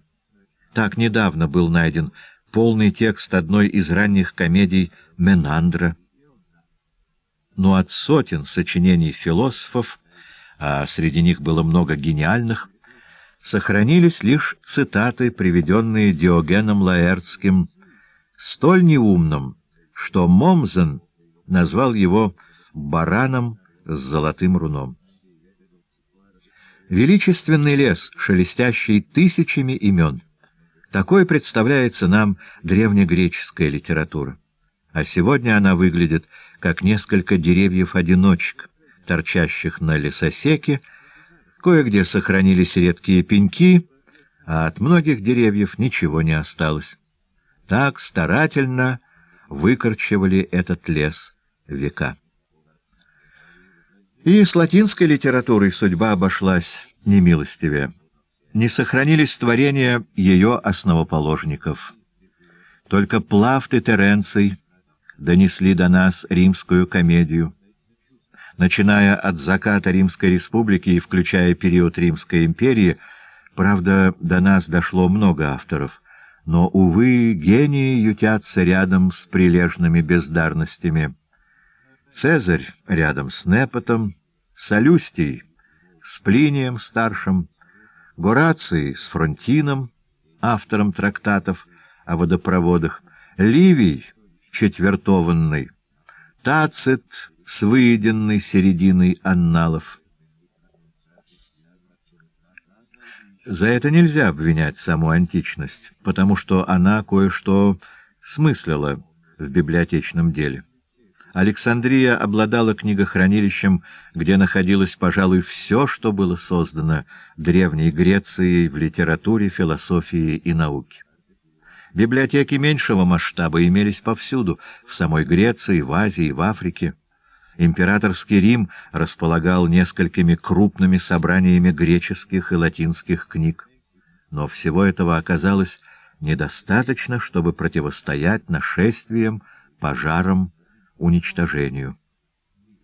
Мы никогда не узнаем, что уцелело до Средневековья, потому что книге судьба уготовила новые беды. Так, в средние века далеко не ко всем книгам древности относились милостиво. Некоторые книги постоянно читались и постоянно переписывались заново. По правде говоря, с каждым разом все хуже — а тысячи других никого не интересовали, кроме крыс.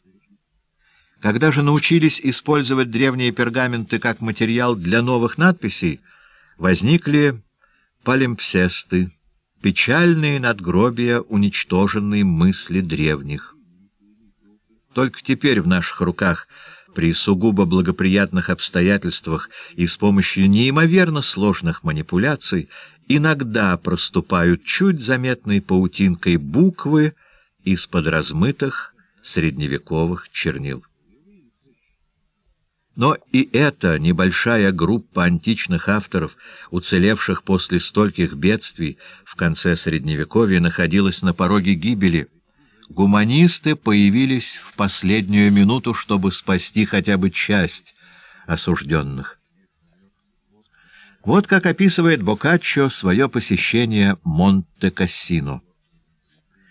Желая осмотреть библиотеку, о которой я слышал, что она великолепна, я обратился к одному из монахов с покорной просьбой, чтобы он меня туда проводил. Но тот резко ответил, показав на лестницу, «Ступай один, она открыта». Обрадованный Боккаччо взбежал по лестнице, и обнаружил, что там, где хранятся книжные сокровища, нет ни дверей, ни замков. Войдя внутрь, он увидел, что все заросло травой, посеянной ветром сквозь зияющие окна. Книги же были покрыты толстым слоем пыли. Огорченный Боккаччо начал осматривать том за томом, многочисленные и разнообразные сочинения авторов античных и иностранных. В некоторых книгах были оторваны четвертушки страницы или отрезаны поля, а некоторые совсем изуродованы. Горько сетуя об участи творений великих умов, попавших в руки недостойных людей, Боккаччо заплакал и спустился вниз. Встретив другого монаха, он спросил у него, почему столь драгоценные книги находятся в таком безобразном состоянии.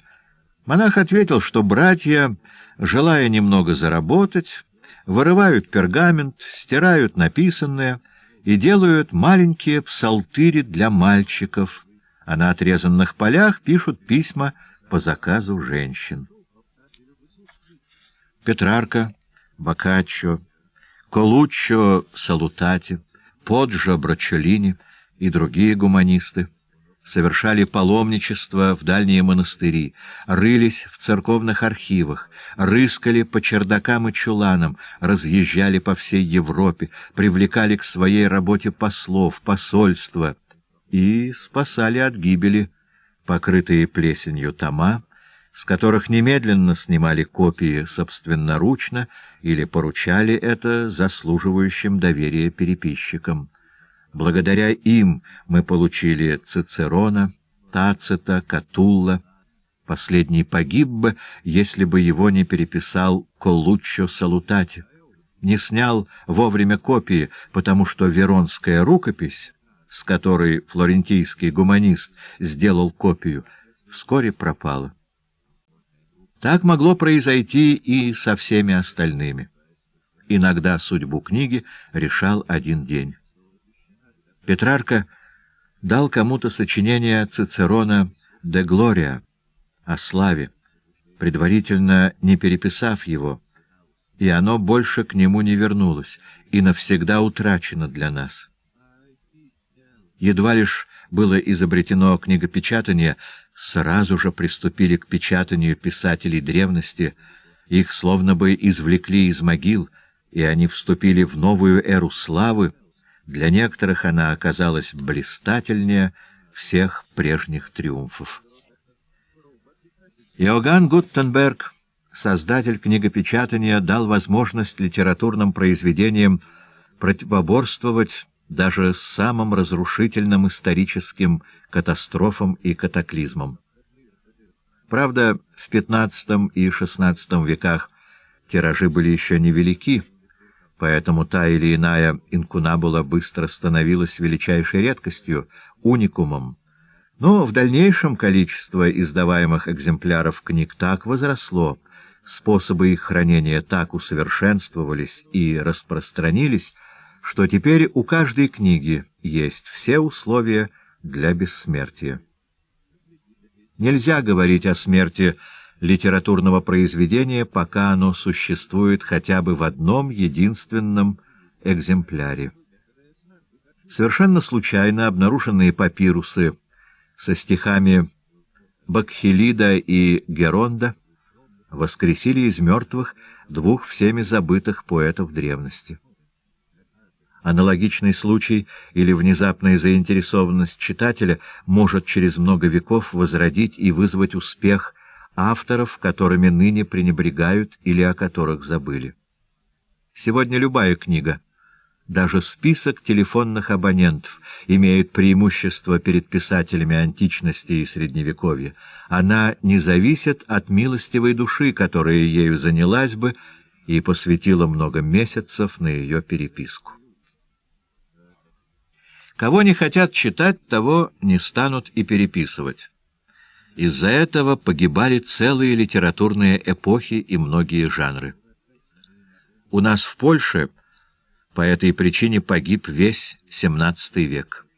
Плодоносный и обильный, истинный сад, неполотый, богатый новыми формами, полнокровный. Он оказался похороненным заживо, сначала злокозненной цензурой, затем равнодушием общества. Записки Пасока и Хотинскую войну Потоцкого издали лишь в XIX веке, когда они превратились в литературные памятники для услаждения любителей старопольского языка и для изучения в школе. Пребывая в забвении, они были лишены возможности формировать польскую повествовательную прозу и польский эпический стих. Несколько поколений были лишены возможности читать их. Так и поэзия Збигнева Морштена не вошла как естественное звено в развитие военной польской лирики. И еще сотни произведений, остающихся в рукописях, напоминают коконы, из которых неизвестно, когда вылетят бабочки. Литературное бессмертие может быть пассивным или действенным. Первая форма — это только существование. Рукопись за номером таким-то в инвентарном списке хранилища или некоторое число отпечатанных экземпляров, которым отведено определенное место на библиотечных полках, в каталогах и библиографических изданиях. Они могут веками не соприкасаться с человеком, лишь время от времени чьи-то руки переставят их с полки на полку, сотрут с них пыль, или чьи-то руки и глаза проверят на титульном листе их метрические данные. Минует много поколений, прежде чем кто-то их раскроет, прочитает, и чаще всего дело ограничится упоминанием в сноске или краткой из них цитатой. И для многих книг это уже достижение. Но каждое создание человеческого духа обладает потенциальной силой. Пока оно существует, всегда могут сложиться обстоятельства, которые призовут его к активной жизни, позволят воздействовать на людские умы, пробуждать любопытство, радость, восхищение. Как часто произведения, презренные современниками, а иногда и самим автором, признанные за порочные и неудачные, если ему удается избежать мусорной корзинки или печки, в позднейшие века удостоивается славы. Знатоки с радостью приветствуют его как живой голос минувшей эпохи. Оно может оказаться причисленным к величайшим взлетам литературы своего времени, в худшем случае будет служить ценным свидетельством того времени. Роль документа — последняя надежда книжек, тронутых смертельным склерозом. До этого скромного уровня опускаются не только сочинения, лишенные каких-либо литературных качеств, но и померкнувшие шедевры, оторвавшиеся, подобно метеоритам, от своих миров. Для того, чтобы литературное произведение жило настоящей жизнью, нужно, чтобы продолжал существовать создавший его народ — или, по крайней мере, культурная традиция этого народа. Древний вавилонский эпос «Гильгамеш» читают сквозь туман несовершенных переводов. Во многих он возбуждает интерес только как голос исчезнувшей эпохи, даже может растрогать, восхитить, но в сущности остается лишь предметом исследования для небольшой группы ассирологов. Это относится и к жемчужинам древнеегипетской поэзии. Изредка блеснут они далеким отражением под пером современного поэта, пленившегося каким-нибудь оборотом, загадочной метафорой, тональностью. Но им никогда не войти в животворящий круг духовных ценностей современного человека. Потому что не существует больше ни вавилонян, ни египтян, нет народного сознания, способного в этих литературных памятниках познать и оценить творение своего национального гения. А народы, живущие на землях, где некогда жили они, не переняли их традиций. И вообще, никто и нигде этих традиций не продолжил. Так могло бы произойти и с античной литературой, если бы Византия не сохранила греческой традиции, а латинскую не восприняли бы романские народы.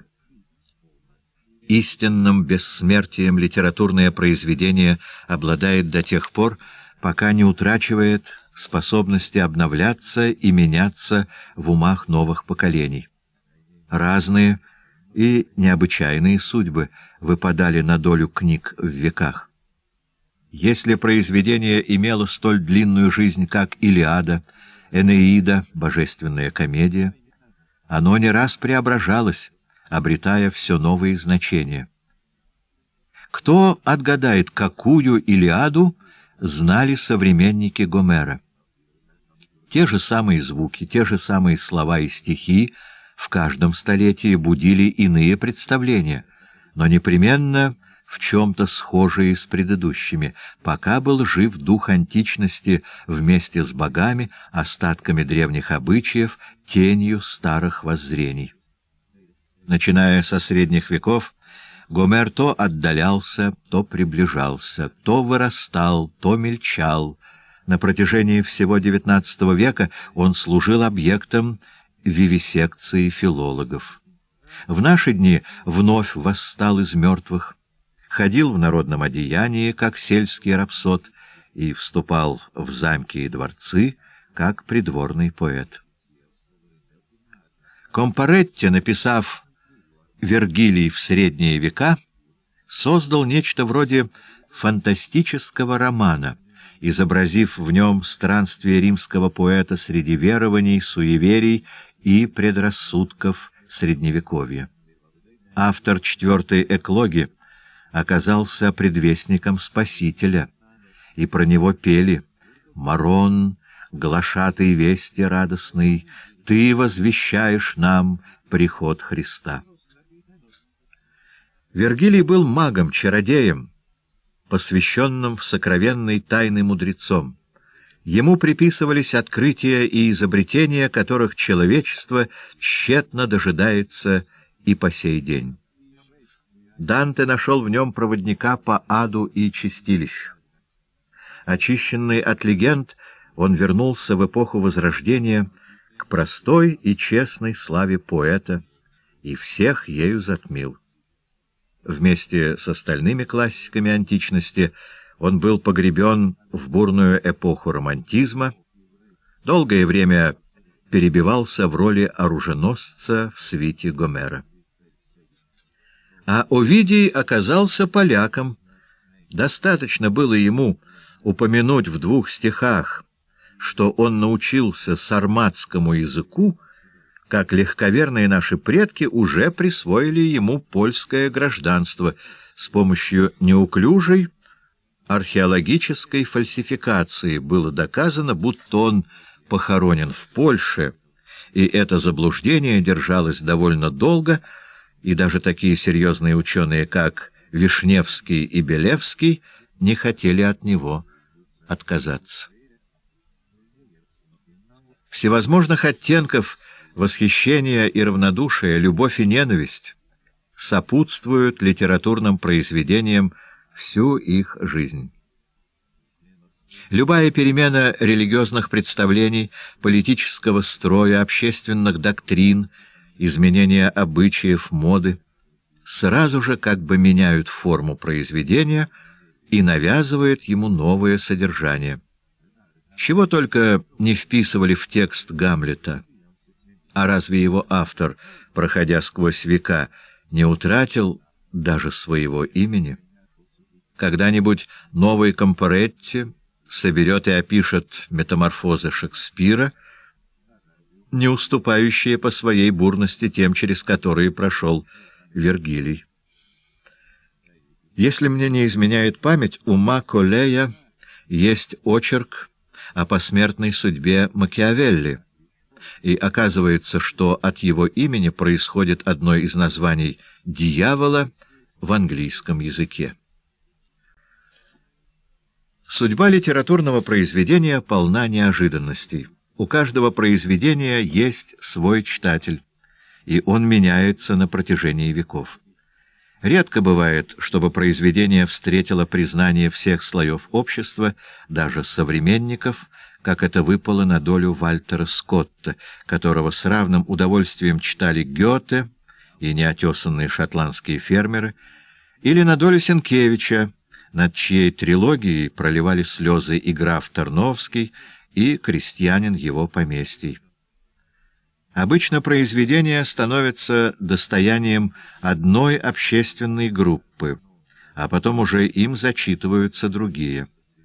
Робинзона Крузо вначале читали рассудительные мещане, а потом им завладели дети. Народные песни, такие как песня о Косовом поле или Калевала, выбираются из-под крестьянских крыш, где о них скоро забывают, и перекочевывают к ученым. Средневековый рыцарский эпос предназначался для придворных, для воинственного образованного рыцарства. В наше же время им интересуются лишь ученые да писатели. Если бы не общеобразовательная школа, та же участь постигла бы всех классиков. Классики есть в каждой литературе и каждый уважающий себя писатель питает надежду, что когда-нибудь и он будет причислен к их лику. Но классики весьма разнородны. Наряду с настоящими гениями туда попадают крикливые краснобаи, повторяющие избитые истины, и те, кто пишет гладко и цветисто, и эстетствующие снобы, и аффектированные кривляки. Помню, как на одной литературной ассамблее неискренне возмутился Маринетти, когда Каден Бандровский назвал его классиком футуризма. Нужно немного, чтобы в будущем это стало фактом. В классике писатели попадают в силу привычки к ним читателей, благодаря авторитету, поддерживаемому неперепроверяемыми суждениями, а чаще всего благодаря школе. Ливий Андроник со своей «Одиссеей» умудрился продержаться в римской школе несколько столетий, а эхо его сатурового стиха можно еще услышать в творчестве молодого Горация. В Польше издательства не знают меры, щедро одаривая именем классика писателей совершенно неожиданных. Создается впечатление, что в их понимании этого имени заслуживает каждый умерший писатель. Это уже начинает походить на книжную версию новоприставленного из газетных некрологов. В любой стране школа обеспечивает бессмертие или очень долгую жизнь многим писателям, а древних, в особенности латинских, превратила в божества. Школьные годы, озаренные солнечным светом ранней юности, позже, как воспоминания, вызывают очень нежное чувство к книжкам, некогда приобщавшим нас к литературе. На этих книжках как бы остается пыльца весны жизни, и мы воспринимаем как святотатство, если кто-нибудь пренебрежительным отношением нарушает эту по наследству принимаемую иерархию духовных ценностей. Но не будем себя обманывать. Эта привязанность чаще всего ограничивается именами авторов, красующимися на памятниках или в названиях улиц, а в памяти нередко ничего нет, кроме названий их произведений. Наиболее почитаемые книги, как правило, не принадлежат к числу наиболее читаемых. Известна эпиграмма Лессинга.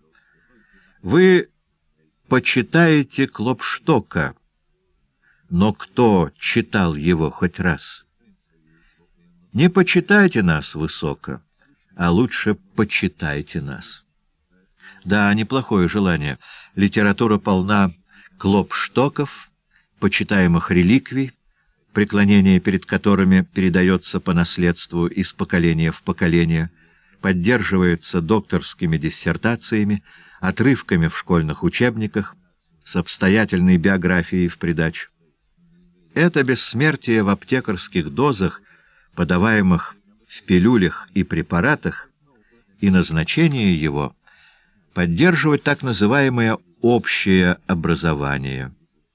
Окаменелая слава в такой форме стала уделом огромного числа писателей, когда-то живых, пламенных. Сегодня же — на ландшафте литературы, они стоят потухшими вулканами. Мне иногда хочется себе представить, с каким изумлением взирали бы на свою популярность у потомков некоторые писатели прошлых веков. Мадам де Севиньи прежде всего убедилась бы, что высказала довольно глупое утверждение, будто мода на росина пройдет так же, как и на кофе. Затем она, может быть, немного огорчилась бы, узнав, что ее интимные письма пользуются такой широкой известностью. Под конец же испытала бы удовлетворение, что заняла прочное место среди классиков французской прозы. Еще больше удивился бы Ян Хризостом Пасок, видя, в каком почете у потомков его дневники. А его английский коллега Сэмюэл Пипс счел бы за одну из наибольших странностей современности целую библиотеку изданий и комментариев, выросшую над его зашифрованными записями. Петрарка и Боккаччо с грустью убедились бы, как их написанные по латыни произведения, которым они отдавали все свои силы, работая над ними днями и ночами, завяли и истлели, а своей посмертной славой один обязан сонетом, другой — новеллам, написанным на пренебрегаемом вульгарном языке. Зато Вольтер мог бы гордиться своей прозорливостью, узнав, что из его огромного наследия потомки выбрали несколько тоненьких томиков, он всегда говорил, что в бессмертие отправляются с небольшим багажом. Последнее более чем верно. У каждого поколения есть столько книг современников, которые так близки этому поколению, что оно старается с меньшими затратами постичь культ предков, и поэтому из писателей древности охотнее всего выбирает небольшие произведения, почти с суеверным страхом обходя многотомные опусы. У кого нынче хватит отваги погрузиться в полное собрание сочинений Вальтера Скотта? Такая же опасность угрожает и крупным циклам романов нашего времени а может быть и самому жанру романа. Вот уже сто лет, как в художественной литературе роман занимает господствующее положение с ущербом для прочих жанров, но очень легко себе представить, что когда-нибудь к нему появится пренебрежение. Слава великих романистов угаснет, и люди станут удивляться, что когда-то основывали музеи Бальзака, и издавали толковые словари к произведениям Пруста. Гораций предсказал себе славу, пока будет существовать Рим, что для него, вероятно, означало «пока будет существовать мир». После него подобные заявления повторялись довольно часто, Оказалось бы, что с течением времени, когда тысячелетний опыт должен был бы научить литературу большей скромности, никто уже не осмелится заглядывать в слишком отдаленное будущее. Но вот Ипсон страшно раздражался, если кто-нибудь заговаривал в его присутствии о приходящности литературной славы. Ему и десяти тысяч лет казалось мало. А Гонкур даже превзошел его. Он не мог примириться с мыслью, распространяемой Фламарионом, что земля некогда остынет, и что на обледенелом шаре, кружащемся в мертвой вселенной, будут носиться его книжки, засыпанные снегом. Не веря в бессмертие души, он не хотел отказаться от бессмертия литературного, и при этом мечтал не о каких-нибудь четырех тысячах лет, они хороши для Гомера, и не о двухстах веках, которые немного успокаивали бы Ипсона. Стоило ли за такую ничтожную цену отрекаться от радости жизни? Куда лучше пить, любить и ничего не делать, чем отравлять свои дни неустанным трудом. Гонкур не сказал здесь последнего слова. Последнее слово было сказано несколько раньше его, итальянскими гуманистами в XV веке, то есть за несколько веков до Ганкура. Они умели страдать как мужья, ревнующие жен к прошлому. «Человек, — говорит один из них, — старается сохраниться в устах людей навеки. Он мучается от того, что не может быть прославлен и в прошлом, и во всех странах, и среди зверей. Это не смешно. Это глубоко свойственно человеческой натуре. Человек должен верить, что созидает что-то вечное. В дни упоения присоединением Индии к Британской империи Карлейль обратился к своим соотечественникам с вопросом. «Англичане, от чего бы вы отказались, от Индии или от Шекспира? Что вы предпочли бы, остаться без Индии или остаться без Шекспира?» Я знаю, что государственные мужи ответят на своем языке, а мы на нашем отвечаем. Мы не можем обойтись без Шекспира.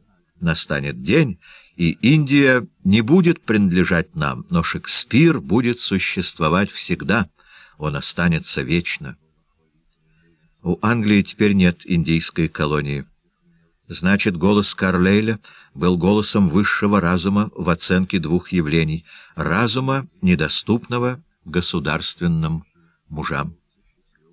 Царство Шекспира не только продолжает существовать, но и расширяет свои границы.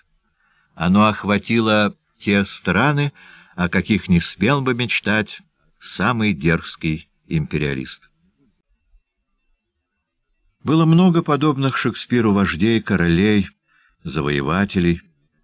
Гомер был единственным властелином, обладавшим подданными во всех независимых и враждующих между собой малых греческих государствах.